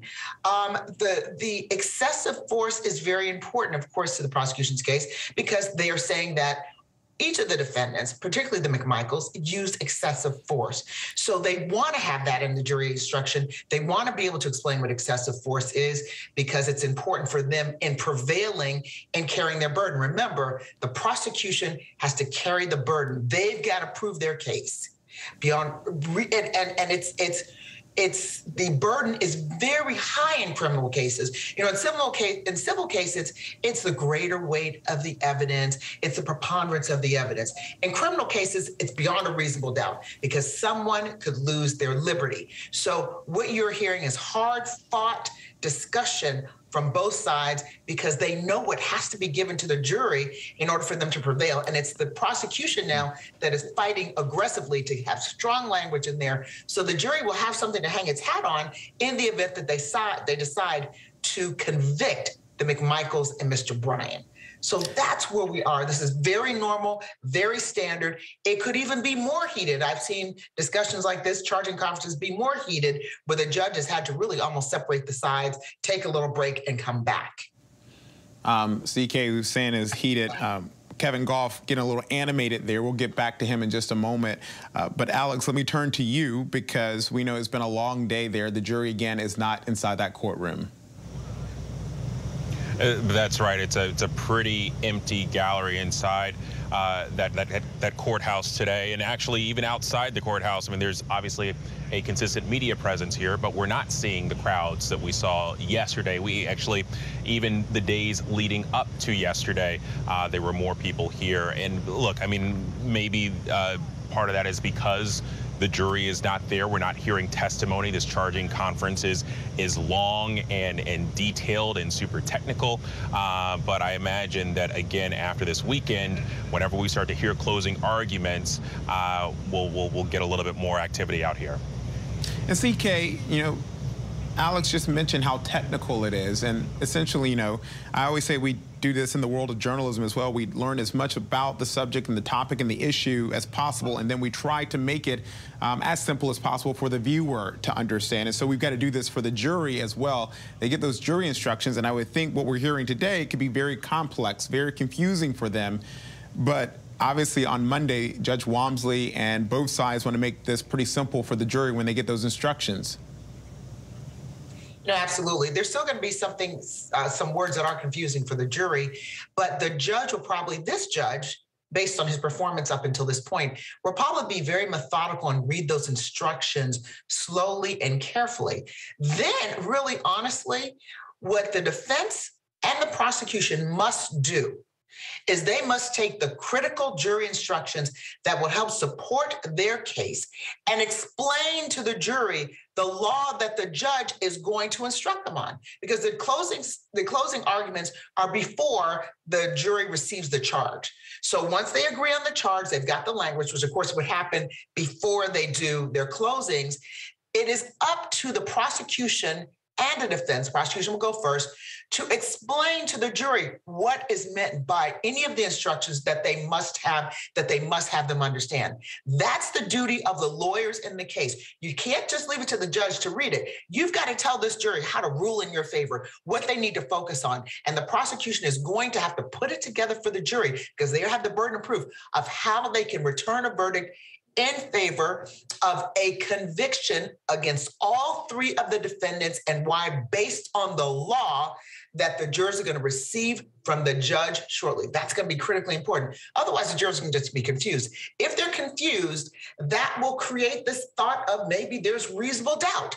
Reasonable doubt, if reasonable doubt comes into the picture, then you have acquittals. So I believe it's going to be on the prosecution to, yes, continue to fight, but then they've got to explain the critical jury instructions to the jurors in closing. I always reserve part of my closing argument because remember, it's closing argument. It's not a statement, but it's argument for the jurors because you can add in examples. You're arguing to the jury of why and how you, how they can rule in your favor and why this instruction is important and what they must do. And you need to use graphics. You need to draw on the board, do all the things you need to do because implanted in their mind should be what you were saying if you're the prosecution in terms of how to convict these defendants. If you're the defense, you're doing the exact same thing, but from the other vantage point. You're saying to them there is reasonable doubt all over the place. And if you follow the law, you must acquit all three of these defendants. Each of the lawyers will get up there and say that, representing the defendants. So no matter how complicated it is,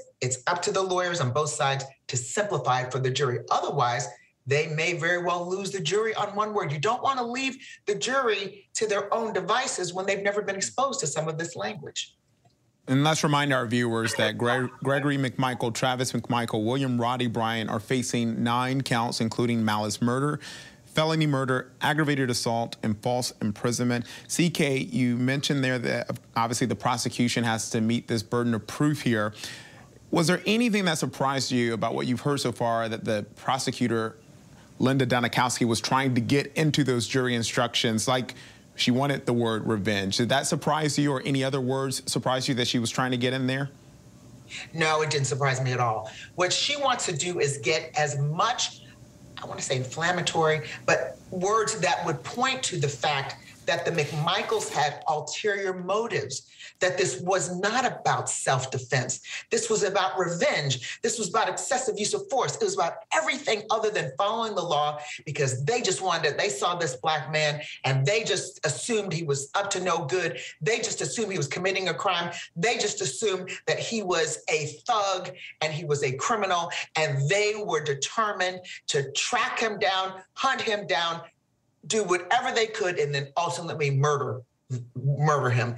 And for that to be the case, she needs these words in the jury instructions. You're not going to get everything that you want, but hopefully you get enough so that you can make your case if you're the prosecution to the jury so the jury can hang its hat on a jury instruction and get a conviction. So and Alex, there was a you're, and Alex, there was a word that Linda Dunikoski wanted um, taken out, but it was left in. Uh, that's right, and that's in this phrase, initial unjustified aggressor. Uh, the prosecutor just wanted initial aggressor in here, saying that she believed that that would conflate uh, and confuse the defense, or excuse me, confuse the jury uh, with, uh, with, with with some of uh, the, the, the tent poles of, of a citizen's arrest. Um, also, that in closing, it could be something that the defense would use to throw seeds of doubt as to uh, if the actions by Gregory and Travis McMichael during that chase and ultimately pulling that shotgun uh, on Ahmaud Arbery that day were indeed justified. Wow. If we're in law school, then Alex Presha. I think you definitely get an A while I'm getting a C plus over here. Uh, no, and again, back to our, our professor, uh, CK. Uh, it looks it looks like there are going to be some props uh, that defense attorney Kevin Gough wants to use. He mentioned something about a toy car here. Here, um, I guess we shouldn't be surprised that potentially he could come with some some props uh, to his closing argument. Well, yes, yes. You know, he's going to, and, and, and again, remember, he just represents Mr. Bryan. So he's going to want to demonstrate that what Mr. Bryan did with his truck, I guess maybe that's a toy car, was was perfectly reasonable. That he was completely justified in doing that, and that it was not it was not vicious, it was not aggressive. He felt that there was a crime being committed. I mean, they're going to have to build this case to justify self-defense. So if he has this toy car, maybe he's going to, and I don't know what he's going to do, but maybe he's going to use that prop to justify what his client did and also try to separate what his client did versus what the other two defendants did. Because remember, his position is don't treat my client the way you treat them. I'm not saying that they were wrong and they weren't justified, but my client definitely wasn't wrong or, uh, or, or, or and uh, my client was justified in what he did. And so the only thing that he would really want to demonstrate is the use of the truck, Mr. Bryant's truck, the actions that he took relative to Ahmaud Arbery and his truck. And we will see what happens, what plays out during those closing arguments expected for Monday. Again, let's go back into the courtroom. That quick break is over. Judge Walmsley is speaking. Cause can be based upon the collective knowledge of others so long as there's some degree of communication between them. I also, right now, would like to add uh, when we're uh, if you would look on state's request to charge number 57, they have a nice quote from the forehand case, page 22. Mm -hmm. Forehand, got it. Uh, right in the middle of it, it says uh, that the officer need not see the act which constitutes that the crime takes place, but, but I like if by any of his senses he has personal knowledge of its commission, which is consistent not only with forehand, but also the language of those other cases. So if we were to stick that clause in as well to help explain where probable cause can come from. So it could be based on the collective knowledge of others, um, you know, any of his senses, he has personal knowledge of its commission. Actually, that's very clumsy, but where maybe with, with you have it in front of you, uh, wherever you thought that clause could come in because I think, you know, obviously the state and, and the defense would agree that that's how one develops probable cause. What you hear, what you see, what you smell, what you taste, what you uh, understand, and what you, through all of your senses.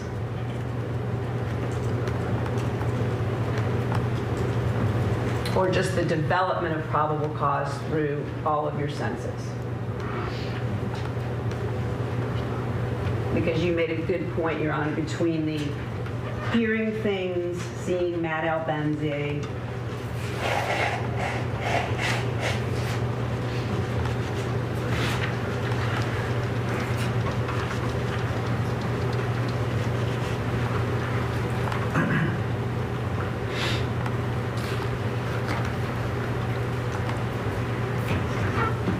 So you're, I'm confused a little bit then. You're asking that that be dropped into the probable cause charge?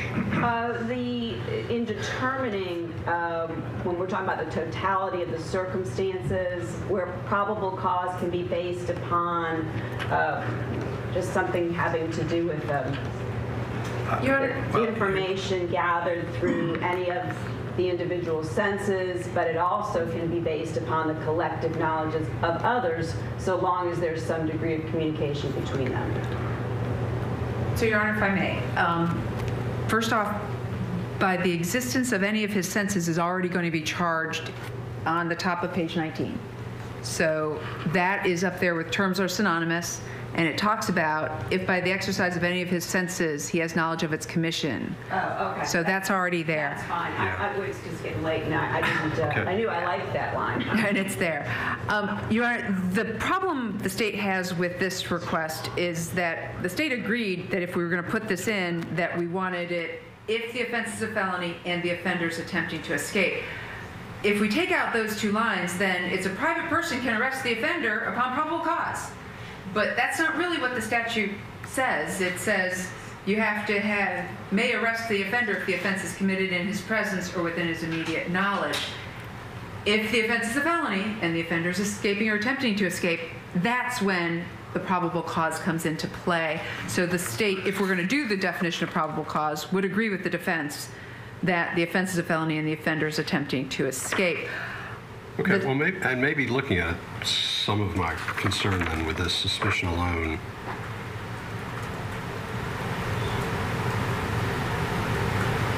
Gets satisfied if going off the requested charge number four, I do the entire thing, including one, the offense is a felony, and two, the offender is attempting to escape, and then I'm comfortable taking it down to and including the line in determining whether probable cause existed, the totality of the circumstances must be considered, because then you go back up to this language that the state's referred to uh, at the top of 19. Um, talking about use of senses and has knowledge of the commission or, or the that the accused admitted that such crime is being or has been committed. And, and that final line, based on the collective knowledge of others, so long as there's some degree of communication between them. Yeah, my notes. I, the problem I- or the concern I have with that, that's talking about police cases. I know that I think Goodman and Burgesson were at least police cases. I- I don't have notes. cases. They're all police All cases. police cases. Judge, I just want to make clear, I- I- for the first time maybe in 30 years, I disagree with Ms. Oak. Get the court reporter to market. We are conflating immediate knowledge, uh, presence or immediate knowledge with probable cause. There's not a single case that distinguishes what probable cause means for a policeman versus a citizen. Probable cause is the level of suspicion of a reasonable and prudent person under the ta- totality of the circumstances. It's Fourth Amendment law. Yeah. There's a, And, I, and, and I think you I agree. I, and I was just, I, I don't know, I got caught maybe at the end of the day into a discussion um, in trying to parse this even further. I think in determining whether probable cause existed, the totality of the circumstances must be considered as appropriate language. My concern about the, the, the last sentence is we start getting into these police cases that, that are very different circumstances than we have here. Um, but I think totality of the circumstances allows um, the parties to argue everything that was known, uh, appropriately known for probable cause to be developed in this particular case. Well, the other problem I'm having, Judge, with this charge is what Mr. Rubin just stood up and said is nowhere in this charge. There is no definition no. I, and that's and that's a problem for me because right now the definition of probable cause has been given to this jury by Travis McMichael and not by this court. So unless the actual words of this is what probable cause is is in there, um, this charge doesn't provide the jury with a definition of probable cause. And, and like I said, the definition of probable cause is the same whether it's a citizen or a police officer. It's Fourth Amendment law. It's a seizure of a person. I see what you're saying. Yeah. And Uh, so actually the definition that Travis McMichael Well, gave the- is Fourth Amendment law. The way to solve it here then is adding the, in determining whether probable cause exists, the ta- totality of the circumstances must be considered to the end of it. I think in the middle though, where it says a private person may arrest an offender upon reasonable and probable grounds of suspicion, that is probable cause, which is defined as. The level of suspicion. Yeah, yeah, yeah. Now we need to decide what that language is. Well, there's plenty of cases that define probable cause. There, there are, and I, I pulled one, oh, I pulled a whole bunch of them.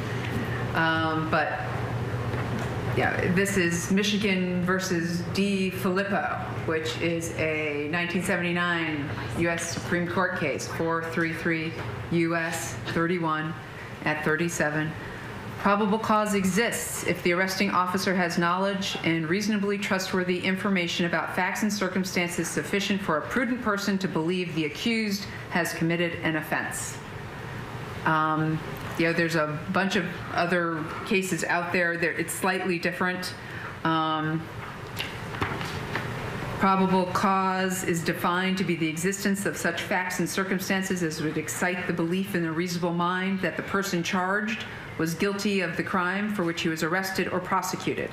And that's McGonigal versus Treadwell, 216 Georgia App, 850. It's a 1995 case. Um, a lot of the cases, even Adams versus Carlisle, um, which we're, we've been talking about here, 278 Georgia Appeal 777, 2006. Can we agree on a definition then? Yes. Because that, that then s- solves the problem that I was working through, which is the way this discusses probable cause. It simply talks about reasonable and probable grounds of suspicion.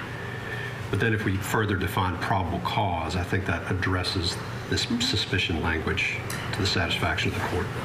Um, well, If, if we could just not do it right now, because there's, there's a lot of U.S. Supreme Court cases that define it under Fourth Amendment law. If we could maybe communicate.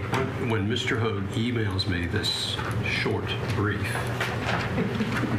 the art of the brief is important on Saturday. Maybe we can just email that to the court. That would be great. I will email you what I've got, Judge. All right. And I'm openly saying that I agree that Mr. Rubin was right, that we were disagreeing, but now I agree with him. We've So reconciled. there's been no, yeah, there's no divorce. So, Judge, I want to make sure what you're saying is that once we go ahead and say the definition of probable cause is this, and we've all agreed that the definition of probable cause is that, that will be what is charged. That will be what's charged, and I do not then intend to charge this language about um, suspicion because, again, probable cause has been defined and explains when, under what circumstances that arrest can be made. Okay. So I just want to be clear. We're not using any of this language from defendants four. We're just using the probable cause language. Well, the No, let me, let me read it. Yeah. Okay. What I plan to charge is a private person may arrest an offender upon reasonable and probable grounds of suspicion. That is, on probable cause, which is defined as blah. The facts necessary to establish probable cause for arrest are much less than those required to prove guilt beyond a reasonable doubt at trial. The test merely requires a probability less than a certainty, but more than a mere suspicion or possibility. In determining whether probable cause existed, the totality of the circumstances must be considered. Excellent, with one exception from the state, and that is, of course, that is on probable cause defined as this, if the offense is a felony and the offender is attempting to escape. As requested by the defense, because we're relating it back to the citizen's arrest. And so a private person may arrest a offender not just upon probable cause or grounds of suspicion. The citizen's arrest statute actually says only when it's a felony and the offender's attempting to escape. So that has to be included in here in the state's opinion. Okay, which may then get us back, though, to the debate which. Mr. Hogue's going to address. Right. I, I will take that into consideration. It probably depends a little bit on where we land after I get this additional brief on Saturday. Thank you, Judge. Okay. Okay. Um, two things. Uh, Your Honor, we would ask the court to define arrest. As you know, it's a term of art. It's it's not, and it's used in the statute, but it's not defined under the citizen's arrest statute. So an arrest doesn't have to. When you arrest someone, you don't have to use the term arrest, as the state has argued. It is a it is a if a reasonable person would believe their liberty is detained, that is essentially an arrest for purposes of the law. DUI law, it's Fourth Amendment law. Um, and the, we- we're getting, we're getting, we're arguing to the jury that a detention and an arrest are two different things. We're arguing it's the same thing. And I think the jury's going to need guidance on what is an arrest. And we would ask the court to define it. We're happy to provide a definition. Let's do this then. Submit it as a proposed charge. Yes, we'll do that Saturday. And I'll take it under advisement then. Um, and the other one, Your Your Honor. Honor, I Oh, I'm sorry. But momentarily on that, and the only reason I bring it up is because the fear from the state is we've got Terry stops, which apply to police, and that is a detention to investigate. This says citizens arrest, and we understand, thanks Mr. Hogue, the origin of this in 1852, and it never got changed. So I think we tracked it back to medieval England. no, oh, whatever. So the problem is, is what we've got is 17421, OCGA 17421, where we have the duty of the arresting officer to take the arrested person before a judicial officer. And we all know that because we all practice criminal law. You gotta, you gotta arrest. You gotta put in handcuffs, you gotta transport, you gotta take him to jail, you gotta put him before a judge. So you got this whole sequence of events that happens when you arrest somebody, which is you gotta take him before a judge. It is not, hey, I'm holding you here and doing a Terry stop to investigate, and that conflation is I agree. a big I agree problem. with that. That's why I want to see it as a proposed charge. And, and as the state knows, and, and, and the court I'm sure knows by now, a citizen does not take the arrestee to the magistrate. All the case law says you hold them for the police, for the police to do their job.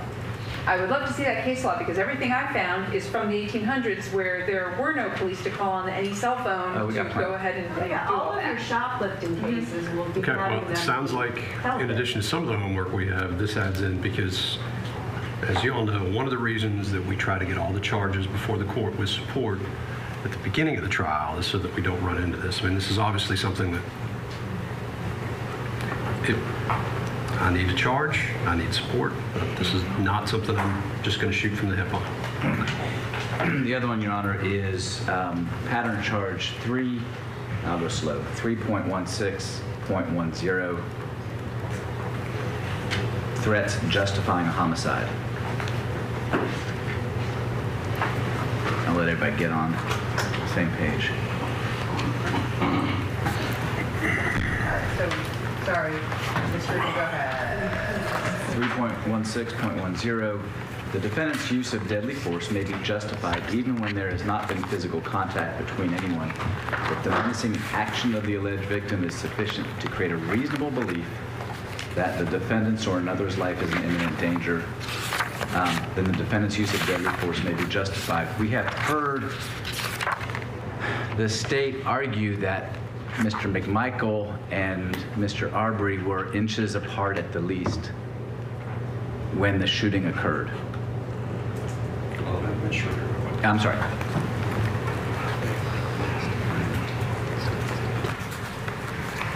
We join in that request. You join.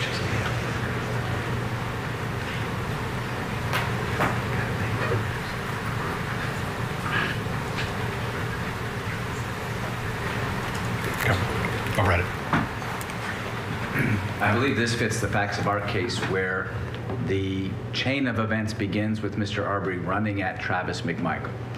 Um, Mr. McMichael testified. There's additional evidence that he felt threatened by his actions alone, despite Mr. Arbery not having a weapon, um, and despite there being no physical contact at that point, which led to the pointing of the shotgun.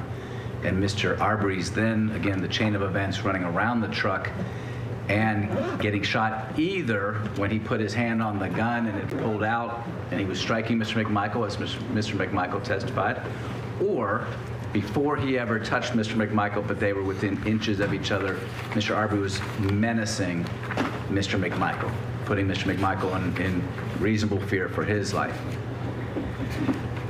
I think the charge applies, and so we would ask the court to give that as well.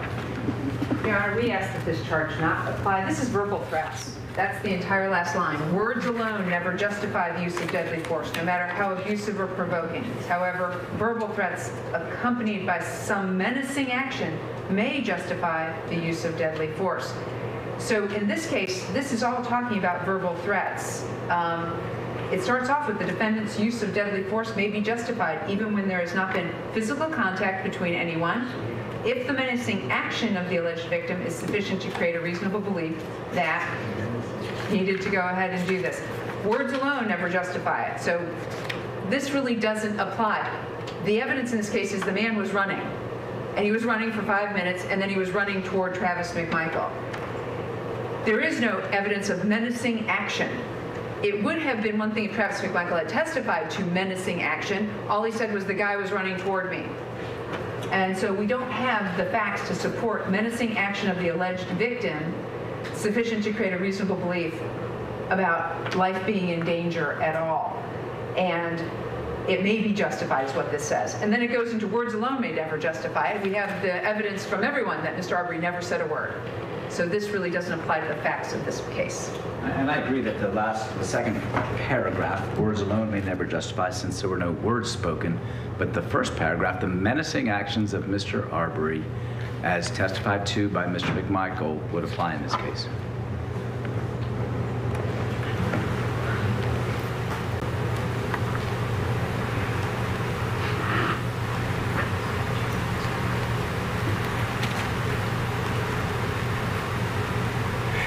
I think it's, co- this was actually covered, I think, in 31010, because it says, a def- 31010 is a defendant is justified in using force that is intended or likely to cause death or serious bodily injury when he reasonably believes that the use of force is necessary to prevent death or serious bodily injury to himself or a third person, or the commission of a forcible felony, which means a felony that involves the use of force or violence against another, and we've defined that on the request of the defense as aggravated assault is again a felony which can occur by the use of fists if they are used as an offensive weapon.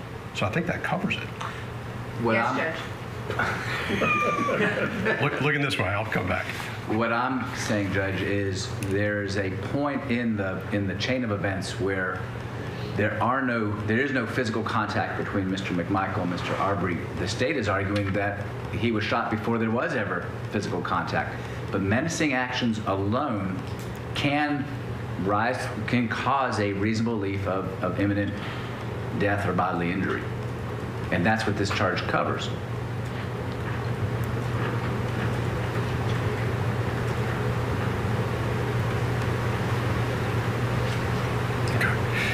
I, think, I mean, for the purposes of the, the charge, I think it's covered here. I mean, this charge, the only difference is the physical contact language, but that again is still covered under the, the language. If I could add, Your Honor, the state's going to argue that this was jogging and running. That's all it was. It was just simple jogging and running. What, what the testimony was, in fact, is that there were two passes at Mr. McMichael. The first one, where he came within 10 feet of the back of his truck, making eye contact with Mr. McMichael while Mr. McMichael was yelling, Stop, stop, don't come any closer. And his actions were to continue to run, looking into his eyes, which caused him to fear and then reach inside his car to go for his gun. And that action caused Mr. Arbery to turn. Then he comes back for the second pass and he wavers between staying on course and going around. And the state is going to argue that this jogging, that these actions were simple and were not menacing. And Travis has testified that they were, in fact, what placed him in fear.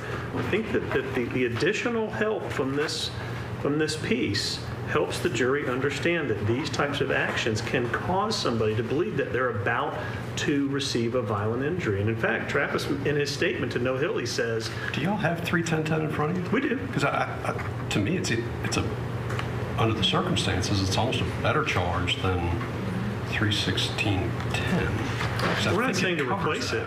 We're not saying to replace it. We're, I think it further narrows it. We think it further narrows that the kind of conduct that could justify is, is, is the kind of conduct that's been testified about. We think it aids us and also allows us to rebut the state's argument of jogging and running. And just for clarity, Judge, Travis McMichael's statement to Officer Nohilly was never tendered into evidence. Sure it was. The uh, recording of it and the transcript. The recording. No, it's Yeah, not. neither one of them is actually going to the jury. No, they're not going to the jury. That's right. No. But he was questioned about it. He was shown his written. He was shown his statement. He was questioned about his statement. Those Yeah. portions No, I- came in. Well, right, I just want to be really, really clear, the portions on cross-examination, because the- the reason I- I'm being really careful at this moment, Judge, Can I is get be- you to stop? Because I've simply got a request to charge mm-hmm. 31610. Okay. The- I think that language is covered and it probably more completely and more tailored to the facts of this case under 31010, which we've already discussed, which would include the definition of aggravated assault that was agreed to a little bit earlier in the day. Um, From Travis McMichael, you said there were two. I assume those are the two? Uh, arrest in 31610. Okay. All right, uh, I'm going to get a follow-up on the arrest language as a proposed charge, and I just ruled on 31610. Yeah. Anything further from Greg No, Your Honor. All right, from Mr. Bryan. Yes, Your Honor. Going back in the order as I have it, Your Honor, to page 26, unanimous verdict. We believe under, in this case, the pattern charge and unanimous verdict is inadequate. The jury's verdict must be unanimous as to every count of the indictment. It must be unanimous as to every element of the indictment. There's an entire body of case law which gets fairly complex. A bunch of Supreme Court justices, I think Justice Scalia, going back and forth uh, over how far unanimity must go. We submitted a, a charge, a special instruction on unanimity, and we're asking the court to give that charge. The, the, the, this charge, the, the pattern charge, works in your typical one count felony indictment.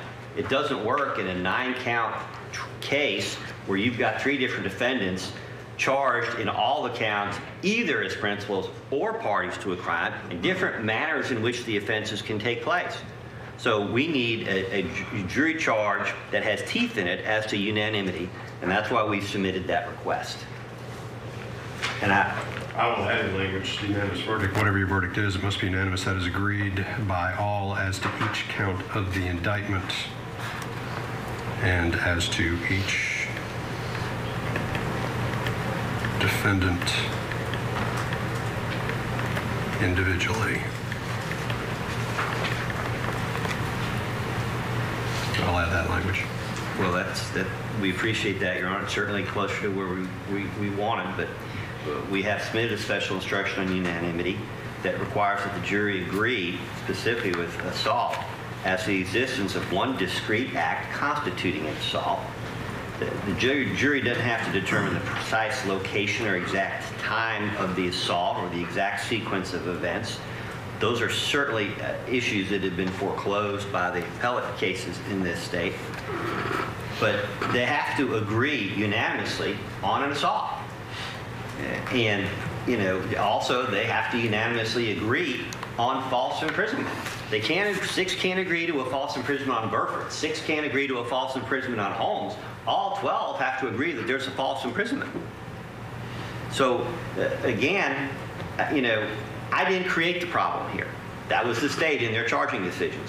But we don't believe that uh, we are, the issue of jury unanimity is, it's better than it was. You've made a substantial improvement to, to the pattern charge, but we still don't believe it's adequate. Um, and so we're asking uh, for additionally that special instruction. And depending on what the state's direction is or what the state's response is, we may well come back over the weekend with a more, yet another more specific unanimity request. I mean, there are legitimate questions as to what is required uh, for a unanimous verdict, what that means. But in this case, uh, we think we, we need more than we have. State request for the pattern charge, it's sufficient to cover the fact that the verdicts must be unanimous. Well, again, the court's going to charge the pattern with the added language that I've just indicated. Thank you, Judge. Thank you, Your Honor. Moving on to page nine of the, what seems now pretty much, it's not just a proposal, it seems most of it's in place, but with respect to page nine, voluntariness of statements, we had previously submitted to the court case law with respect to third-party threats. Now, arguably, the, the way the pattern charge, charge reads in the second sentence, a statement induced by the slightest hope of benefit or the remotest fear of injury is not voluntary. Arguably, that includes threats from third parties. Um, but my concern is we're going to get up and we're going to argue that the defendant's statements, without which there can be no conviction under Jackson v. Virginia, without Mr. Bryan's statements, there, that's an acquittal. Um, we're going to get up there and argue that Mr. Bryan have, was in fear for his life at the time he was making these statements. And whether or not that's induced by the police officer or the totality of the circumstances or a combination of thereof, that the statements are not voluntary. Then the state's going to get up and they're going to say, oh, no, no, it's voluntary. It doesn't matter whether there were people out there trying to kill him as long as the police officer didn't hand him a gun. And then the jury's going to come back and they're going to ask, what does it mean? And then we're going to do then what I'm trying to get done now. Uh, as long as the state's not going to challenge that, if they agree with me that third party uh, threats and fear of injury from third parties can render a statement involuntary, if they're not going to argue that the, the, the, the fear has to be the product of police action, then we're good. But if they're going to get up with the last word and then throw out some theory to that effect, then we would need this charge to be more specific. that it doesn't have to, the threat, the fear of injury does not have to come from the law enforcement officer who's conducting the interview. Uh, so I don't mind leaving it as it is as long as the state isn't going to come back and challenge that. Because if the state's challenging that, then we need to address it now in the charge. Judge, actually, the case law on Jackson Denno, when we do these arguments, is one of you can't induce the fear yourself. It can't be self created fear. It has to be induced by another, and the other person it has to be induced by is the law enforcement officer. And we all know that from Jackson v. Denno. We all know that in motions to suppress. So it cannot be you have something else going on in your life that you're worried about, and you bring your fear in, and therefore my statement's not voluntary. And here, what Agent Seacrist actually said was that he never made threats or promises or did anything to influence Mr. Bryan. And in fact, Mr. Bryan was seated next to Mr. Gough the entire time. His lawyer was right there. So this idea that somehow he's giving his statement because of third-party pressure that Mr. Bryan, by the way, never testified to, this was all Seacrist, wasn't this what was going on? And weren't there these threats out there and weren't these these third parties out there? Mr. Bryan never said, I'm under the influence or under the threats or I'm saying all this stuff against my will. It's basically, we've got his on-scene statements, which are his on-scene statements. There's nothing there about third-party coercion. And then we've got his statements to Seacrist. The state asks that there be no additional language about third-party threats as to the voluntariness of Mr. Bryan's statements, especially since he was seated right next to his attorney the entire time. Thank you. Uh, Your Honor, it does, uh, uh, unless they're packing, it does, respectfully, it doesn't matter how many attorneys Mr. Bryan has. The, the question is not the ability of the defense lawyers to provide physical protection. The question is what's going to happen to him when he steps out of the police station. Uh, now, as long as the state's not, not going to challenge the argument, the, the, pattern charge is fine. But if they're going to get up and they're going to object during during my closing, or they're going to get up and argue the contrary, then the jury may well come back with questions. And if the court doesn't deal with it now, it may have to deal with it then. The idea that the officer was unaware of the third-party threats which arguably are not fully third party. It was the GBI director who gave the press conference with the agent Seacrist standing there that contributed to the media storm, putting my client's life in danger. Putting that issue for the that issue to the side, the officer was well aware at the time the statement was, was made of what was going out there. Mr. Bryan doesn't have to testify to it when the officers testify to it. Uh, and that's not something that's induced by Mr. Bryan. He didn't ask the Arbery family attorneys and their entourage, or whoever, however you want to describe them, to go out there in the media and, and call for his arrest, call for him for nasty, horrible things to be done, and other people joining in on that. at this point, Judge. The soliloquy about all of this stuff, we've heard this before, we understand where it's coming from. I'm just, I guess I'm asking, can we get to the point?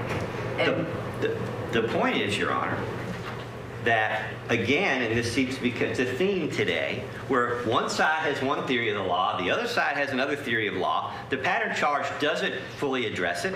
And, and then we end up in a situation of jurors coming back with questions. We also end up with the reality that for most jurors in South Georgia, the state district attorney's office and criminal defense lawyers, we're not really in an equal posture. If the state says the law is one thing and we say the law is something different, in South Georgia, it's what the state said. So it's very dangerous and precarious for a defense lawyer in this part of the state to do that. I, I, I don't really know what you're getting at there, but let me just put this. The voluntariness charge that's there does not prevent you from arguing uh, whatever reasonable inferences you can argue. Uh, but the charge is accurate. Um, and I'm going to keep the voluntariness charge the way that it is. Thank you, Your Honor. I'll move on. Your Honor, with respect to page 12, fingerprints, we have no objection to the majority of that charge, but the last portion of it is troubling.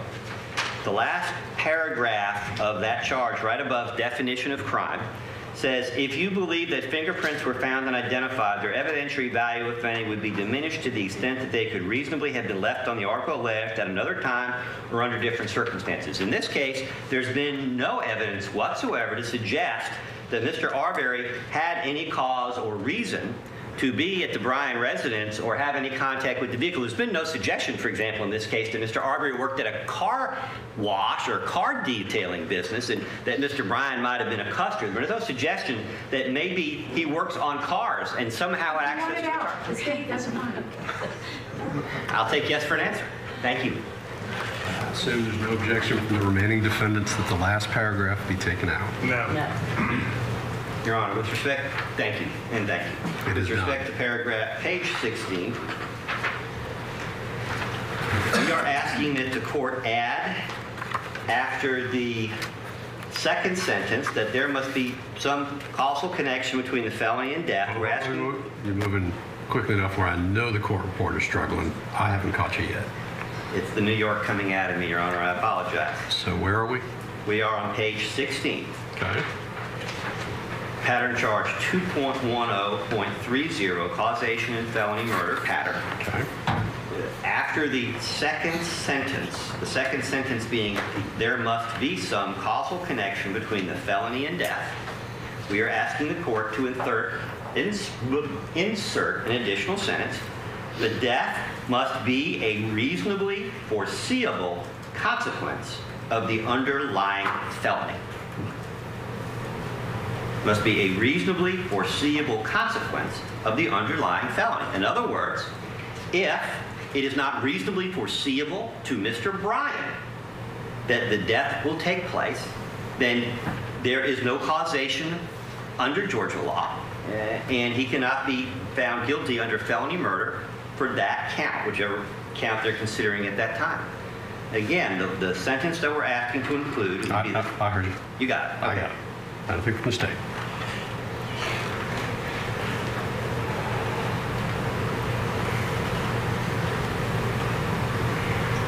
Your Honor, actually under causation and felony murder, there's a bench note that says felony murder is not applicable to non-dangerous felonies unless the attendant circumstances create a foreseeable risk of death. So foreseeable risk of death only applies when you've got a non-dangerous felony where there's attendant circumstances. Um, here we have three dangerous felonies. Using pickup trucks to falsely imprison something, attempting to falsely imprison someone with the pickup trucks, and aggravated assault with a firearm, etc. So there is no question that there is a foreseeable risk when you try and falsely imprison someone using a pickup truck to do it, running them off the road, that it might result in serious bodily injury or harm, even death, and that was testified to by the medical examiner. So we don't think that this applies as a charge, the foreseeability. I'm sure Mr. Gough will argue that there's no way Mr. Ryan could have foreseen this happening, um, but I don't believe it's part of the pattern. When I searched the PDF, it came up only once um, for non-dangerous felonies. We asked that it be excluded. If I may, Your Honor. Going from the bottom to the top of the indictment, criminal attempt to commit false imprisonment, with all respect to the state, is about as non-dangerous as it can be. And clearly, a charge with respect to reasonable foreseeability would be appropriate. In, in many states, it, the state doesn't even get to argue for felony murder. But certainly in this case, we should uh, be entitled to the jury to determine whether a criminal, it was reasonably foreseeable that a criminal attempt to commit false imprisonment could result or would result in death. By further extension of that, I, think the same argument applies to the false imprisonment itself. And the reason I'm bringing this up, Your Honor, is anytime there's an arrest, anytime there's an arrest, 99% of which, 99.9% are by police officers. Theoretically, any arrest involves the use of force. Use of force is inherent to the arrest. But still, it's not reasonably foreseeable that there is going to be a crime committed in that context. For example, five police officers respond uh, to the scene of a purported crime. One of the police officers. I'm going to object to the examples and the narrative and the argument for closing. If Mr. Gough has some case law that would support a charge on foreseeability, we might be able to get to that point a little sooner. Your Honor, foreseeability is discussed this case for a long time. I'm contending, in response to the state's position, and the example of the police is certainly relevant here.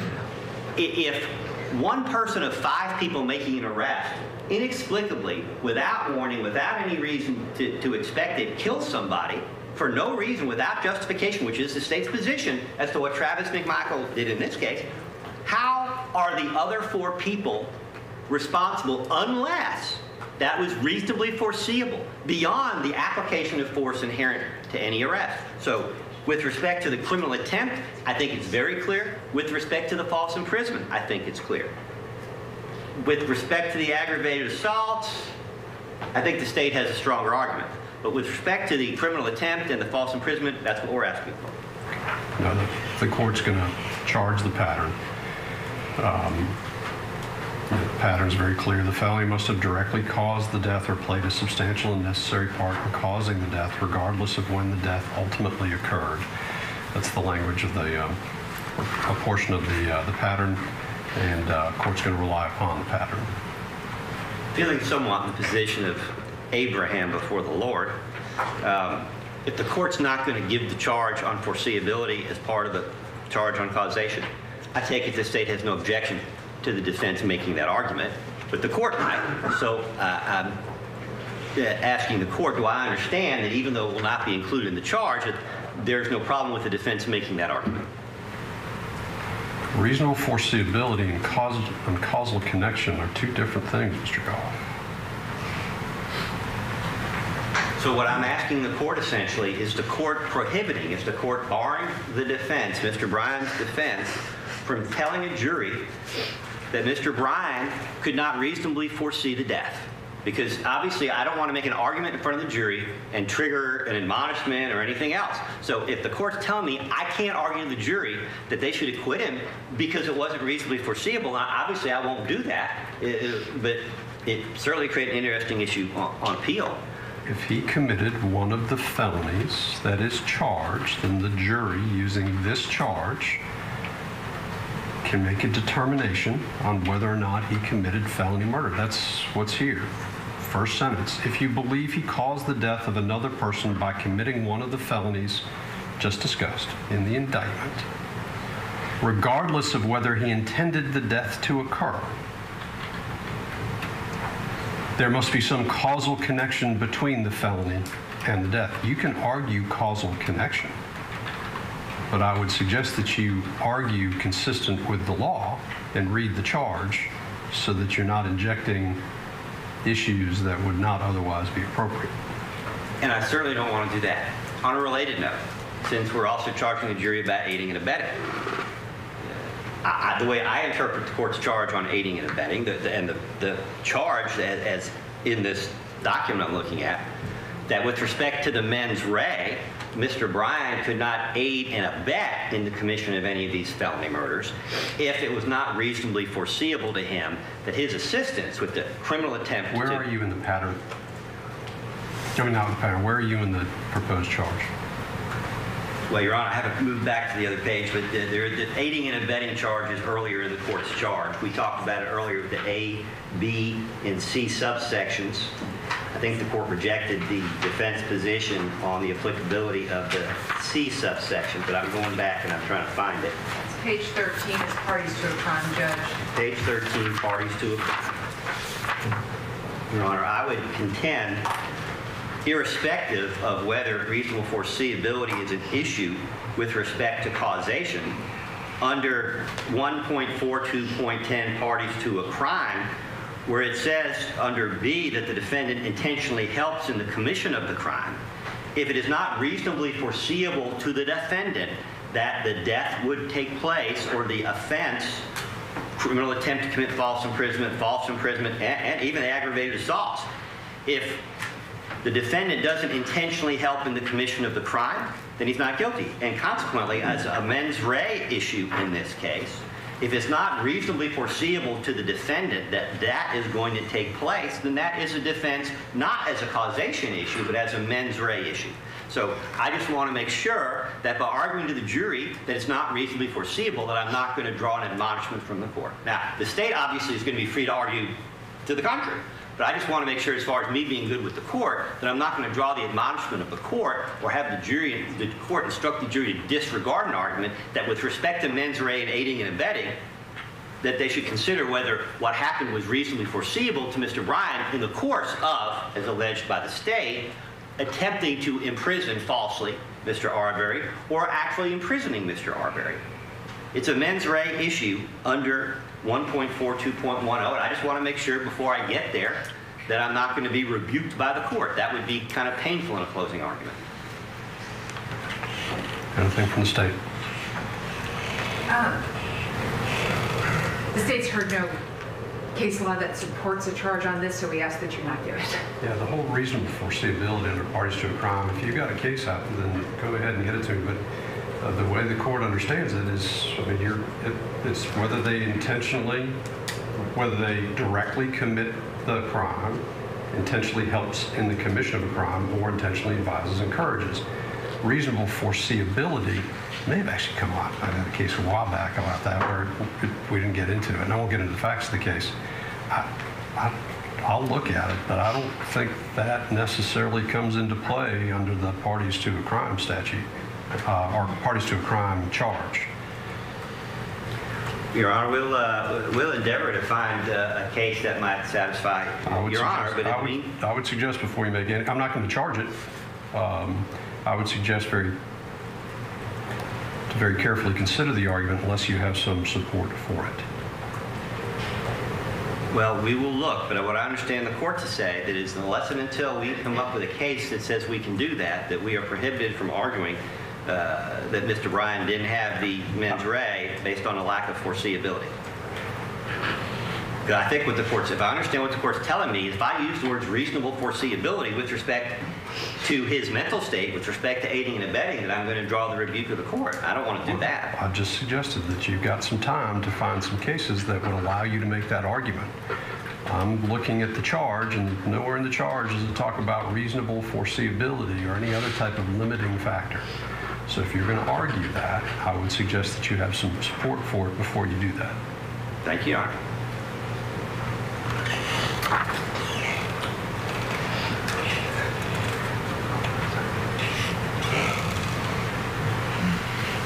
May I continue, Your Honor? Yes.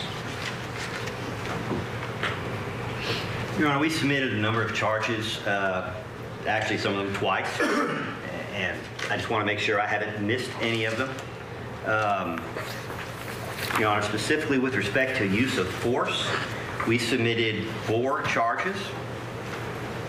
The first one i- is the charge that with respect to the degree of force that a private citizen may use to effectuate an arrest, that a private citizen has the same right and authority to use force as does a police officer.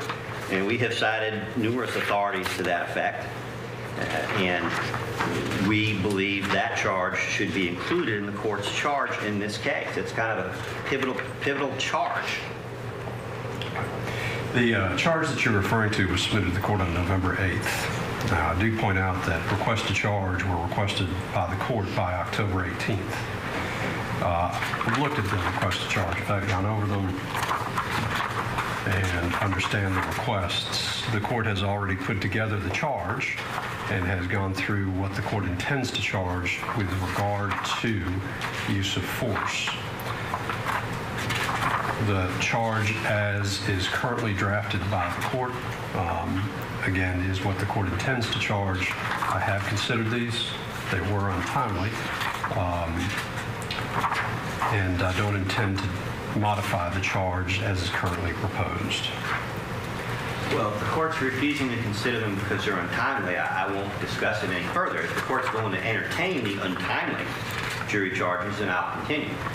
Um, Mr. Gough, what issue do these charges raise beyond what is contained in the charge that we have spent a good amount of time today reviewing with you adding in your position as we went through the charge already? So what, what new exists in these charges that is not currently contained in the charge that I just went over with the parties? Well, maybe, Your Honor, I misunderstood, and if so, my apologies. But it was unclear, at least when we started the process, whether we were bringing up our own charges during that process or waiting to, we went through the, the court's draft and the state's response to it. So if I've waived these, either by being untimely or not raising them earlier today, then I'll just sit down. But if the court will hear me out, I don't intend to take a lot of time on it. But I, I do specifically am asking the court to, to give use of force supplemental charge number two, number three, and number four. And I'm not going to belabor the issue. If the court's going to prevent me from doing that based on there being filed.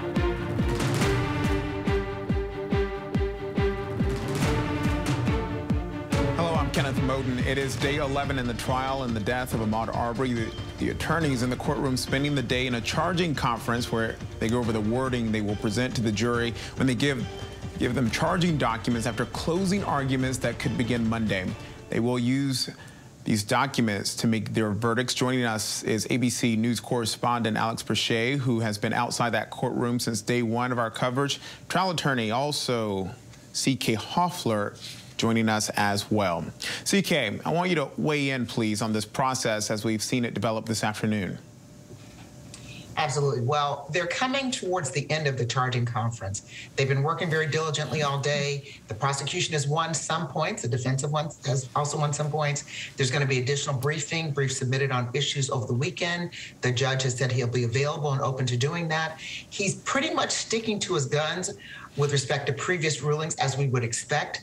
And then hopefully by Monday morning, before closing arguments, this will all be tied up with a nice bow, and we will have the charging jury instructions, the instructions for the jury, and closing arguments will begin as planned Monday morning. And just moments ago, Alex, we saw Judge Walmsley going back and forth with defense attorney Kevin Gough, who is bringing another motion for mistrial to the judge and followed it up with some pretty incendiary comments this morning. Well, and then you heard the, the prosecution basically re rebuff him, saying that, look, you know, he's complained about the presence outside the courtroom. He's complained about the presence inside the courtroom from civil rights leaders such as Jesse Jackson and Al Sharpton. But this was something that he himself created with his own incendiary remarks last week. Uh, first misidentifying Jesse Jackson and then saying that uh, they should have a limit on black pastors in the courthouse uh, and then drawing analogies to, you know, well, what if there were, you know, a whole bunch of folks dressed up as Colonel Sanders with white masks, uh, and how would the Arbery family then feel about that? And I will say, uh, Kenneth, that's something that um, he's not just been rebuked by uh, members of the, the Arbery family and their representatives, but also uh, by other members of the defense. We actually got a chance to speak with Jason Sheffield, who uh, is the attorney for Travis McMichael in this case. He was reflecting uh, on Kevin Gough's com latest comments today, talking about concerns. He handed out pictures showing uh, what he said was a perceived threat yesterday, this large gathering outside the courthouse of uh, faith leaders uh, offering their prayers and, and in support of the Arbery family. He called it uh, an intimidation tactic. Uh, and again, motion for a mistrial, something that Judge Walmsley denied. But but uh, uh, uh, Jason Sheffield today, the defense attorney again for Travis McMichael, basically said that, look, we totally support the First Amendment rights and of these folks and, and, and certainly want to respect and, and, and keep that intact. They, he defined it as sacrosanct. And CK, right here on ABC News Live, you've been very good at breaking down this process we've been watching play out here um, of this jury instructions, creating those, going through those motions as Sorry, well. Gonna... You know, why is it so important to get this right? It's important to get this right because justice mandates it. This is a very important case. There's so many issues. So many different communities are watching what happens in this case. The jury instructions really literally make the difference between a victory or, or a loss. So for the prosecution, it's got to be right. For the defense, it's got to be right. Every word has to fall into place. It has to be, these jury instructions have to be in conformity with Georgia law. And it's very important to ensure for the integrity of the judicial process that it be done correctly and not in a in a ill-advised way as to create strong appealable issues. As we see there from what happened inside, we know there were they were parsing over words um, like excessive force, and which is essential to the state's case, according to lead prosecutor Linda Dunikoski. We saw that the word revenge is out. what struck you from what you saw during that charging conference today?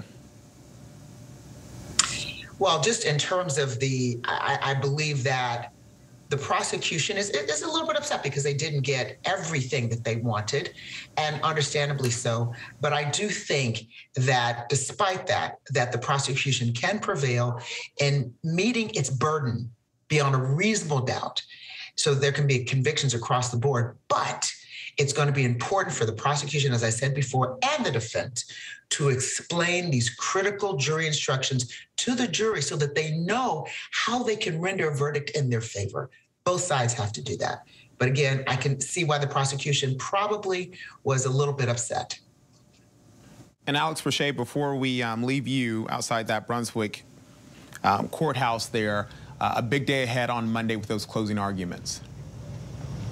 That's right, Kenneth. We're expecting closing arguments to kick off Monday, uh, which means that it is possible that this jury uh, could be deliberating uh, before Thanksgiving. They could render a verdict before Thanksgiving. Uh, now, the timing, how that will come together, if it's something that uh, you know will they'll, they'll hold for for for after after Thanksgiving. You know, the judge hasn't quite yet weighed in on that. I will say that uh, this afternoon when we heard from uh, defense attorney Jason Sheffield. He was asked about the timing of all of this, and he said it was kind of up in the air and that, you know, we'd see, I know a couple of the defense attorneys here have Thanksgiving planned, so we're not anticipating uh, court to be in session then, but it is possible that that Friday or the following week uh, could be in play here.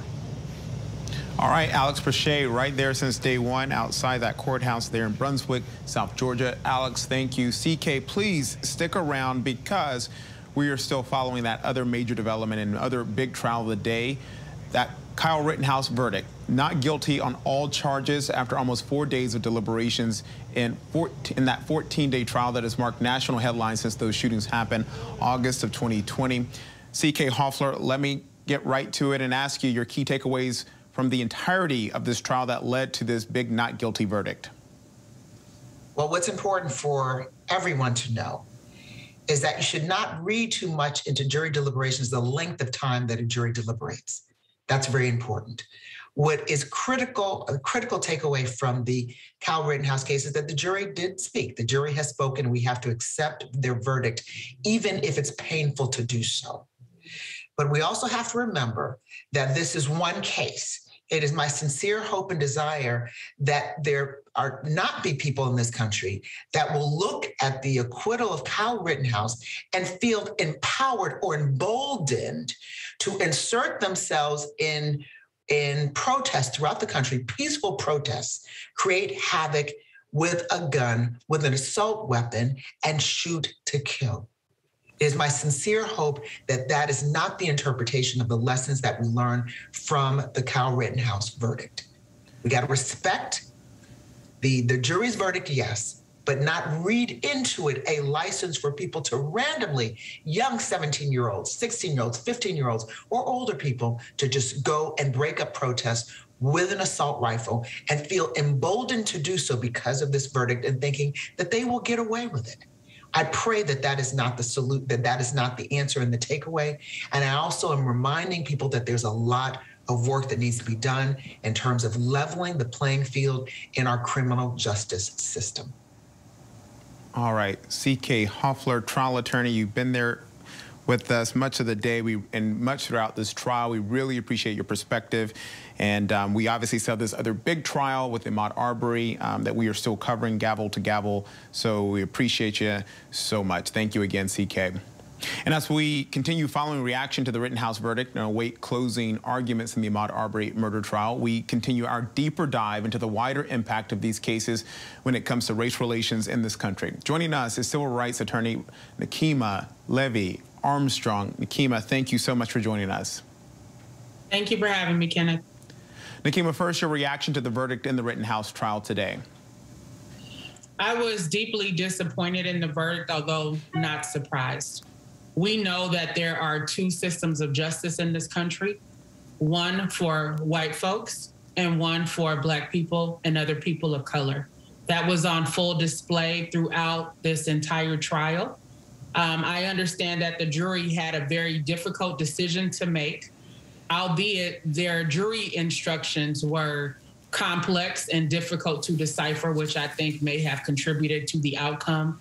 Uh, in addition, of course, uh, there's a matter of Wisconsin law, which allows someone to open carry uh, in a situation like what um, Kyle Rittenhouse was on trial for. But the problem has to do with people like Kyle and other militia type individuals who insert themselves in protests where we are standing up and demanding a change to our justice system that typically allows police officers to kill people with impunity. I mean, that was the whole purpose of people being out on the front lines in Kenosha, standing up for justice for Jacob Blake, who was unjustly shot multiple times by uh, Kenosha police officers, and asserting their First Amendment rights to freedom of speech and declaring uh, that they wanted to see a change. And so we've had folks like Kyle show up at protests brandishing um, artillery and, and weapons and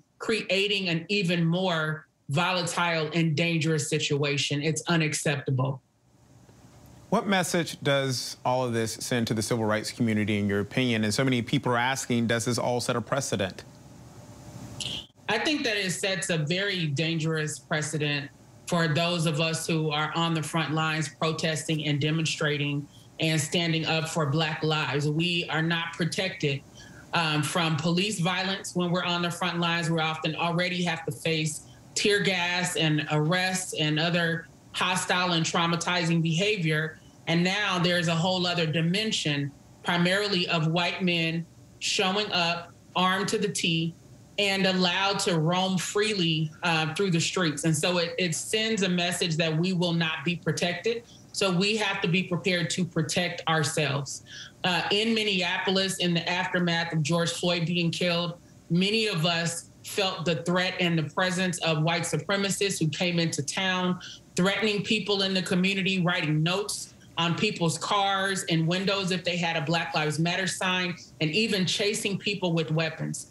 This issue was undercovered in our media and it it made us many of us feel unsafe. So many of us went and got our license to carry, our conceal and carry permit uh, to protect ourselves and to arm ourselves because of this additional danger that we face out on the front lines.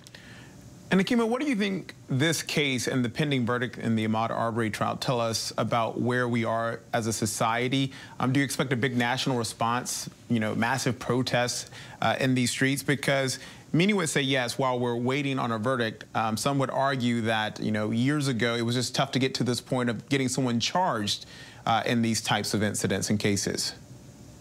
Well, I think that this demonstrates yet again that we have a long way to go in terms of addressing the unreconciled racial issues in America. What we saw from Kyle Rittenhouse and what we saw from the McMichaels, as well as Roddie Bryan, is this mindset of a white male privilege and white male entitlement and being able to unjustly use the Second Amendment to attack and harm those who are jogging like Ahmaud Arbery was doing or those who are standing on the front lines um, of a protest.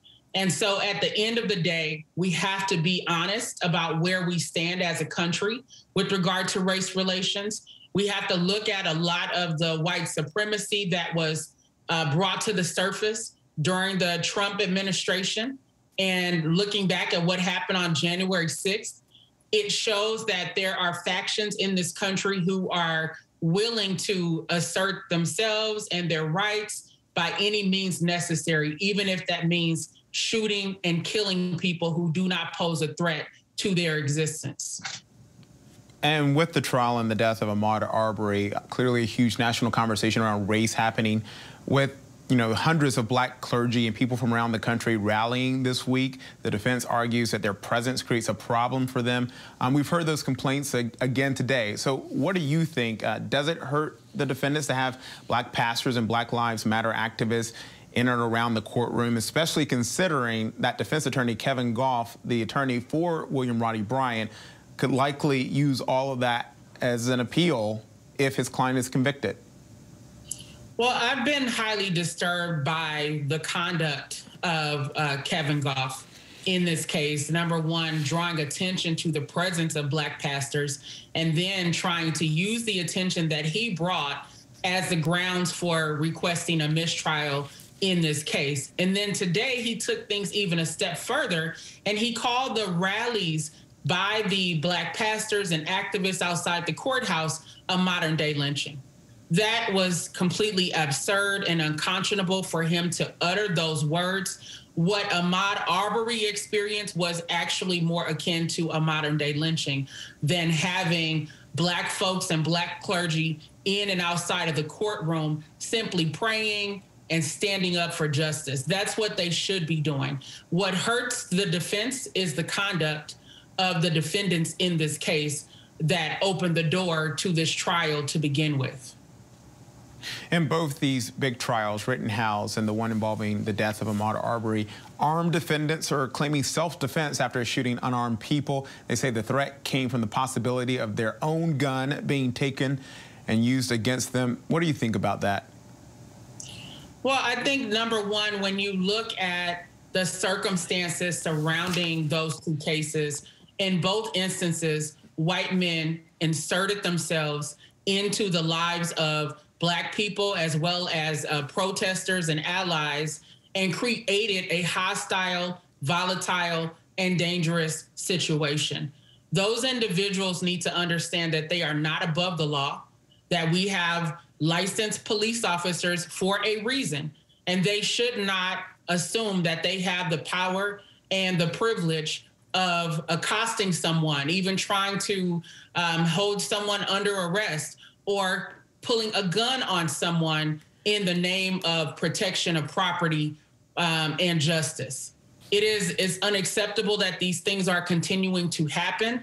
And as advocates, we have to continue to take a stand. We have to continue to call out these injustices. And I would urge parents, particularly white parents, to have conversations with their children about these issues. Kyle Rittenhouse was only 17 years old. And rather than his mom teaching him about the historical issues of racial injustice in this country and what led to the protests in Kenosha, she actually drove him across state lines and it opened the door to these atrocities that we now have to contend with. So white parents must do a better job of instilling a different set of values in their children surrounding race relations. And we know that it's not all white parents, but we at the same time, there are enough white families who are embroiled in these um, underlying racial issues and who perpetuate white supremacy that it needs to be talked about. Civil rights attorney Nekima Levy Armstrong, thank you so much for your time. We appreciate it. Thank you for having me. That does it for this hour. We'll have continuing updates right here on ABC News Live throughout the remainder of the day and a complete wrap up tonight at 7 p.m. Eastern on ABC News Live Prime with Linsey Davis. Thank you for joining us. I'm Kenneth Moton. Let's go back now to the trial of the three men charged in the death of Ahmaud Arbery. Which is on page 13, going over to page 14.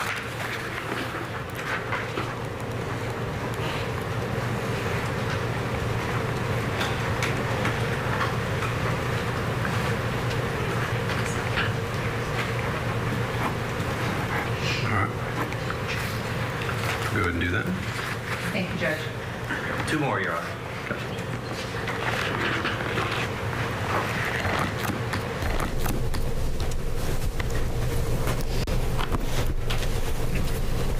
On behalf of Mr. Bryan, Your Honor, we're asking for charges on lesser offenses to count seven. A simple assault, simple battery, reckless conduct, and reckless driving. We submitted what I believe is the statute uh, for those four offenses. Uh, the count seven alleges aggravated assault in two different ways. It alleges aggravated assault with intent to uh, strike. It also alleges aggravated assault based on the reasonable fear of the defendant, not defendant, of Mr. Arbery. To the extent that the state is pursuing a theory that Mr. Bryan intended to strike Mr. Arbery with the vehicle, or that he did strike Mr. Arbery with the vehicle, which I think was the suggestion that they made during the trial, those lesser offenses are all appropriate as a matter of law. uh, they would not be appropriate to reasonable apprehension aggravated assault, but they would be appropriate to the other. And we're asking the court to charge all four of them, or as many of them as the court is willing to give. If that's the case, then you you can't give any of them because the aggravated assault with a motor vehicle is based on reasonable apprehension. The aggravated assault with a shotgun is based on having a deadly weapon and causing, attempting to cause a violent injury to somebody.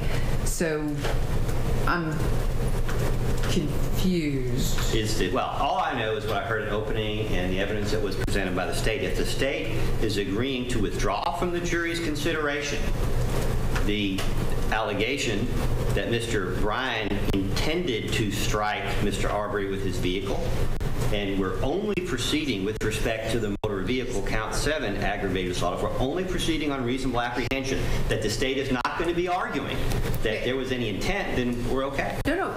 I'm, I'm pretty sure I have to argue he intentionally did an act that placed Mr. Arbery in reasonable apprehension, so I have to prove intent, and that is an essential element that's in the charge.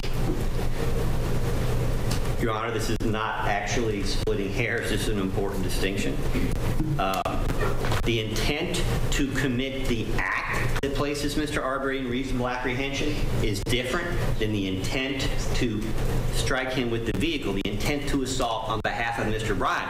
If the state is willing to concede and have the court charge the jury that the, the state is withdrawing the allegation that Mr. Bryan attempted to strike Mr. Arbery with the vehicle, then we're good. But if the state wants to pursue both theories of liability, then we're entitled to have the lesser offenses. If the state elects to proceed only under a theory of reasonable apprehension and give up the theory that Mr. Bryan intended to assault Mr. Arbery with the vehicle, then we would not be entitled to the lesser offenses. But if they're pursuing both theories, then we are.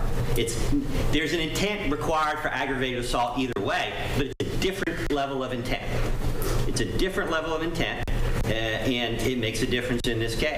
Now, I thought I heard the state say uh, several times in their opening and the presentation of evidence that Mr. Bryan intended to strike Mr. Arbery with his vehicle. We're entitled to the lesser offenses if we're still there. If they're only contending that Mr. Bryan, as a principal or as a part of the crime, intended to place him in reasonable apprehension of injury without not not intending to strike him, but only intending to scare him, then we would not be entitled to the lesser offenses. But the state has to choose the theory, elect the theory that it's presenting to the jury. The state disagrees. that's, that's the reason that we've Mr. got Gough. to demur.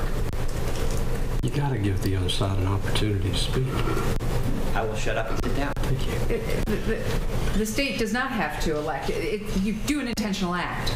If the intentional act is trying to hit somebody, and that intentional act then puts them in reasonable apprehension of receiving serious bodily injury, that's what we're intending. And yes, Mr. Bryan intended to try and hit Mr. Arbery, tried to run him off the road and into the ditch, and Mr. Arbery actually did go into the ditch. So that is the reasonable apprehension because Mr. Arbery had to jump out of the way because his truck was coming at him.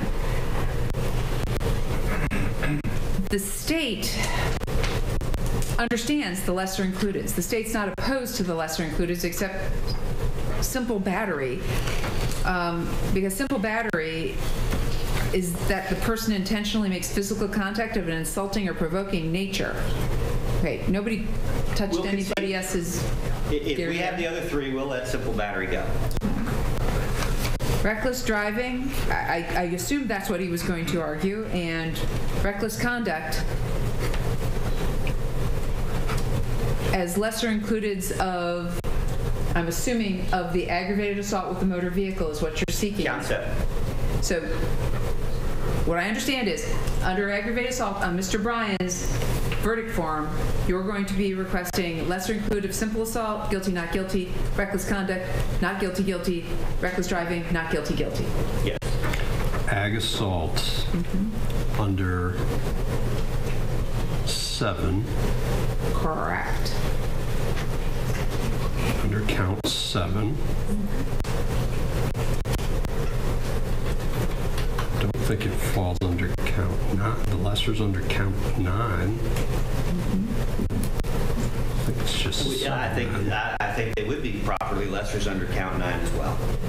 Uh, False imprisonment, criminal attempt at false imprisonment, criminal attempt to detain him in violation of his personal liberty. It's not going to be simple assault, reckless conduct, and reckless driving. The state Well- disagrees. If he was attempting to stop or block his path to travel, he might not be guilty of a false imprisonment or an attempt, but he might well be guilty of these offenses.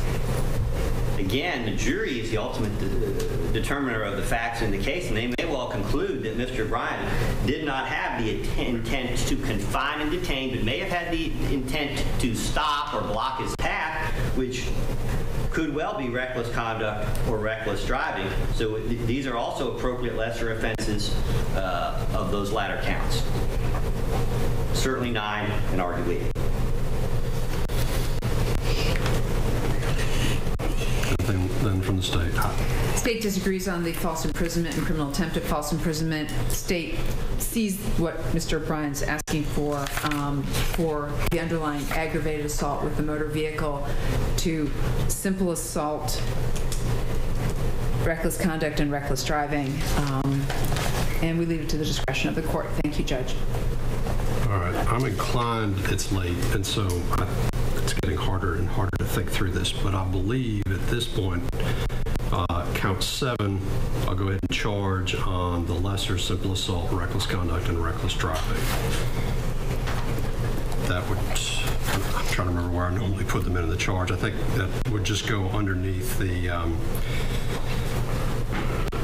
in order to make sure that it's clear, I'm going to need to put some language in on the lessers, only applying then to Mr. Bryan, and I'll probably drop them in around the aggravated, probably at the end of the aggravated assault charge, and just do it that way, and make sure that it's clear on what those apply to.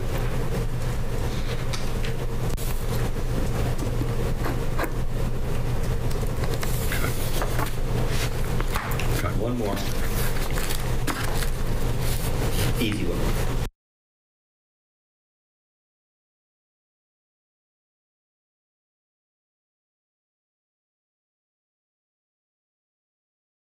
Charge on carjacking, uh, which we believe is adjusted to the evidence in the case, especially given the testimony of Travis Under 16544, a person commits the offense of carjacking that is hijacking a motor vehicle in the second degree when without the use of a firearm or weapon, such person attempts to obtain a motor vehicle from an individual without his consent. Now, the court's already going to charge what it is to attempt to commit a crime. Uh, And the offense of hijacking a motor vehicle, the jury probably needs to know, uh, is a, is the sec, in the second degree, is a felony, whether or not the attempt is successful. Again, at 16544. Now, if opposing counsel, or co-counsel are opposed to that charge, I mean, I I would be open to suggestion, but I think it's adjusted to the evidence in this case. At no point in time did anyone say Mr. Arbery was attempting to obtain a motor vehicle from an individual without his consent. All Mr. Bryan ever said was he started reaching for my door handle and I sped off. There's palm print on the side of the car. This is after he's already tried to run him off the road into the ditch. This is after he's already tried to hit him with the car. And now we're on like the third aggravated assault with the motor vehicle and he's reaching for the door. The state's argument, of course, is that course he's reaching for the door. You got so close to him, he's trying to push off away from this truck so that you don't hit him so he doesn't get hurt. And this idea from his perspective of, oh, my window's open and now I'm starting to think, oh my gosh, I'm actually getting really close to this person. I should speed off. To claim that that's carjacking is, is well, ludicrous. Um, but on this one, I'm going to leave it to the discretion of the court uh, to determine if there was sufficient evidence. All Travis McMichael said was, I wonder why that guy's attacking that truck. Once again, no indication of an intent to obtain a motor vehicle from an individual without his consent. Obviously, Mr. Arbery never said anything. There was no weapon ever shown. Um, and this isn't a slider crime. As we all know, uh, hijacking motor vehicle in the second degree was all designed for slider crimes. Uh, gas stations, you pull up, you slide in, you drive off in the car uh, without a weapon. So without a weapon attempting to obtain the motor vehicle from Mr. Bryan, there's actually no evidence that that actually took place. Um, and Mr. Bryan, of course, never said that. So the only thing I can see is just Mr. Sheffield from the top of his shoulders up. That- A slider is a meat okay. sandwich that's a smaller version of a larger sandwich. That's what I know. I figured it was something like that. All right. Um, We, we, I think there is evidence that there's been an attempted carjacking or something. I mean, Travis McMichael testified to it twice, that he saw him trying to get into the truck and it caused him apprehension. He testified that he looked down the street, he saw Mr. Arbery trying to get into the truck. He thought one of three things, that this was somebody confronting him from 220, that this was somebody who was with him, that he was going to try to get in the car, or that he was trying to take this person's car, and that it, he looked angry and aggressive when doing it. So I think there is evidence to support it. It- no, It's not, it- it- it's not an insubstantial matter. If the jury, and it's for the jury to decide, it's second degree, not first degree. But if the jury were to decide that Mr. Arbery, uh, reason, uh, the, the probable cause existed in the presence and immediate knowledge of Mr. Bryan and the presence and immediate knowledge of the If they were to conclude that the evidence supported the carjacking, then at that moment, they are independently authorized to effectuate a citizen arrest. And it's up to the jury to decide whether Mr. Arbery was justified in committing a violent property crime under the circumstances in order to uh, escape or elude capture, whether by law enforcement or by these defendants. To- You can't take that issue away from the jury, and it's a critical point in this case. Now, th- there's some dispute, Okay. in, I'll, I'll sit down. All right. I- I'll think that through. Uh, It's too late in the day for me to make that decision. Okay? I will think that through. And when I get back on the issues that I'm going to receive some emails on, I will uh, clarify where the court is on it. Your Honor, did you leave the conspiracy issues on page 14 I just did. for your, did you, you didn't, my notes indicate you don't need anything more from I- I us than don't. we've already provided. I don't. I just got to finish thinking that through, and I just haven't had an opportunity to do that yet. Thank you, Your Honor. I don't dare go around the room one more time. I will go ahead and address the matters that I need to address. I will look for the information that council has promised me uh, by tomorrow, and I will try to get you a clean draft of the charge late Saturday or sometime Sunday. Um, We will then reconvene at 9 o'clock tomorrow, not tomorrow, Monday morning, and, um, yeah, sheriff's deputies almost fell out of the chairs. Um, We'll reconvene at 9 o'clock Monday morning and hopefully be able to move into closings at that time. I don't dare ask, but does anyone have anything pressing for the court before we recess? No, Judge. No, Your Honor. No. Thank you, All right. Thank you, everybody. We will see everybody Monday. This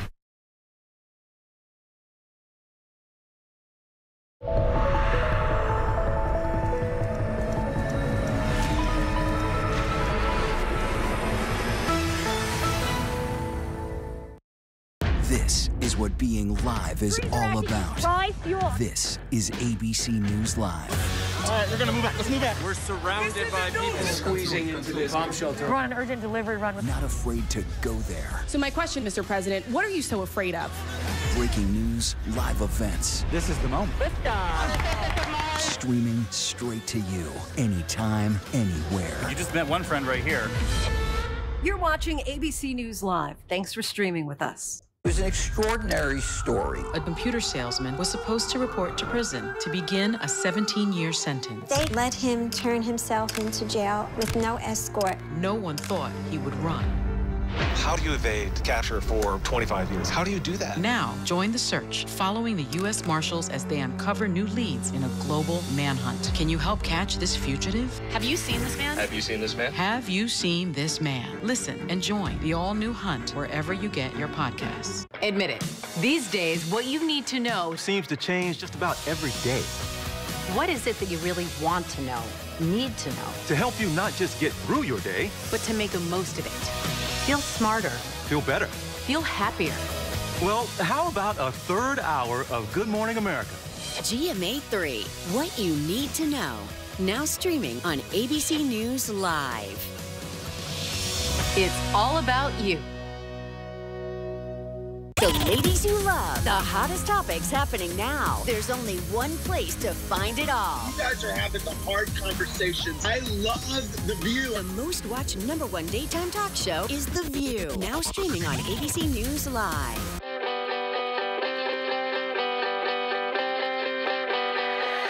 When you wake up in the morning, when you wake up in the morning,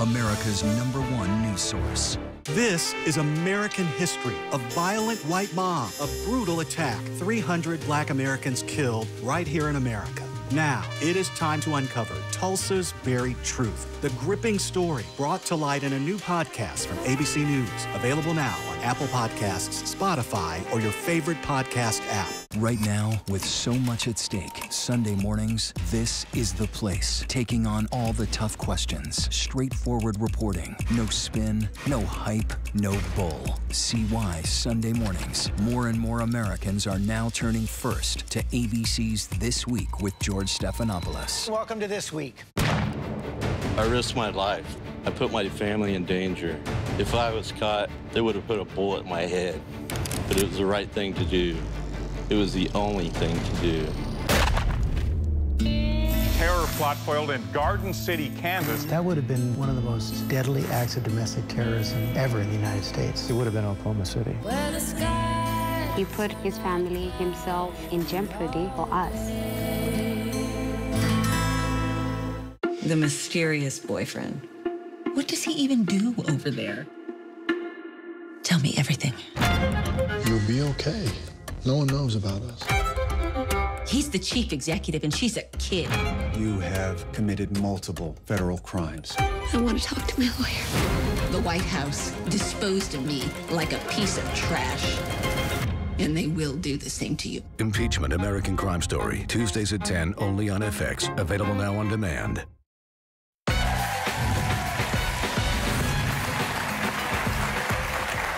Just 15 years old, actress McKenna Grace is already a veteran performer with dozens of roles to her credit.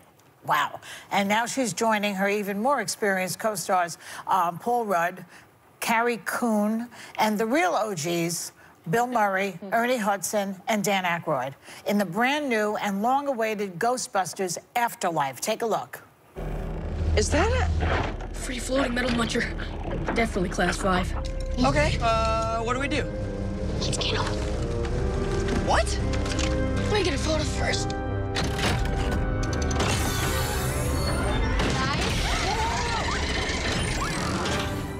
Oh, it has a gunner seat?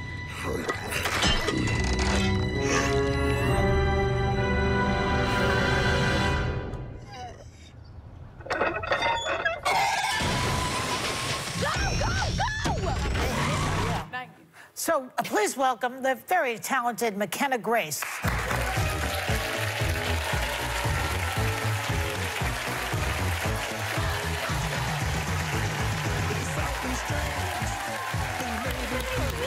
think my seatbelt buckles came undone, but that's okay. It's fine. You did a good walk, though. I came bearing gifts. Oh, I like gifts.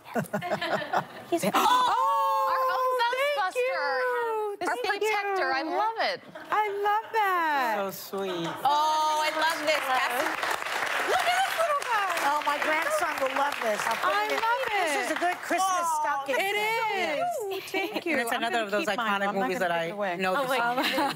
Yeah. No one ever Yeah. brings gifts on this I know. set of Really? guests. Yeah. No. Thank Thank Sonny, you. you have the first I do. I'm sorry. I was all wrapped up in the gift. Okay, so you just walked out to the original Ghostbusters theme song from 1984. um, fans have been waiting for the sequel forever, to the, um, for, for decades, really. And it's such a big deal. I watch it with my 15-year-old daughters, your same age, yesterday. um, and you're starring in it. That's so huge. What happens in this continuation of the story? And um, were you really nervous to take on something that's just so beloved? Oh, of course. I'm, I'm always nervous. um, I was very nervous walking out here. I'm so excited. Thank y'all for having me. Oh, and I love your eyeshadow. But Oh, thank you. in this one, it's really nice because it's not a remake, it's not a redoing, it's a direct continuation of the second film. Yeah. Uh, and it's so fun because it really takes, uh, it picks up where the Ghostbusters left off. Yeah.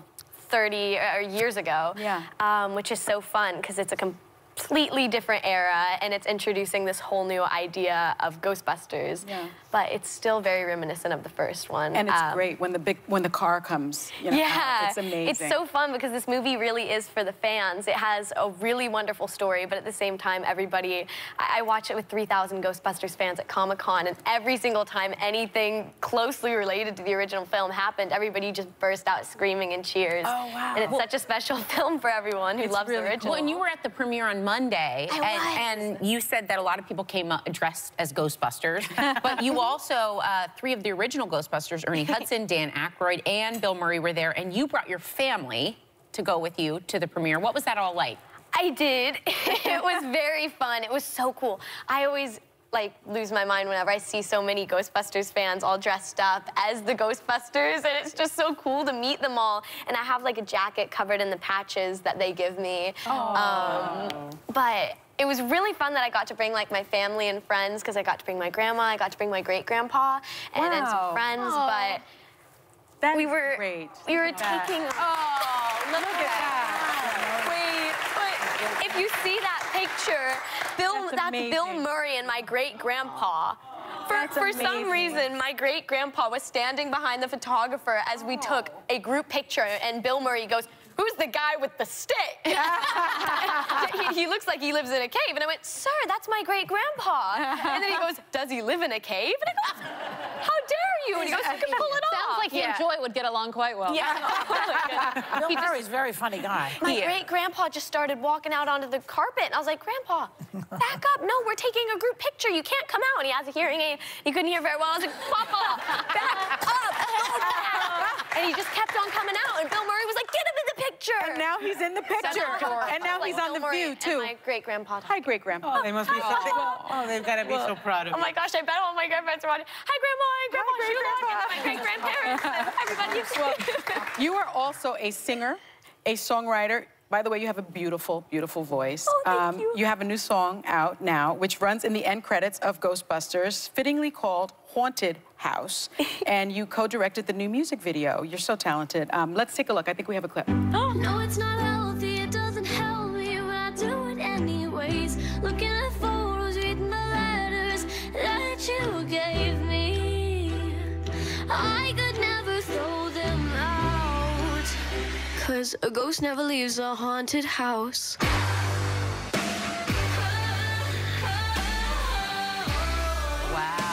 Can't you do? What can't you do? Um, but you, you wrote the song during the pandemic, and as I mentioned, my daughter Paloma is, is your age. Um, I know this time has been really difficult, actually, um, uh, for, for a lot of young people. What was your inspiration for the song? Um, well, like you said, I think that uh, the pandemic was really rough on a lot of people, and I too went through a lot of uh, situations with people I knew uh, during my personal life. But uh, the great part about this song is that it's not about one certain person, it's about a bunch of situations that I had just kind of melded into one song that sounds like a mm. breakup song. But it's Yeah. great because it's not really that much about a breakup with a significant other, more as just a breakup with a person, whenever you don't really talk to someone anymore and you have all these memories that you're never really going to forget. And you're like, what do I do with all of these? Uh, so it could be about a family member, a friend, or a significant other. But I- it's kind of more of a love song towards those memories that you'll never forget. The, the memories that never leave you, a ghost that never leaves a haunted house. You Wait know? till you're 50. You're going to forget the memories. Time takes care of everything. You're just such a you're such a beautiful talent. Like you are Yeah. such a gift and You've had a career already for like 10 I years. know. You're 15 and you've had like a 10 year career. I loved you in Fuller House. You played a young Tonya Harding. Yeah, I A remember Handmaid's Tale. And the list goes on. I remember Handmaid's How did you get That was into great. when you were like, yeah, she was great in Handmaid's Tale. when you were you were five, right? When you first got into performing or acting. How did that even begin for you? Uh, I was. Isn't it crazy? I, I spooky in Handmaid's Tale. Oh, thank you. I Yeah, tried. that was good. Um, I honestly, I don't know how it stuck so for, for so long, for 10 years now. Um, it's crazy that I get to sit here and talk to you guys in New York and such. I mean, it just kind of started out. I, whenever I was little, I always loved watching Shirley Temple, and I wanted to be just like her. Oh, wow. So I, I would beg my mom, but my mom was like, "No, McKenna, you've you've gotten like fixated on like you want to do gymnastics, you want to do dancing, you want to go and do all these things. I can't put you in this too." She was like, "That's so weird. I'm not going to make you an actress." Like, what? We live in Texas, and I begged her and begged her and begged her, and I never let it go. And then she was finally like, "Fine, I'll put you in acting classes." Yeah. She told the instructor, she was like, "You know, she really does love to do this." I think it's And- gonna stick. And now you're like now you're directing and working on something with your dad, like So, McKenna, executive how do you like to be such a late bloomer? Man, it's Gotta rough. stick. I hope you're enjoying the ride, McKenna. Oh, I am. You have to enjoy it. I'm so thankful for all of this. Yes. I, I love what I do. Well, I- We'd like to thank you for coming. Thanks to McKenna Grace. Go see her in Ghostbusters Afterlife in theaters today. We'll be right back.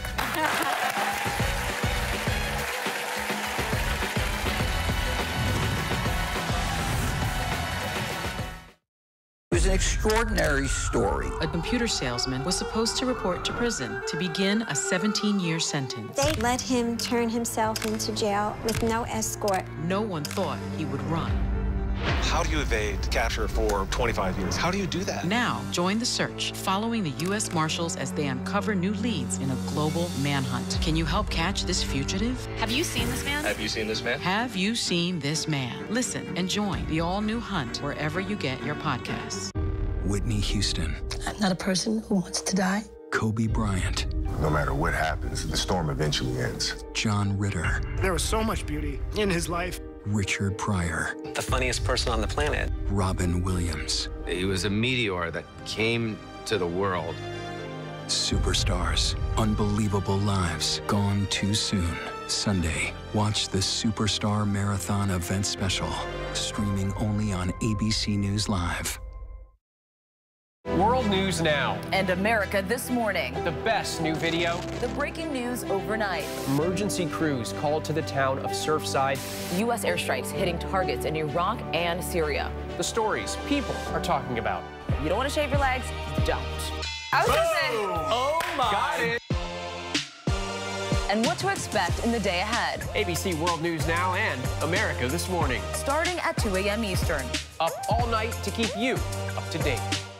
Right now, with so much at stake, Sunday mornings, this is the place. Taking on all the tough questions, straightforward reporting, no spin, no hype, no bull. See why Sunday mornings, more and more Americans are now turning first to ABC's This Week with George Stephanopoulos. Welcome to This Week. I risked my life. I put my family in danger.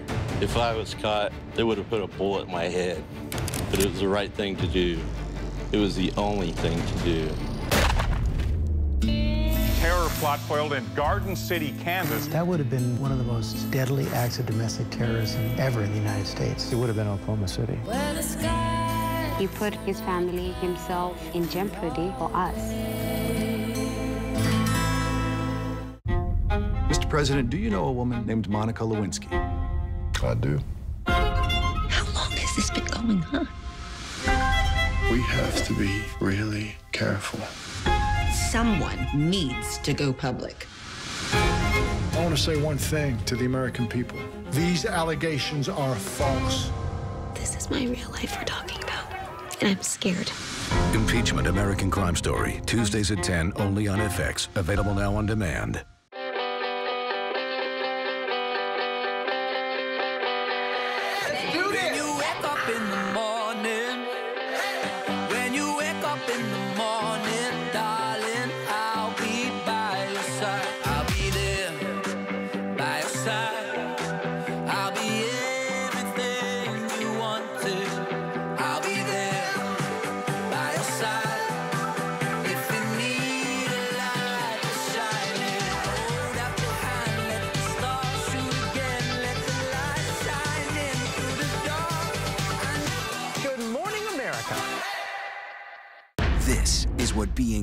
Being live is all about. This is ABC News Live.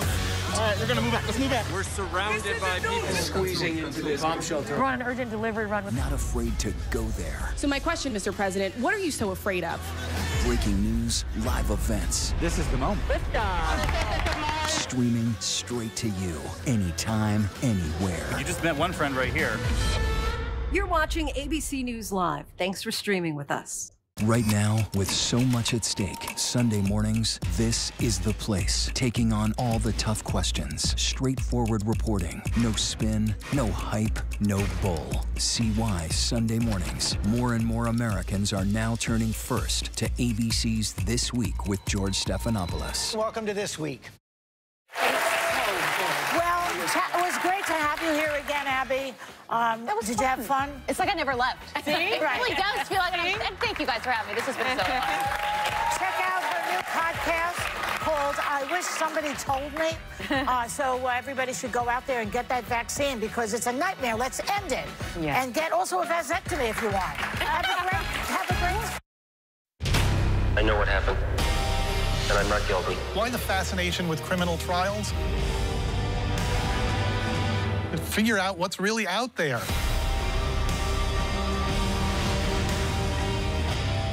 It's an extraordinary story. A computer salesman was supposed to report to prison to begin a 17 year sentence. They let him turn himself into jail with no escort. No one thought he would run. How do you evade capture for 25 years? How do you do that? Now, join the search following the U.S. Marshals as they uncover new leads in a global manhunt. Can you help catch this fugitive? Have you seen this man? Have you seen this man? Have you seen this man? Listen and join the all new hunt wherever you get your podcasts. Whitney Houston, I'm not a person who wants to die. Kobe Bryant, No matter what happens, the storm eventually ends. John Ritter, There was so much beauty in his life. Richard Pryor, The funniest person on the planet. Robin Williams. He was a meteor that came to the world. Superstars, unbelievable lives, gone too soon. Sunday, watch the Superstar Marathon event special, streaming only on ABC News Live. Is that the gun? That's not the gun. What is it? I won't ask you again then.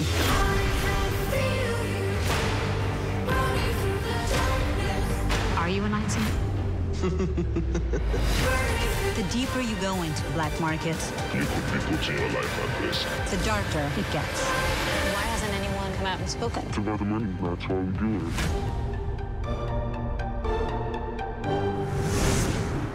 I risked my life. I put my family in danger. If I was caught, they would have put a bullet in my head. But it was the right thing to do. It was the only thing to do. Terror plot foiled in Garden City, Kansas. That would have been one of the most deadly acts of domestic terrorism ever in the United States. It would have been Oklahoma City. He put his family, himself in jeopardy for us.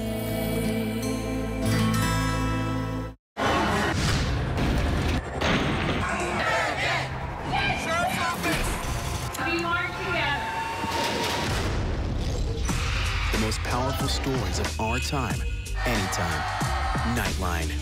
Now streaming on ABC News Live 2020. True crime, cinematic, real life drama, stunning, the unthinkable. Follow the clues. The Hunt. True crime 2020. Now streaming on ABC News Live. Admit it. These days, what you need to know seems to change just about every day. what is it that you really want to know, need to know, To help you not just get through your day, but to make the most of it. Feel smarter, feel better. feel happier. Well, how about a third hour of Good Morning America? GMA 3, what you need to know. Now streaming on ABC News Live. It's all about you. I know what happened, and I'm not guilty. Why the fascination with criminal trials? Figure out what's really out there. She revealed she had murdered his family. I know in my heart that he did this. It's the time of suspicion. The ending's really tough. You don't know whether truth is going to be difficult to find unless you try to find it.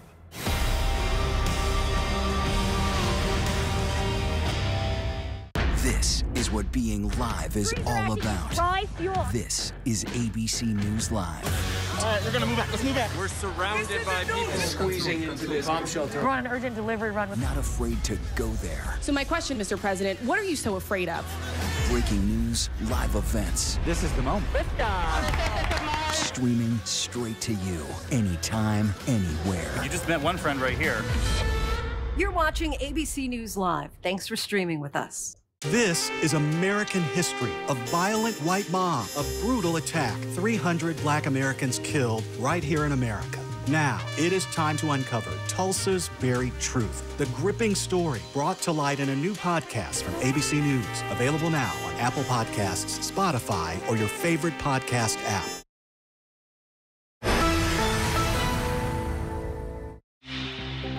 What you need to know right now on GMA3. New concerns over COVID 19. Austria with low vaccination rates now going on lockdown and mandating vaccines as more than half the U.S. sees a rise in infections. Those boosters get the green light to offer extra protection. All aboard. The president of Amtrak joins us as Americans get ready to hit the rails for the holiday with news on how President Biden's infrastructure rehaul may show up on the tracks. And look what's percolating during National Entrepreneurship Month. We sell 100% real single origin Vietnamese coffee. We do not use any additives, fillers, or artificial ingredients. The business owner jolting coffee lovers with her Vietnamese specialty brew and new ideas on sustainable farming. Plus, the Diane Sawyer 2020 special event.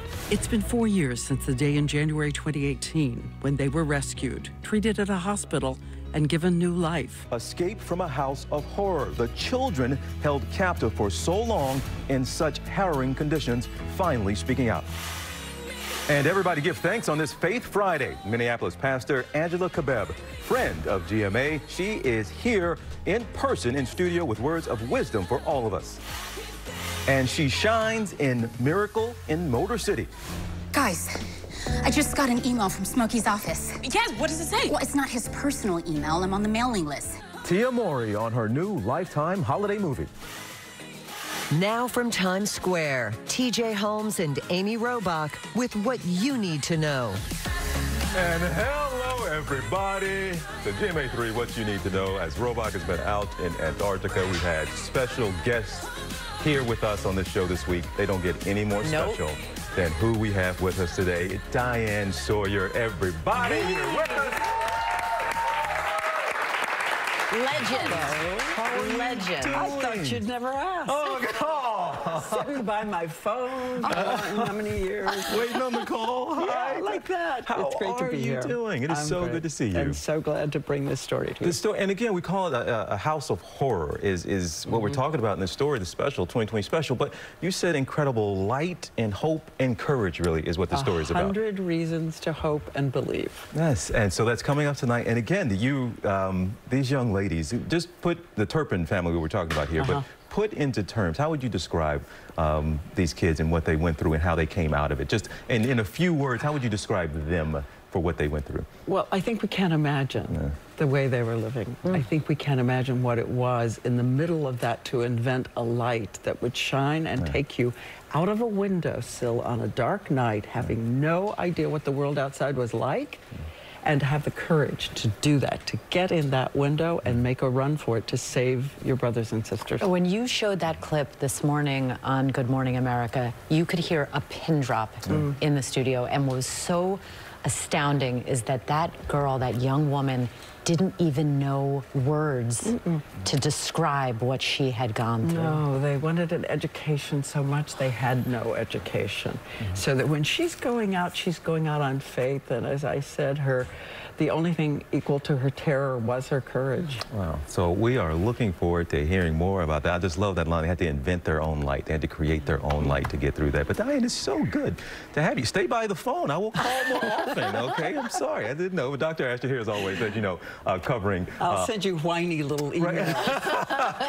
you don't write, you don't call. I will answer them. But uh, we're going to have more about that 2020 in just a bit here with Diane Sawyer. But uh, we're going to talk about our big number, following developments as we always do. The number is 27. Doesn't seem like a big number, but when we're talking about 27 states, that's more than half the country seeing a steady uptick in COVID-19 daily cases. Thanksgiving right around the corner. That is not good news. We don't need to hear that, Dr. Ashton. But uh, a lot of kids are starting, the young young ones are starting to get vaccinated. Some of them maybe only have one dose right, Right. now, supposed to get a second in 21 days. But if you got the one, that's better than nothing. It is better than nothing, and it's something, um, Diane and TJ, that, that we're hearing from pediatric epidemiologists, in particular one at the Harvard Chan School of Public Health, saying that parents who are thinking of having their children ages 5 through 11 get COVID vaccinated, they shouldn't say, well, they're not going to have the full dose before the holidays, so therefore it does no good. We know from our data, both in children and in adults, that one dose absolutely about 10 days later starts to give you some degree of immune protection.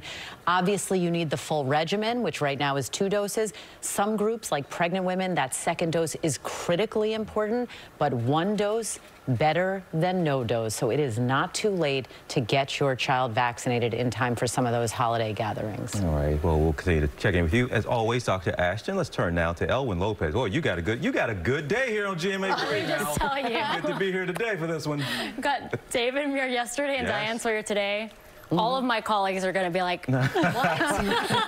How did I not get this chance? Boy, I got the headlines. Yes. Always good to have you here with us. Thanks though. for having me. And we begin here today with a delayed vote on Capitol Hill. President Biden's sweeping social bill held up as Republican Kevin McCarthy talked all night long, breaking Speaker Nancy Pelosi's previous record throughout his eight-hour monologue. The top House Republican chewed on candy and mints, but only held up things temporarily. Pelosi took the podium again today before lawmakers take a vote on that historic measure. And now to the optimistic holiday season forecast. Macy's CEO saying they do not expect a big impact from supply chain issues, and BJ's wholesalers predicting growth in all sectors. Walmart and Target also boasting strong numbers and good sales. And across the country, celebrations for Julius Jones, Oklahoma's governor, commuting the prisoner's sentence at the 11th hour to life imprisonment without parole. Students seen walking out in class in support of the case catching the attention of athletes and celebrities. Jones maintained his innocence for years. His spiritual advisor telling ABC's Nightline that Jones hopes to see sunshine for the first time now that he's finally off death row. And now let's go overseas. Amnesty International now calling on China to prove tennis star Peng Shuai is safe and to investigate those sexual assault allegations she made against a former Chinese official. Shuai has not been seen publicly since she made those accusations. The tennis world demanding answers. China's foreign ministry says it is not aware of the controversy. And Adele drops 30 her fourth album after six long years, saying it has helped her out of sadness. Many critics praising the album as her best album yet. Oh,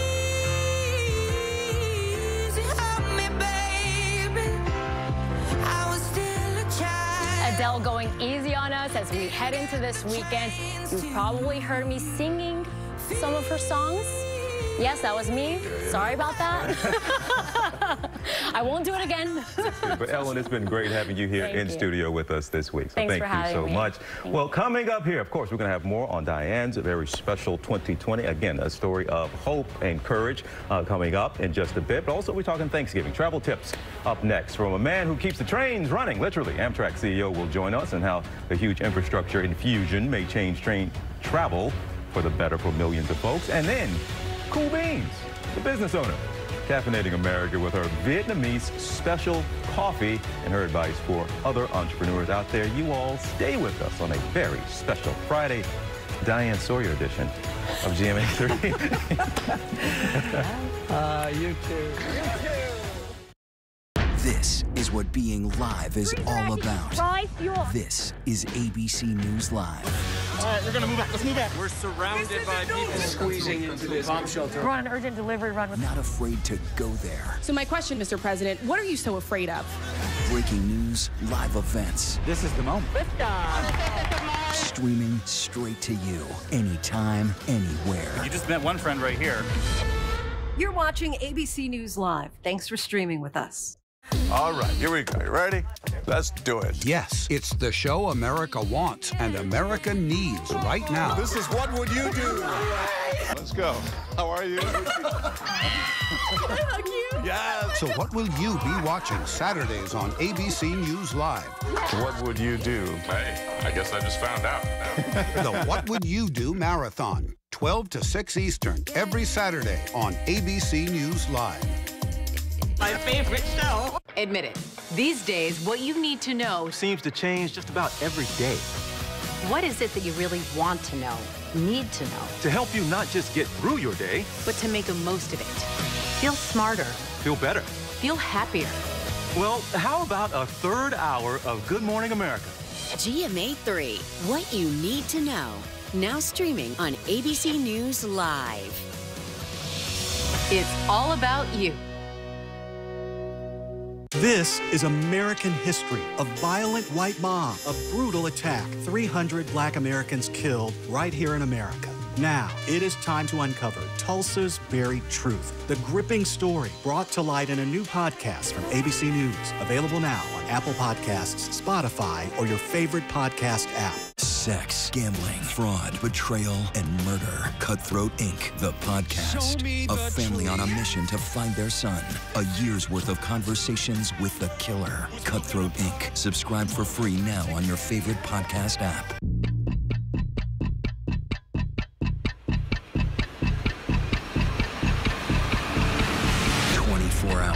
Assault on the Capitol. The ABC News original. Exclusively on Hulu. Now streaming. Now, with so much on the line, more Americans are turning to David Muir and ABC's World News Tonight than any other program across all of television. I risked my life. I put my family in danger.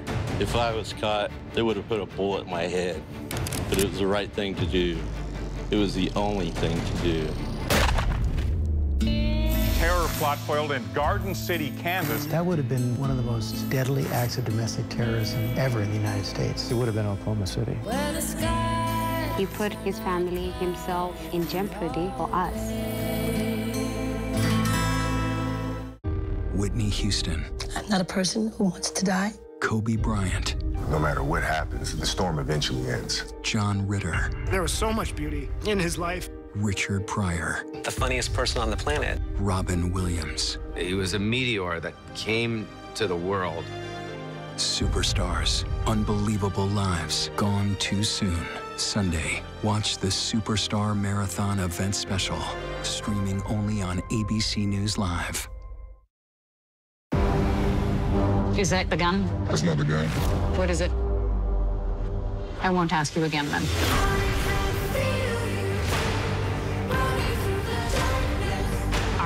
Are you a Nazi? the deeper you go into the black market, you put people to your life like this. The darker it gets. Why hasn't anyone come out and spoken? It's about the money. That's all I'm doing.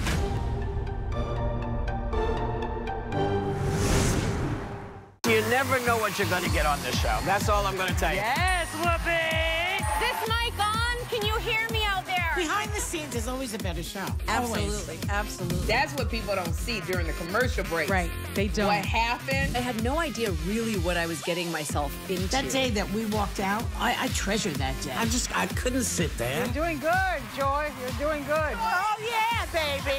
It was crazy. Behind the table. Listen wherever you get your podcasts.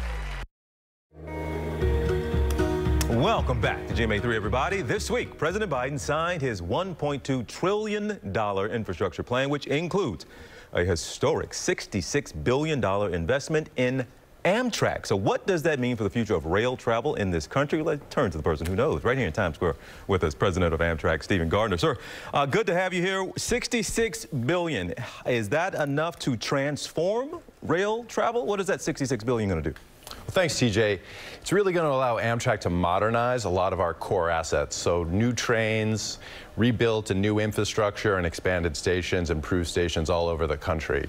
Uh, it is a long time coming. We turned 50 this year, wow. and it, uh, it's, we've been waiting as a company for a long time for this type of investment so we can modernize the system for the 21st century. We call the 66 billion historic. Put it in some kind of historical context. How big of an infusion is this? Well, over five years, the 60, 60 or so billion for passenger rail is the equivalent of the entire amount of funding for Amtrak over 50 years. Oh my goodness, that is historic then. So a, a long time coming there. Um, you're going to, you said, modernize. Um, how would you describe the system now? I mean, how far behind, uh, if you will, um, are your trains, your technology right now? We've got a deficit of billions of dollars of investment, not only here in the Northeast where we own infrastructure that's over 150 years old. We've got tunnels from the Civil War.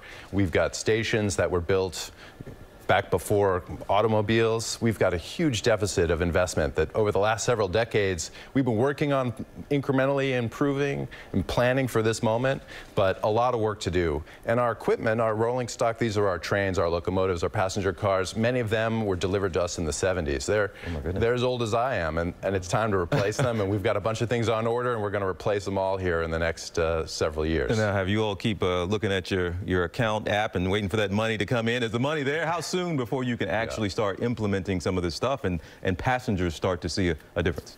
Well, all of this work that we're, we're, going to do is going to be done in partnership with the uh, Secretary Buttigieg and, and, the Department of Transportation. And funds will come to them, and then they'll uh, provide them to us. We'll work in partnership with them to both invest in our core assets and partner with the, the Department of Transportation in the states to hopefully expand service to new corridors all over America. Where? Where do you want to go? Uh, and where should uh, rail travel be in this country? Yeah, well, so Amtrak was formed 50 years ago. Since that time, 1971, we've added about 120 million people to the country, but yet our network still looks basically like it did in 1971. Mm.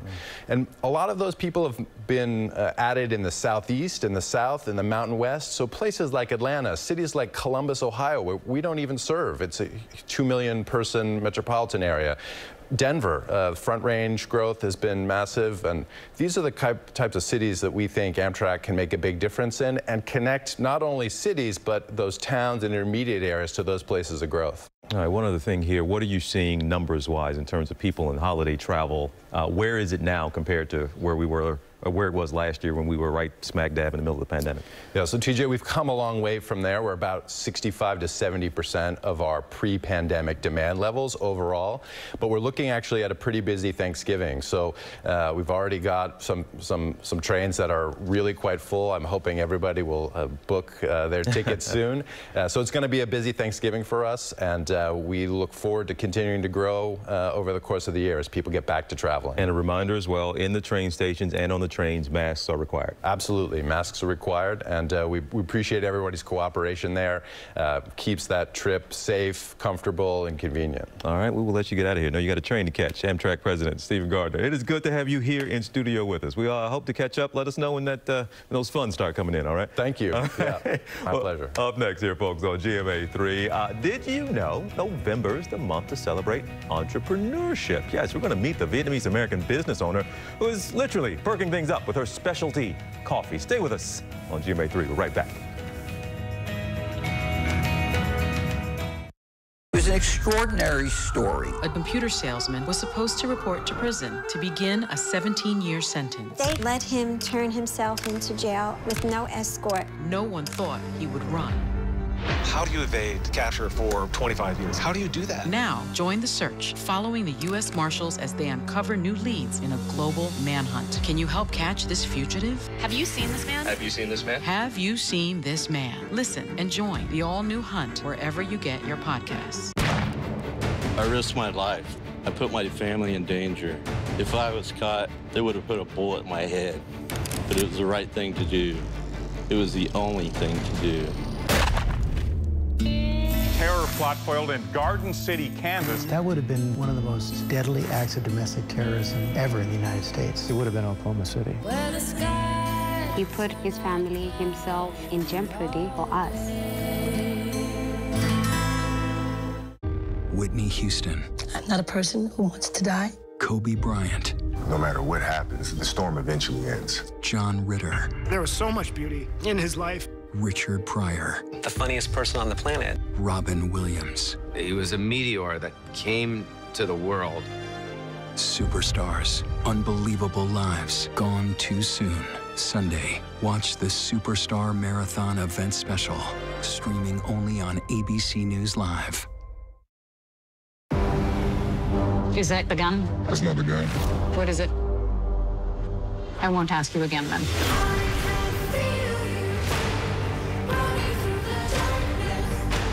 Are you a Nazi? The deeper you go into the black market, you put people to your life like this. the darker it gets. Why hasn't anyone come out and spoken? It's about the money. That's why we do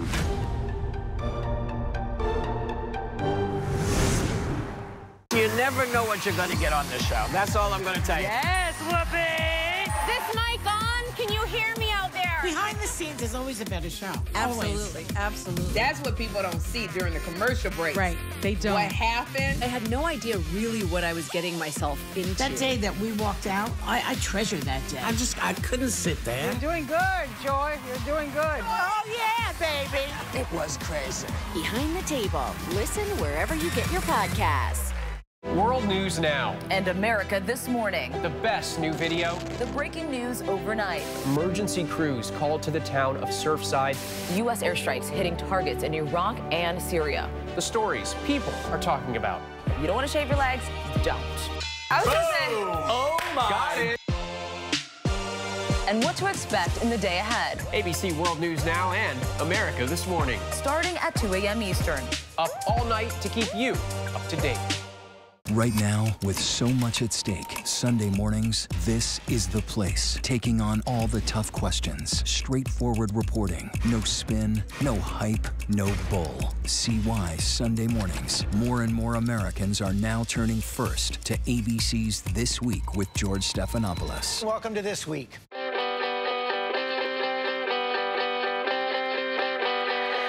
When you wake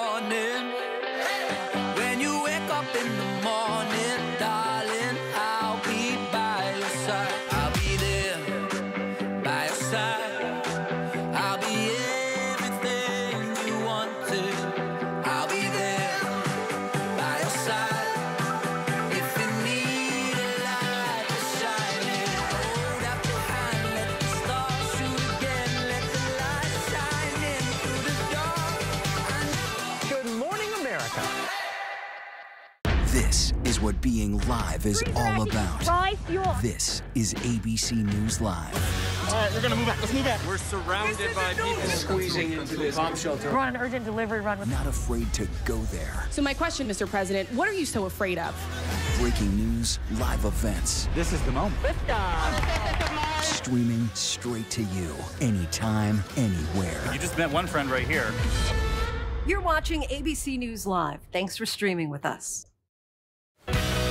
Welcome back to GMA3, and we are back now with the National Entrepreneurship Month. And the business owner is perking things up with the coffee world and her Vietnamese coffee brand. She's a daughter of refugees, and she's opening eyes one cup of coffee at a time. Take a look at this.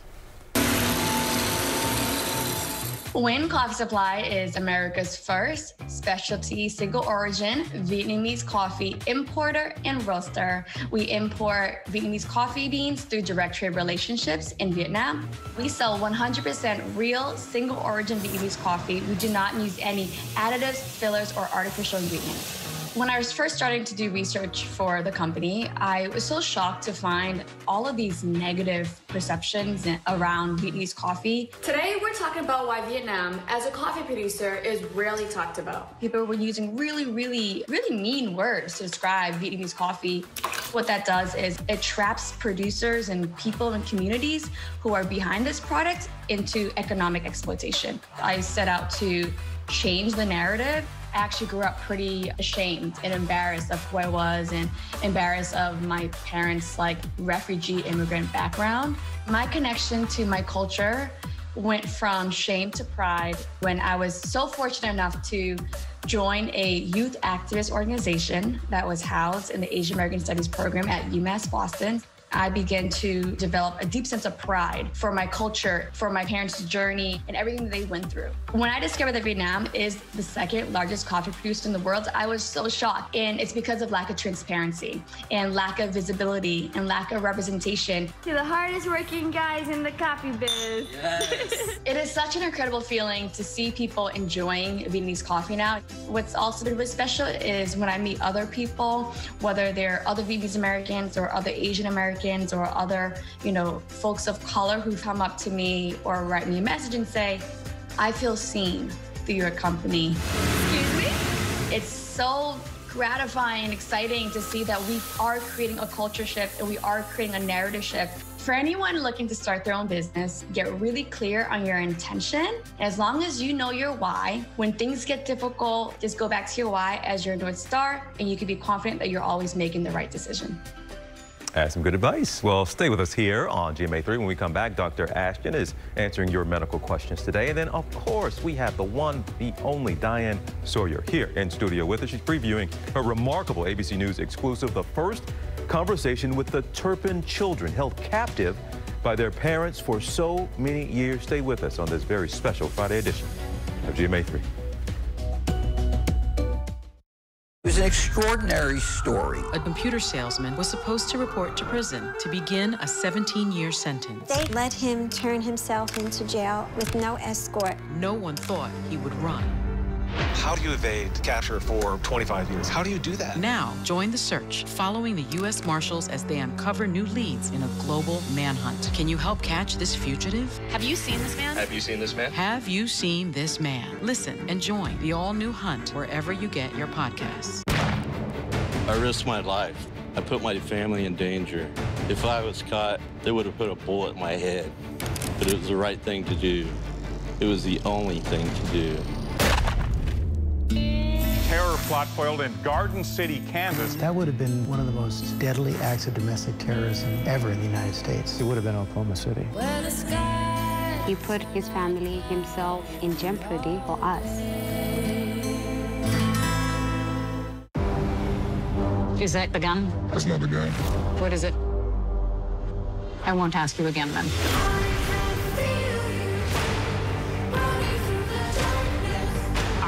Are you a Nazi?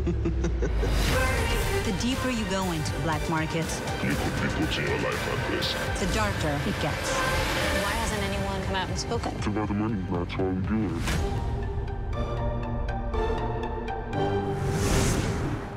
You never know what you're going to get on this show. That's all I'm going to tell you. Yes, Whoopi! This mic on? Can you hear me out there? Behind the scenes is always a better show. Absolutely, Always. absolutely. That's what people don't see during the commercial break. Right, they don't. What happened? I had no idea really what I was getting myself into. That day that we walked out, I, I treasure that day. I just, I couldn't sit there. You're doing good, Joy. You're doing good. Oh, yeah, baby. It was crazy. Behind the Table. Listen wherever you get your podcasts.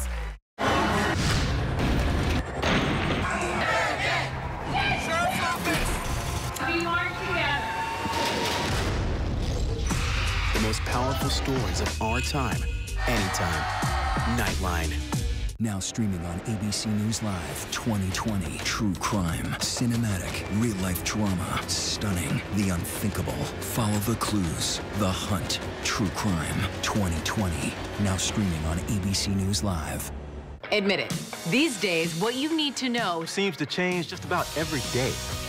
what is it that you really want to know, need to know, To help you not just get through your day, but to make the most of it.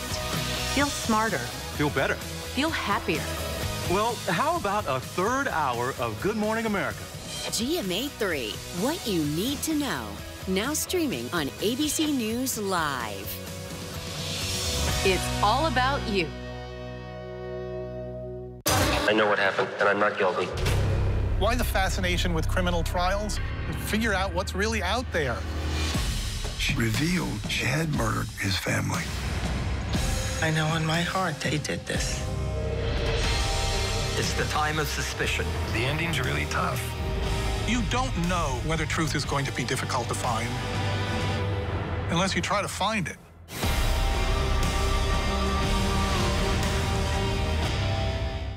This is what being live is all about. Right, you're- This is ABC News Live. All right, we're gonna move back. Let's move back. We're surrounded by people squeezing into this bomb shelter. We're on an urgent delivery run with Not afraid to go there. So my question, Mr. President, what are you so afraid of?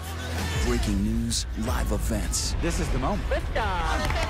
Streaming straight to you. Anytime, anywhere. You just met one friend right here. You're watching ABC News Live. Thanks for streaming with us.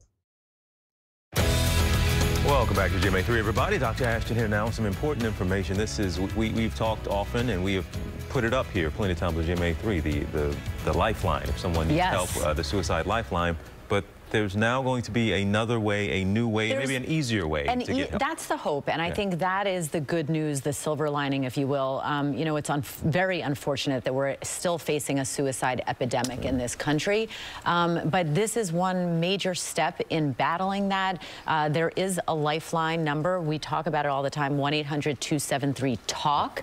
Now, the FCC has unanimously voted to change that to add a three-digit number, 988, to text or call, um, with the goal of really making it easier, making it more accessible. We teach children when they see an emergency to call 911. Uh, I think it's really time that we start teaching everyone 988 starting in July of, ne- of next summer. Uh, some people saying too late, but um, to let people know who are in crisis that there is a number Everyone should know it, and there's help available. And in particular, TJ, there's a troubling rate increasing prevalence amongst black youth. We don't understand why, but over the last 30 years, there's been almost an 80% increase in suicide attempts amongst black youth. Uh, they may have unique risk factors. They may need to be approached differently. So awareness is key. But again, the 988 will replace the lifeline number is going to be in It- addition. to there'll be a transition, but 988 going for that. Yep. But that's next summer. That's going to be up. But for now, we do want folks to know that help is available. Again, if you or a loved one struggling, you can call the National Suicide Prevention Lifeline. As she said earlier, 1-800-273-8255. Or you can text TALK to 741-741 for free emotional support 24 hours a day. Stay with us. This is what being live is all about. This is ABC News Live. All right, we're gonna move back. Let's move back. We're surrounded by people squeezing into this bomb shelter. We're on an urgent delivery run with. Not afraid to go there. So my question, Mr. President, what are you so afraid of? Breaking news, live events, This is the moment. streaming straight to you, anytime, anywhere. You just met one friend right here. You're watching ABC News Live. Thanks for streaming with us. It was an extraordinary story. A computer salesman was supposed to report to prison to begin a 17 year sentence. They let him turn himself into jail with no escort. No one thought he would run. How do you evade capture for 25 years? How do you do that? Now, join the search, following the U.S. Marshals as they uncover new leads in a global manhunt. Can you help catch this fugitive? Have you seen this man? Have you seen this man? Have you seen this man? Listen and join the all new hunt wherever you get your podcasts. Admit it.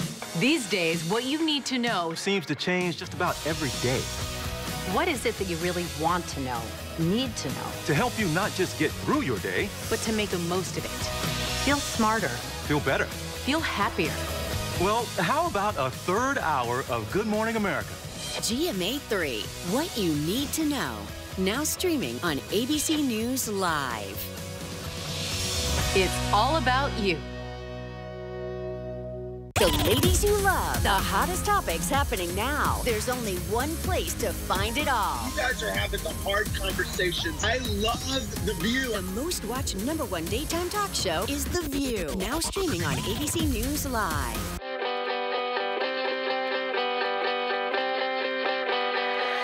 When you wake up in the morning, when you wake up in the morning,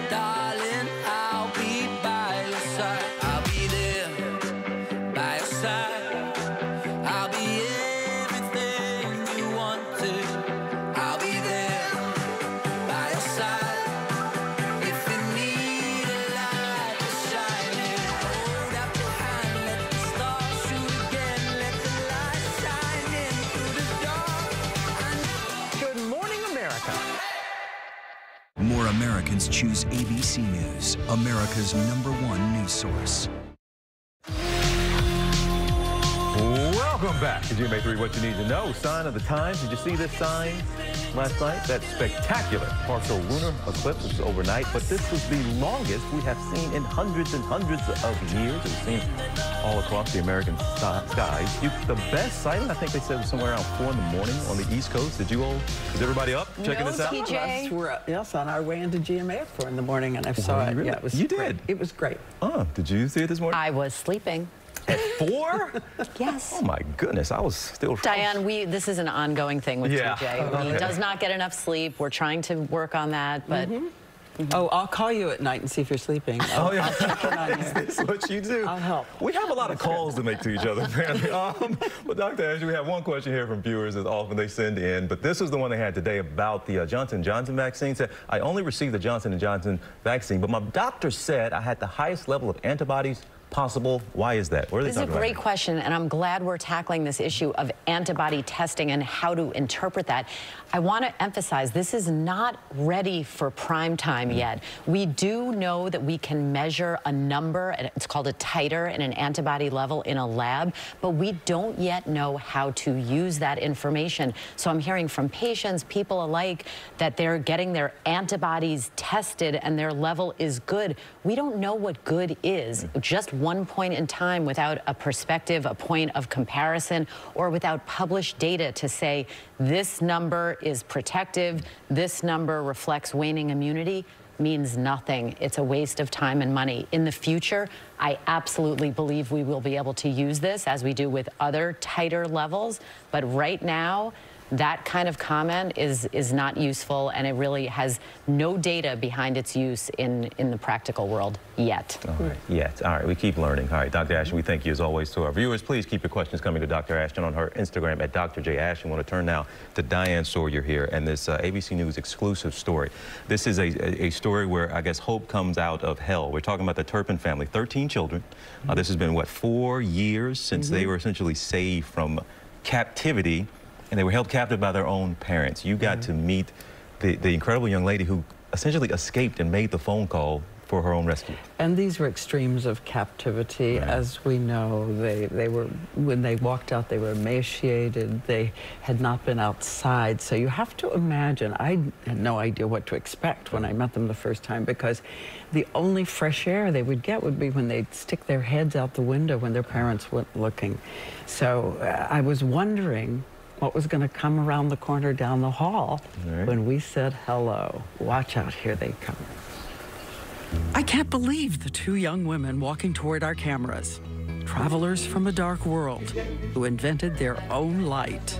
It's been four years since the day in January 2018 when they were rescued, treated at a hospital, and given new life. Jordan Turpin, now 21 years old.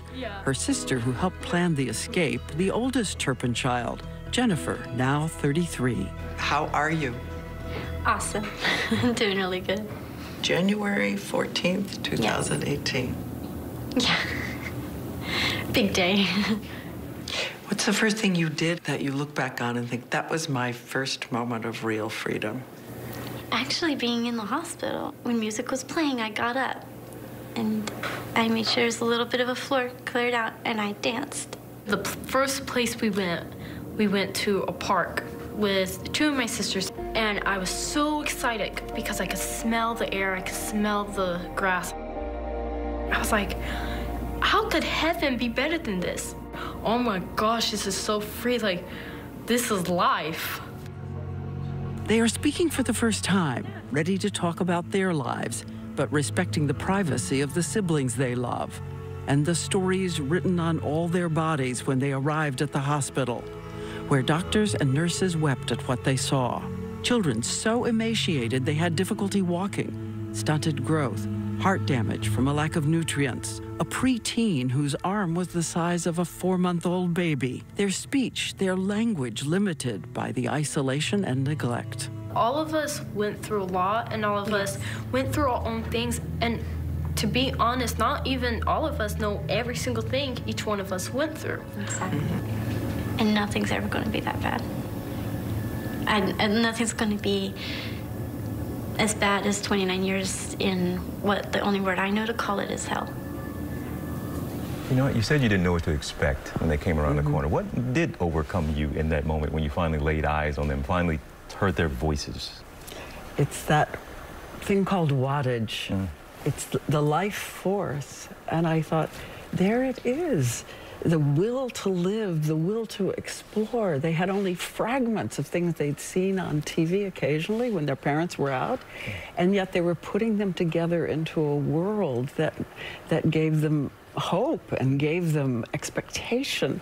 And you know, one of the most amazing moments in this story is when Jordan, who is the one who escaped, tells us that she used to go in a bathroom and she used to hide out and she had taken a phone from one of her older siblings who had an old phone and she punches up something that becomes a kind of flame lighting the way to freedom and it's Justin Bieber. And she hears Justin Bieber singing and she says, well, I think he's nice. And he has nice things in his house, and he believes in God. She watches his interviews. And it's one of the small things, the miracles along the way, mm. that she puts together and decides that she's going to try to make this break for freedom. Well, you've done a lot over an incredible career, but you've been working on this story for months and months and months. And it kind of, look, these things can have an impact on us. And have you all the stories you have done, it's hard to maybe put this one in there with some perspective for what you have seen throughout your career? I have seen a lot of amazing life come out of unexpected and unexpected and great suffering. But but these girls and their whole and their siblings as well have a story to tell that's going to teach us something. I know they do. And we're going to explore, by the way, as well, what has happened to them in the years since they left this system. Mm -hmm and what California and the services have done and not done, mm.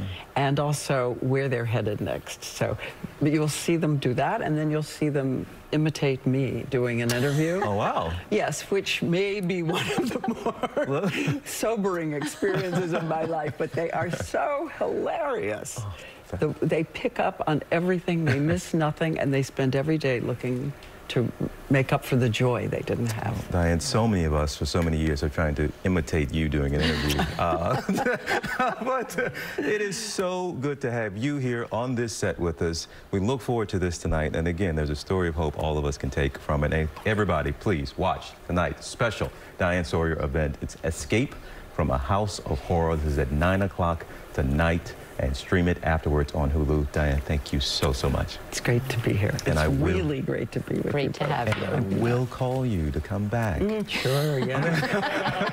Heard it before. well, up next, folks, right here on GMA3, a moment we love around here, of course, our one of our favorite segments here, Faith Friday. And look who we have here with us from Minneapolis, a good friend of the show, Reverend Angela Khabeb. She is in the building. Also, the woman revving up the holidays with her new Lifetime movie, Miracle in Motor City. Tia Mowry will join us as well. Stay with us on this very special Friday, GMA 3.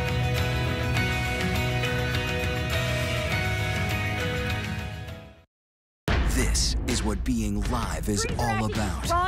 This is ABC News Live. All right, we're gonna move out. Let's move out. We're surrounded by people squeezing into this bomb shelter. We're on an urgent delivery run. With Not afraid to go there. So my question, Mr. President, what are you so afraid of? Breaking news, live events. This is the moment. Streaming straight to you, anytime, anywhere. You just met one friend right here. You're watching ABC News Live. Thanks for streaming with us. All right, here we go. You ready? Let's do it. Yes, it's the show America wants and America needs right now. This is What Would You Do? Let's go. How are you? Can I hug you? Yes. Oh so what will you be watching Saturdays on ABC News Live? What would you do? Hey, I guess I just found out. the What Would You Do Marathon, 12 to 6 Eastern, every Saturday on ABC News Live my favorite show. I risked my life. I put my family in danger. If I was caught, they would have put a bullet in my head. But it was the right thing to do. It was the only thing to do. Terror plot foiled in Garden City, Kansas. That would have been one of the most deadly acts of domestic terrorism ever in the United States. It would have been Oklahoma City. He put his family, himself in jeopardy for us. Is that the gun? That's not the gun. What is it? I won't ask you again then.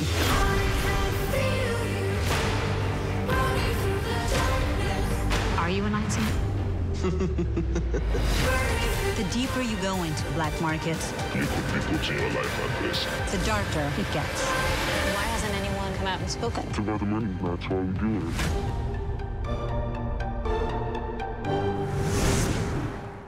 Never know what you're going to get on this show. That's all I'm going to tell you. Yes, Whoopi! This mic on? Can you hear me out there? Behind the scenes is always a better show. Absolutely, absolutely. That's what people don't see during the commercial break. Right, they don't. What happened? I had no idea really what I was getting myself into. That day that we walked out, I, I treasure that day. I just, I couldn't sit there. You're doing good, Joy. You're doing good. Oh, yeah, baby. It was crazy. Behind the Table. Listen wherever you get your podcasts. This is American history. A violent white mob, a brutal attack, 300 black Americans killed right here in America. Now, it is time to uncover Tulsa's buried truth. The gripping story brought to light in a new podcast from ABC News. Available now on Apple Podcasts, Spotify, or your favorite podcast app. Now, with so much on the line, more Americans are turning to David Muir and ABC's World News Tonight than any other program across all of television. This is American history. A violent white mob, a brutal attack, 300 black Americans killed right here in America. Now, it is time to uncover Tulsa's buried truth. The gripping story brought to light in a new podcast from ABC News. Available now on Apple Podcasts, Spotify, or your favorite podcast app. Welcome back to GMA3, everybody. You know it as our favorite segment of the week, Faith Friday here. And look who we have in studio with us. Yes, you probably know uh, this face. You've seen it plenty here, friends of the show here at GMA3.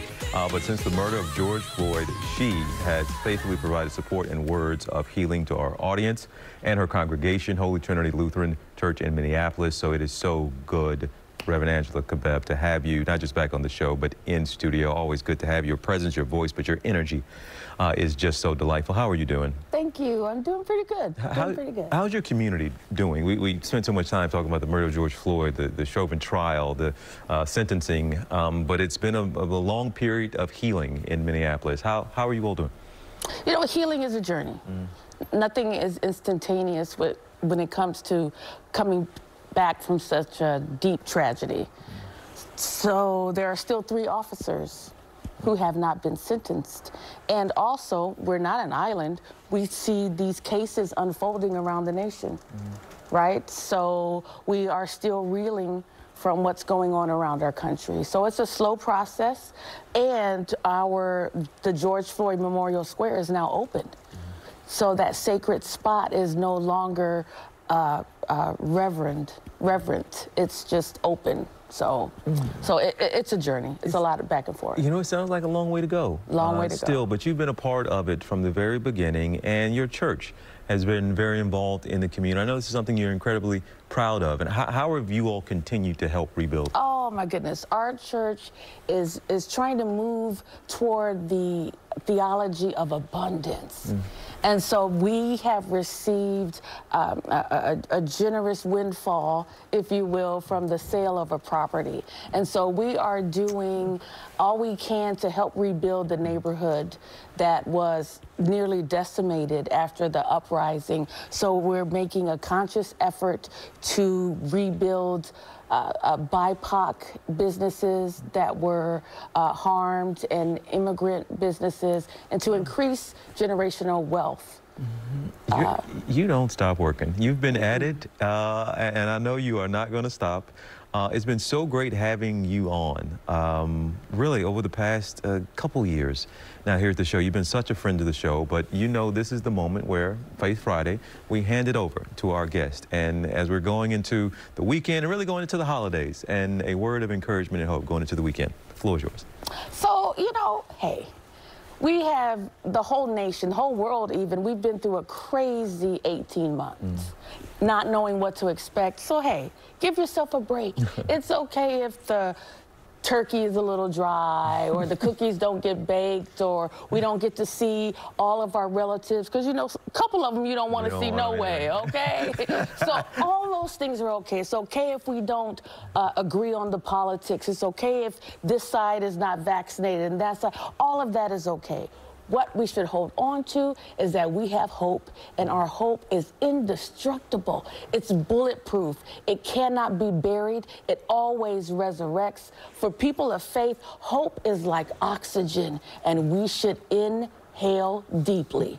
and all God's people said, Amen. Amen. You know what? We, we don't get to do this usually because you're, you're remote. Um, but where's our shoe cam, everybody? Where's the shoe cam? Well, when, you know, When you I really walked out here, she, she didn't even want me to make eye contact. She said, Mm-mm. look at my feet, son. Right.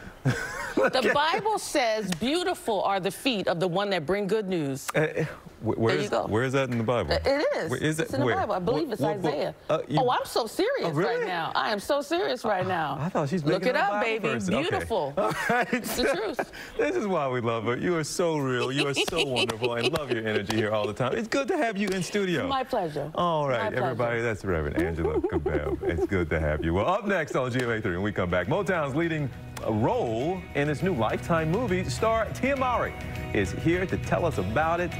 Stay with us here on GMA3, folks. We are right back. Ah, thank God.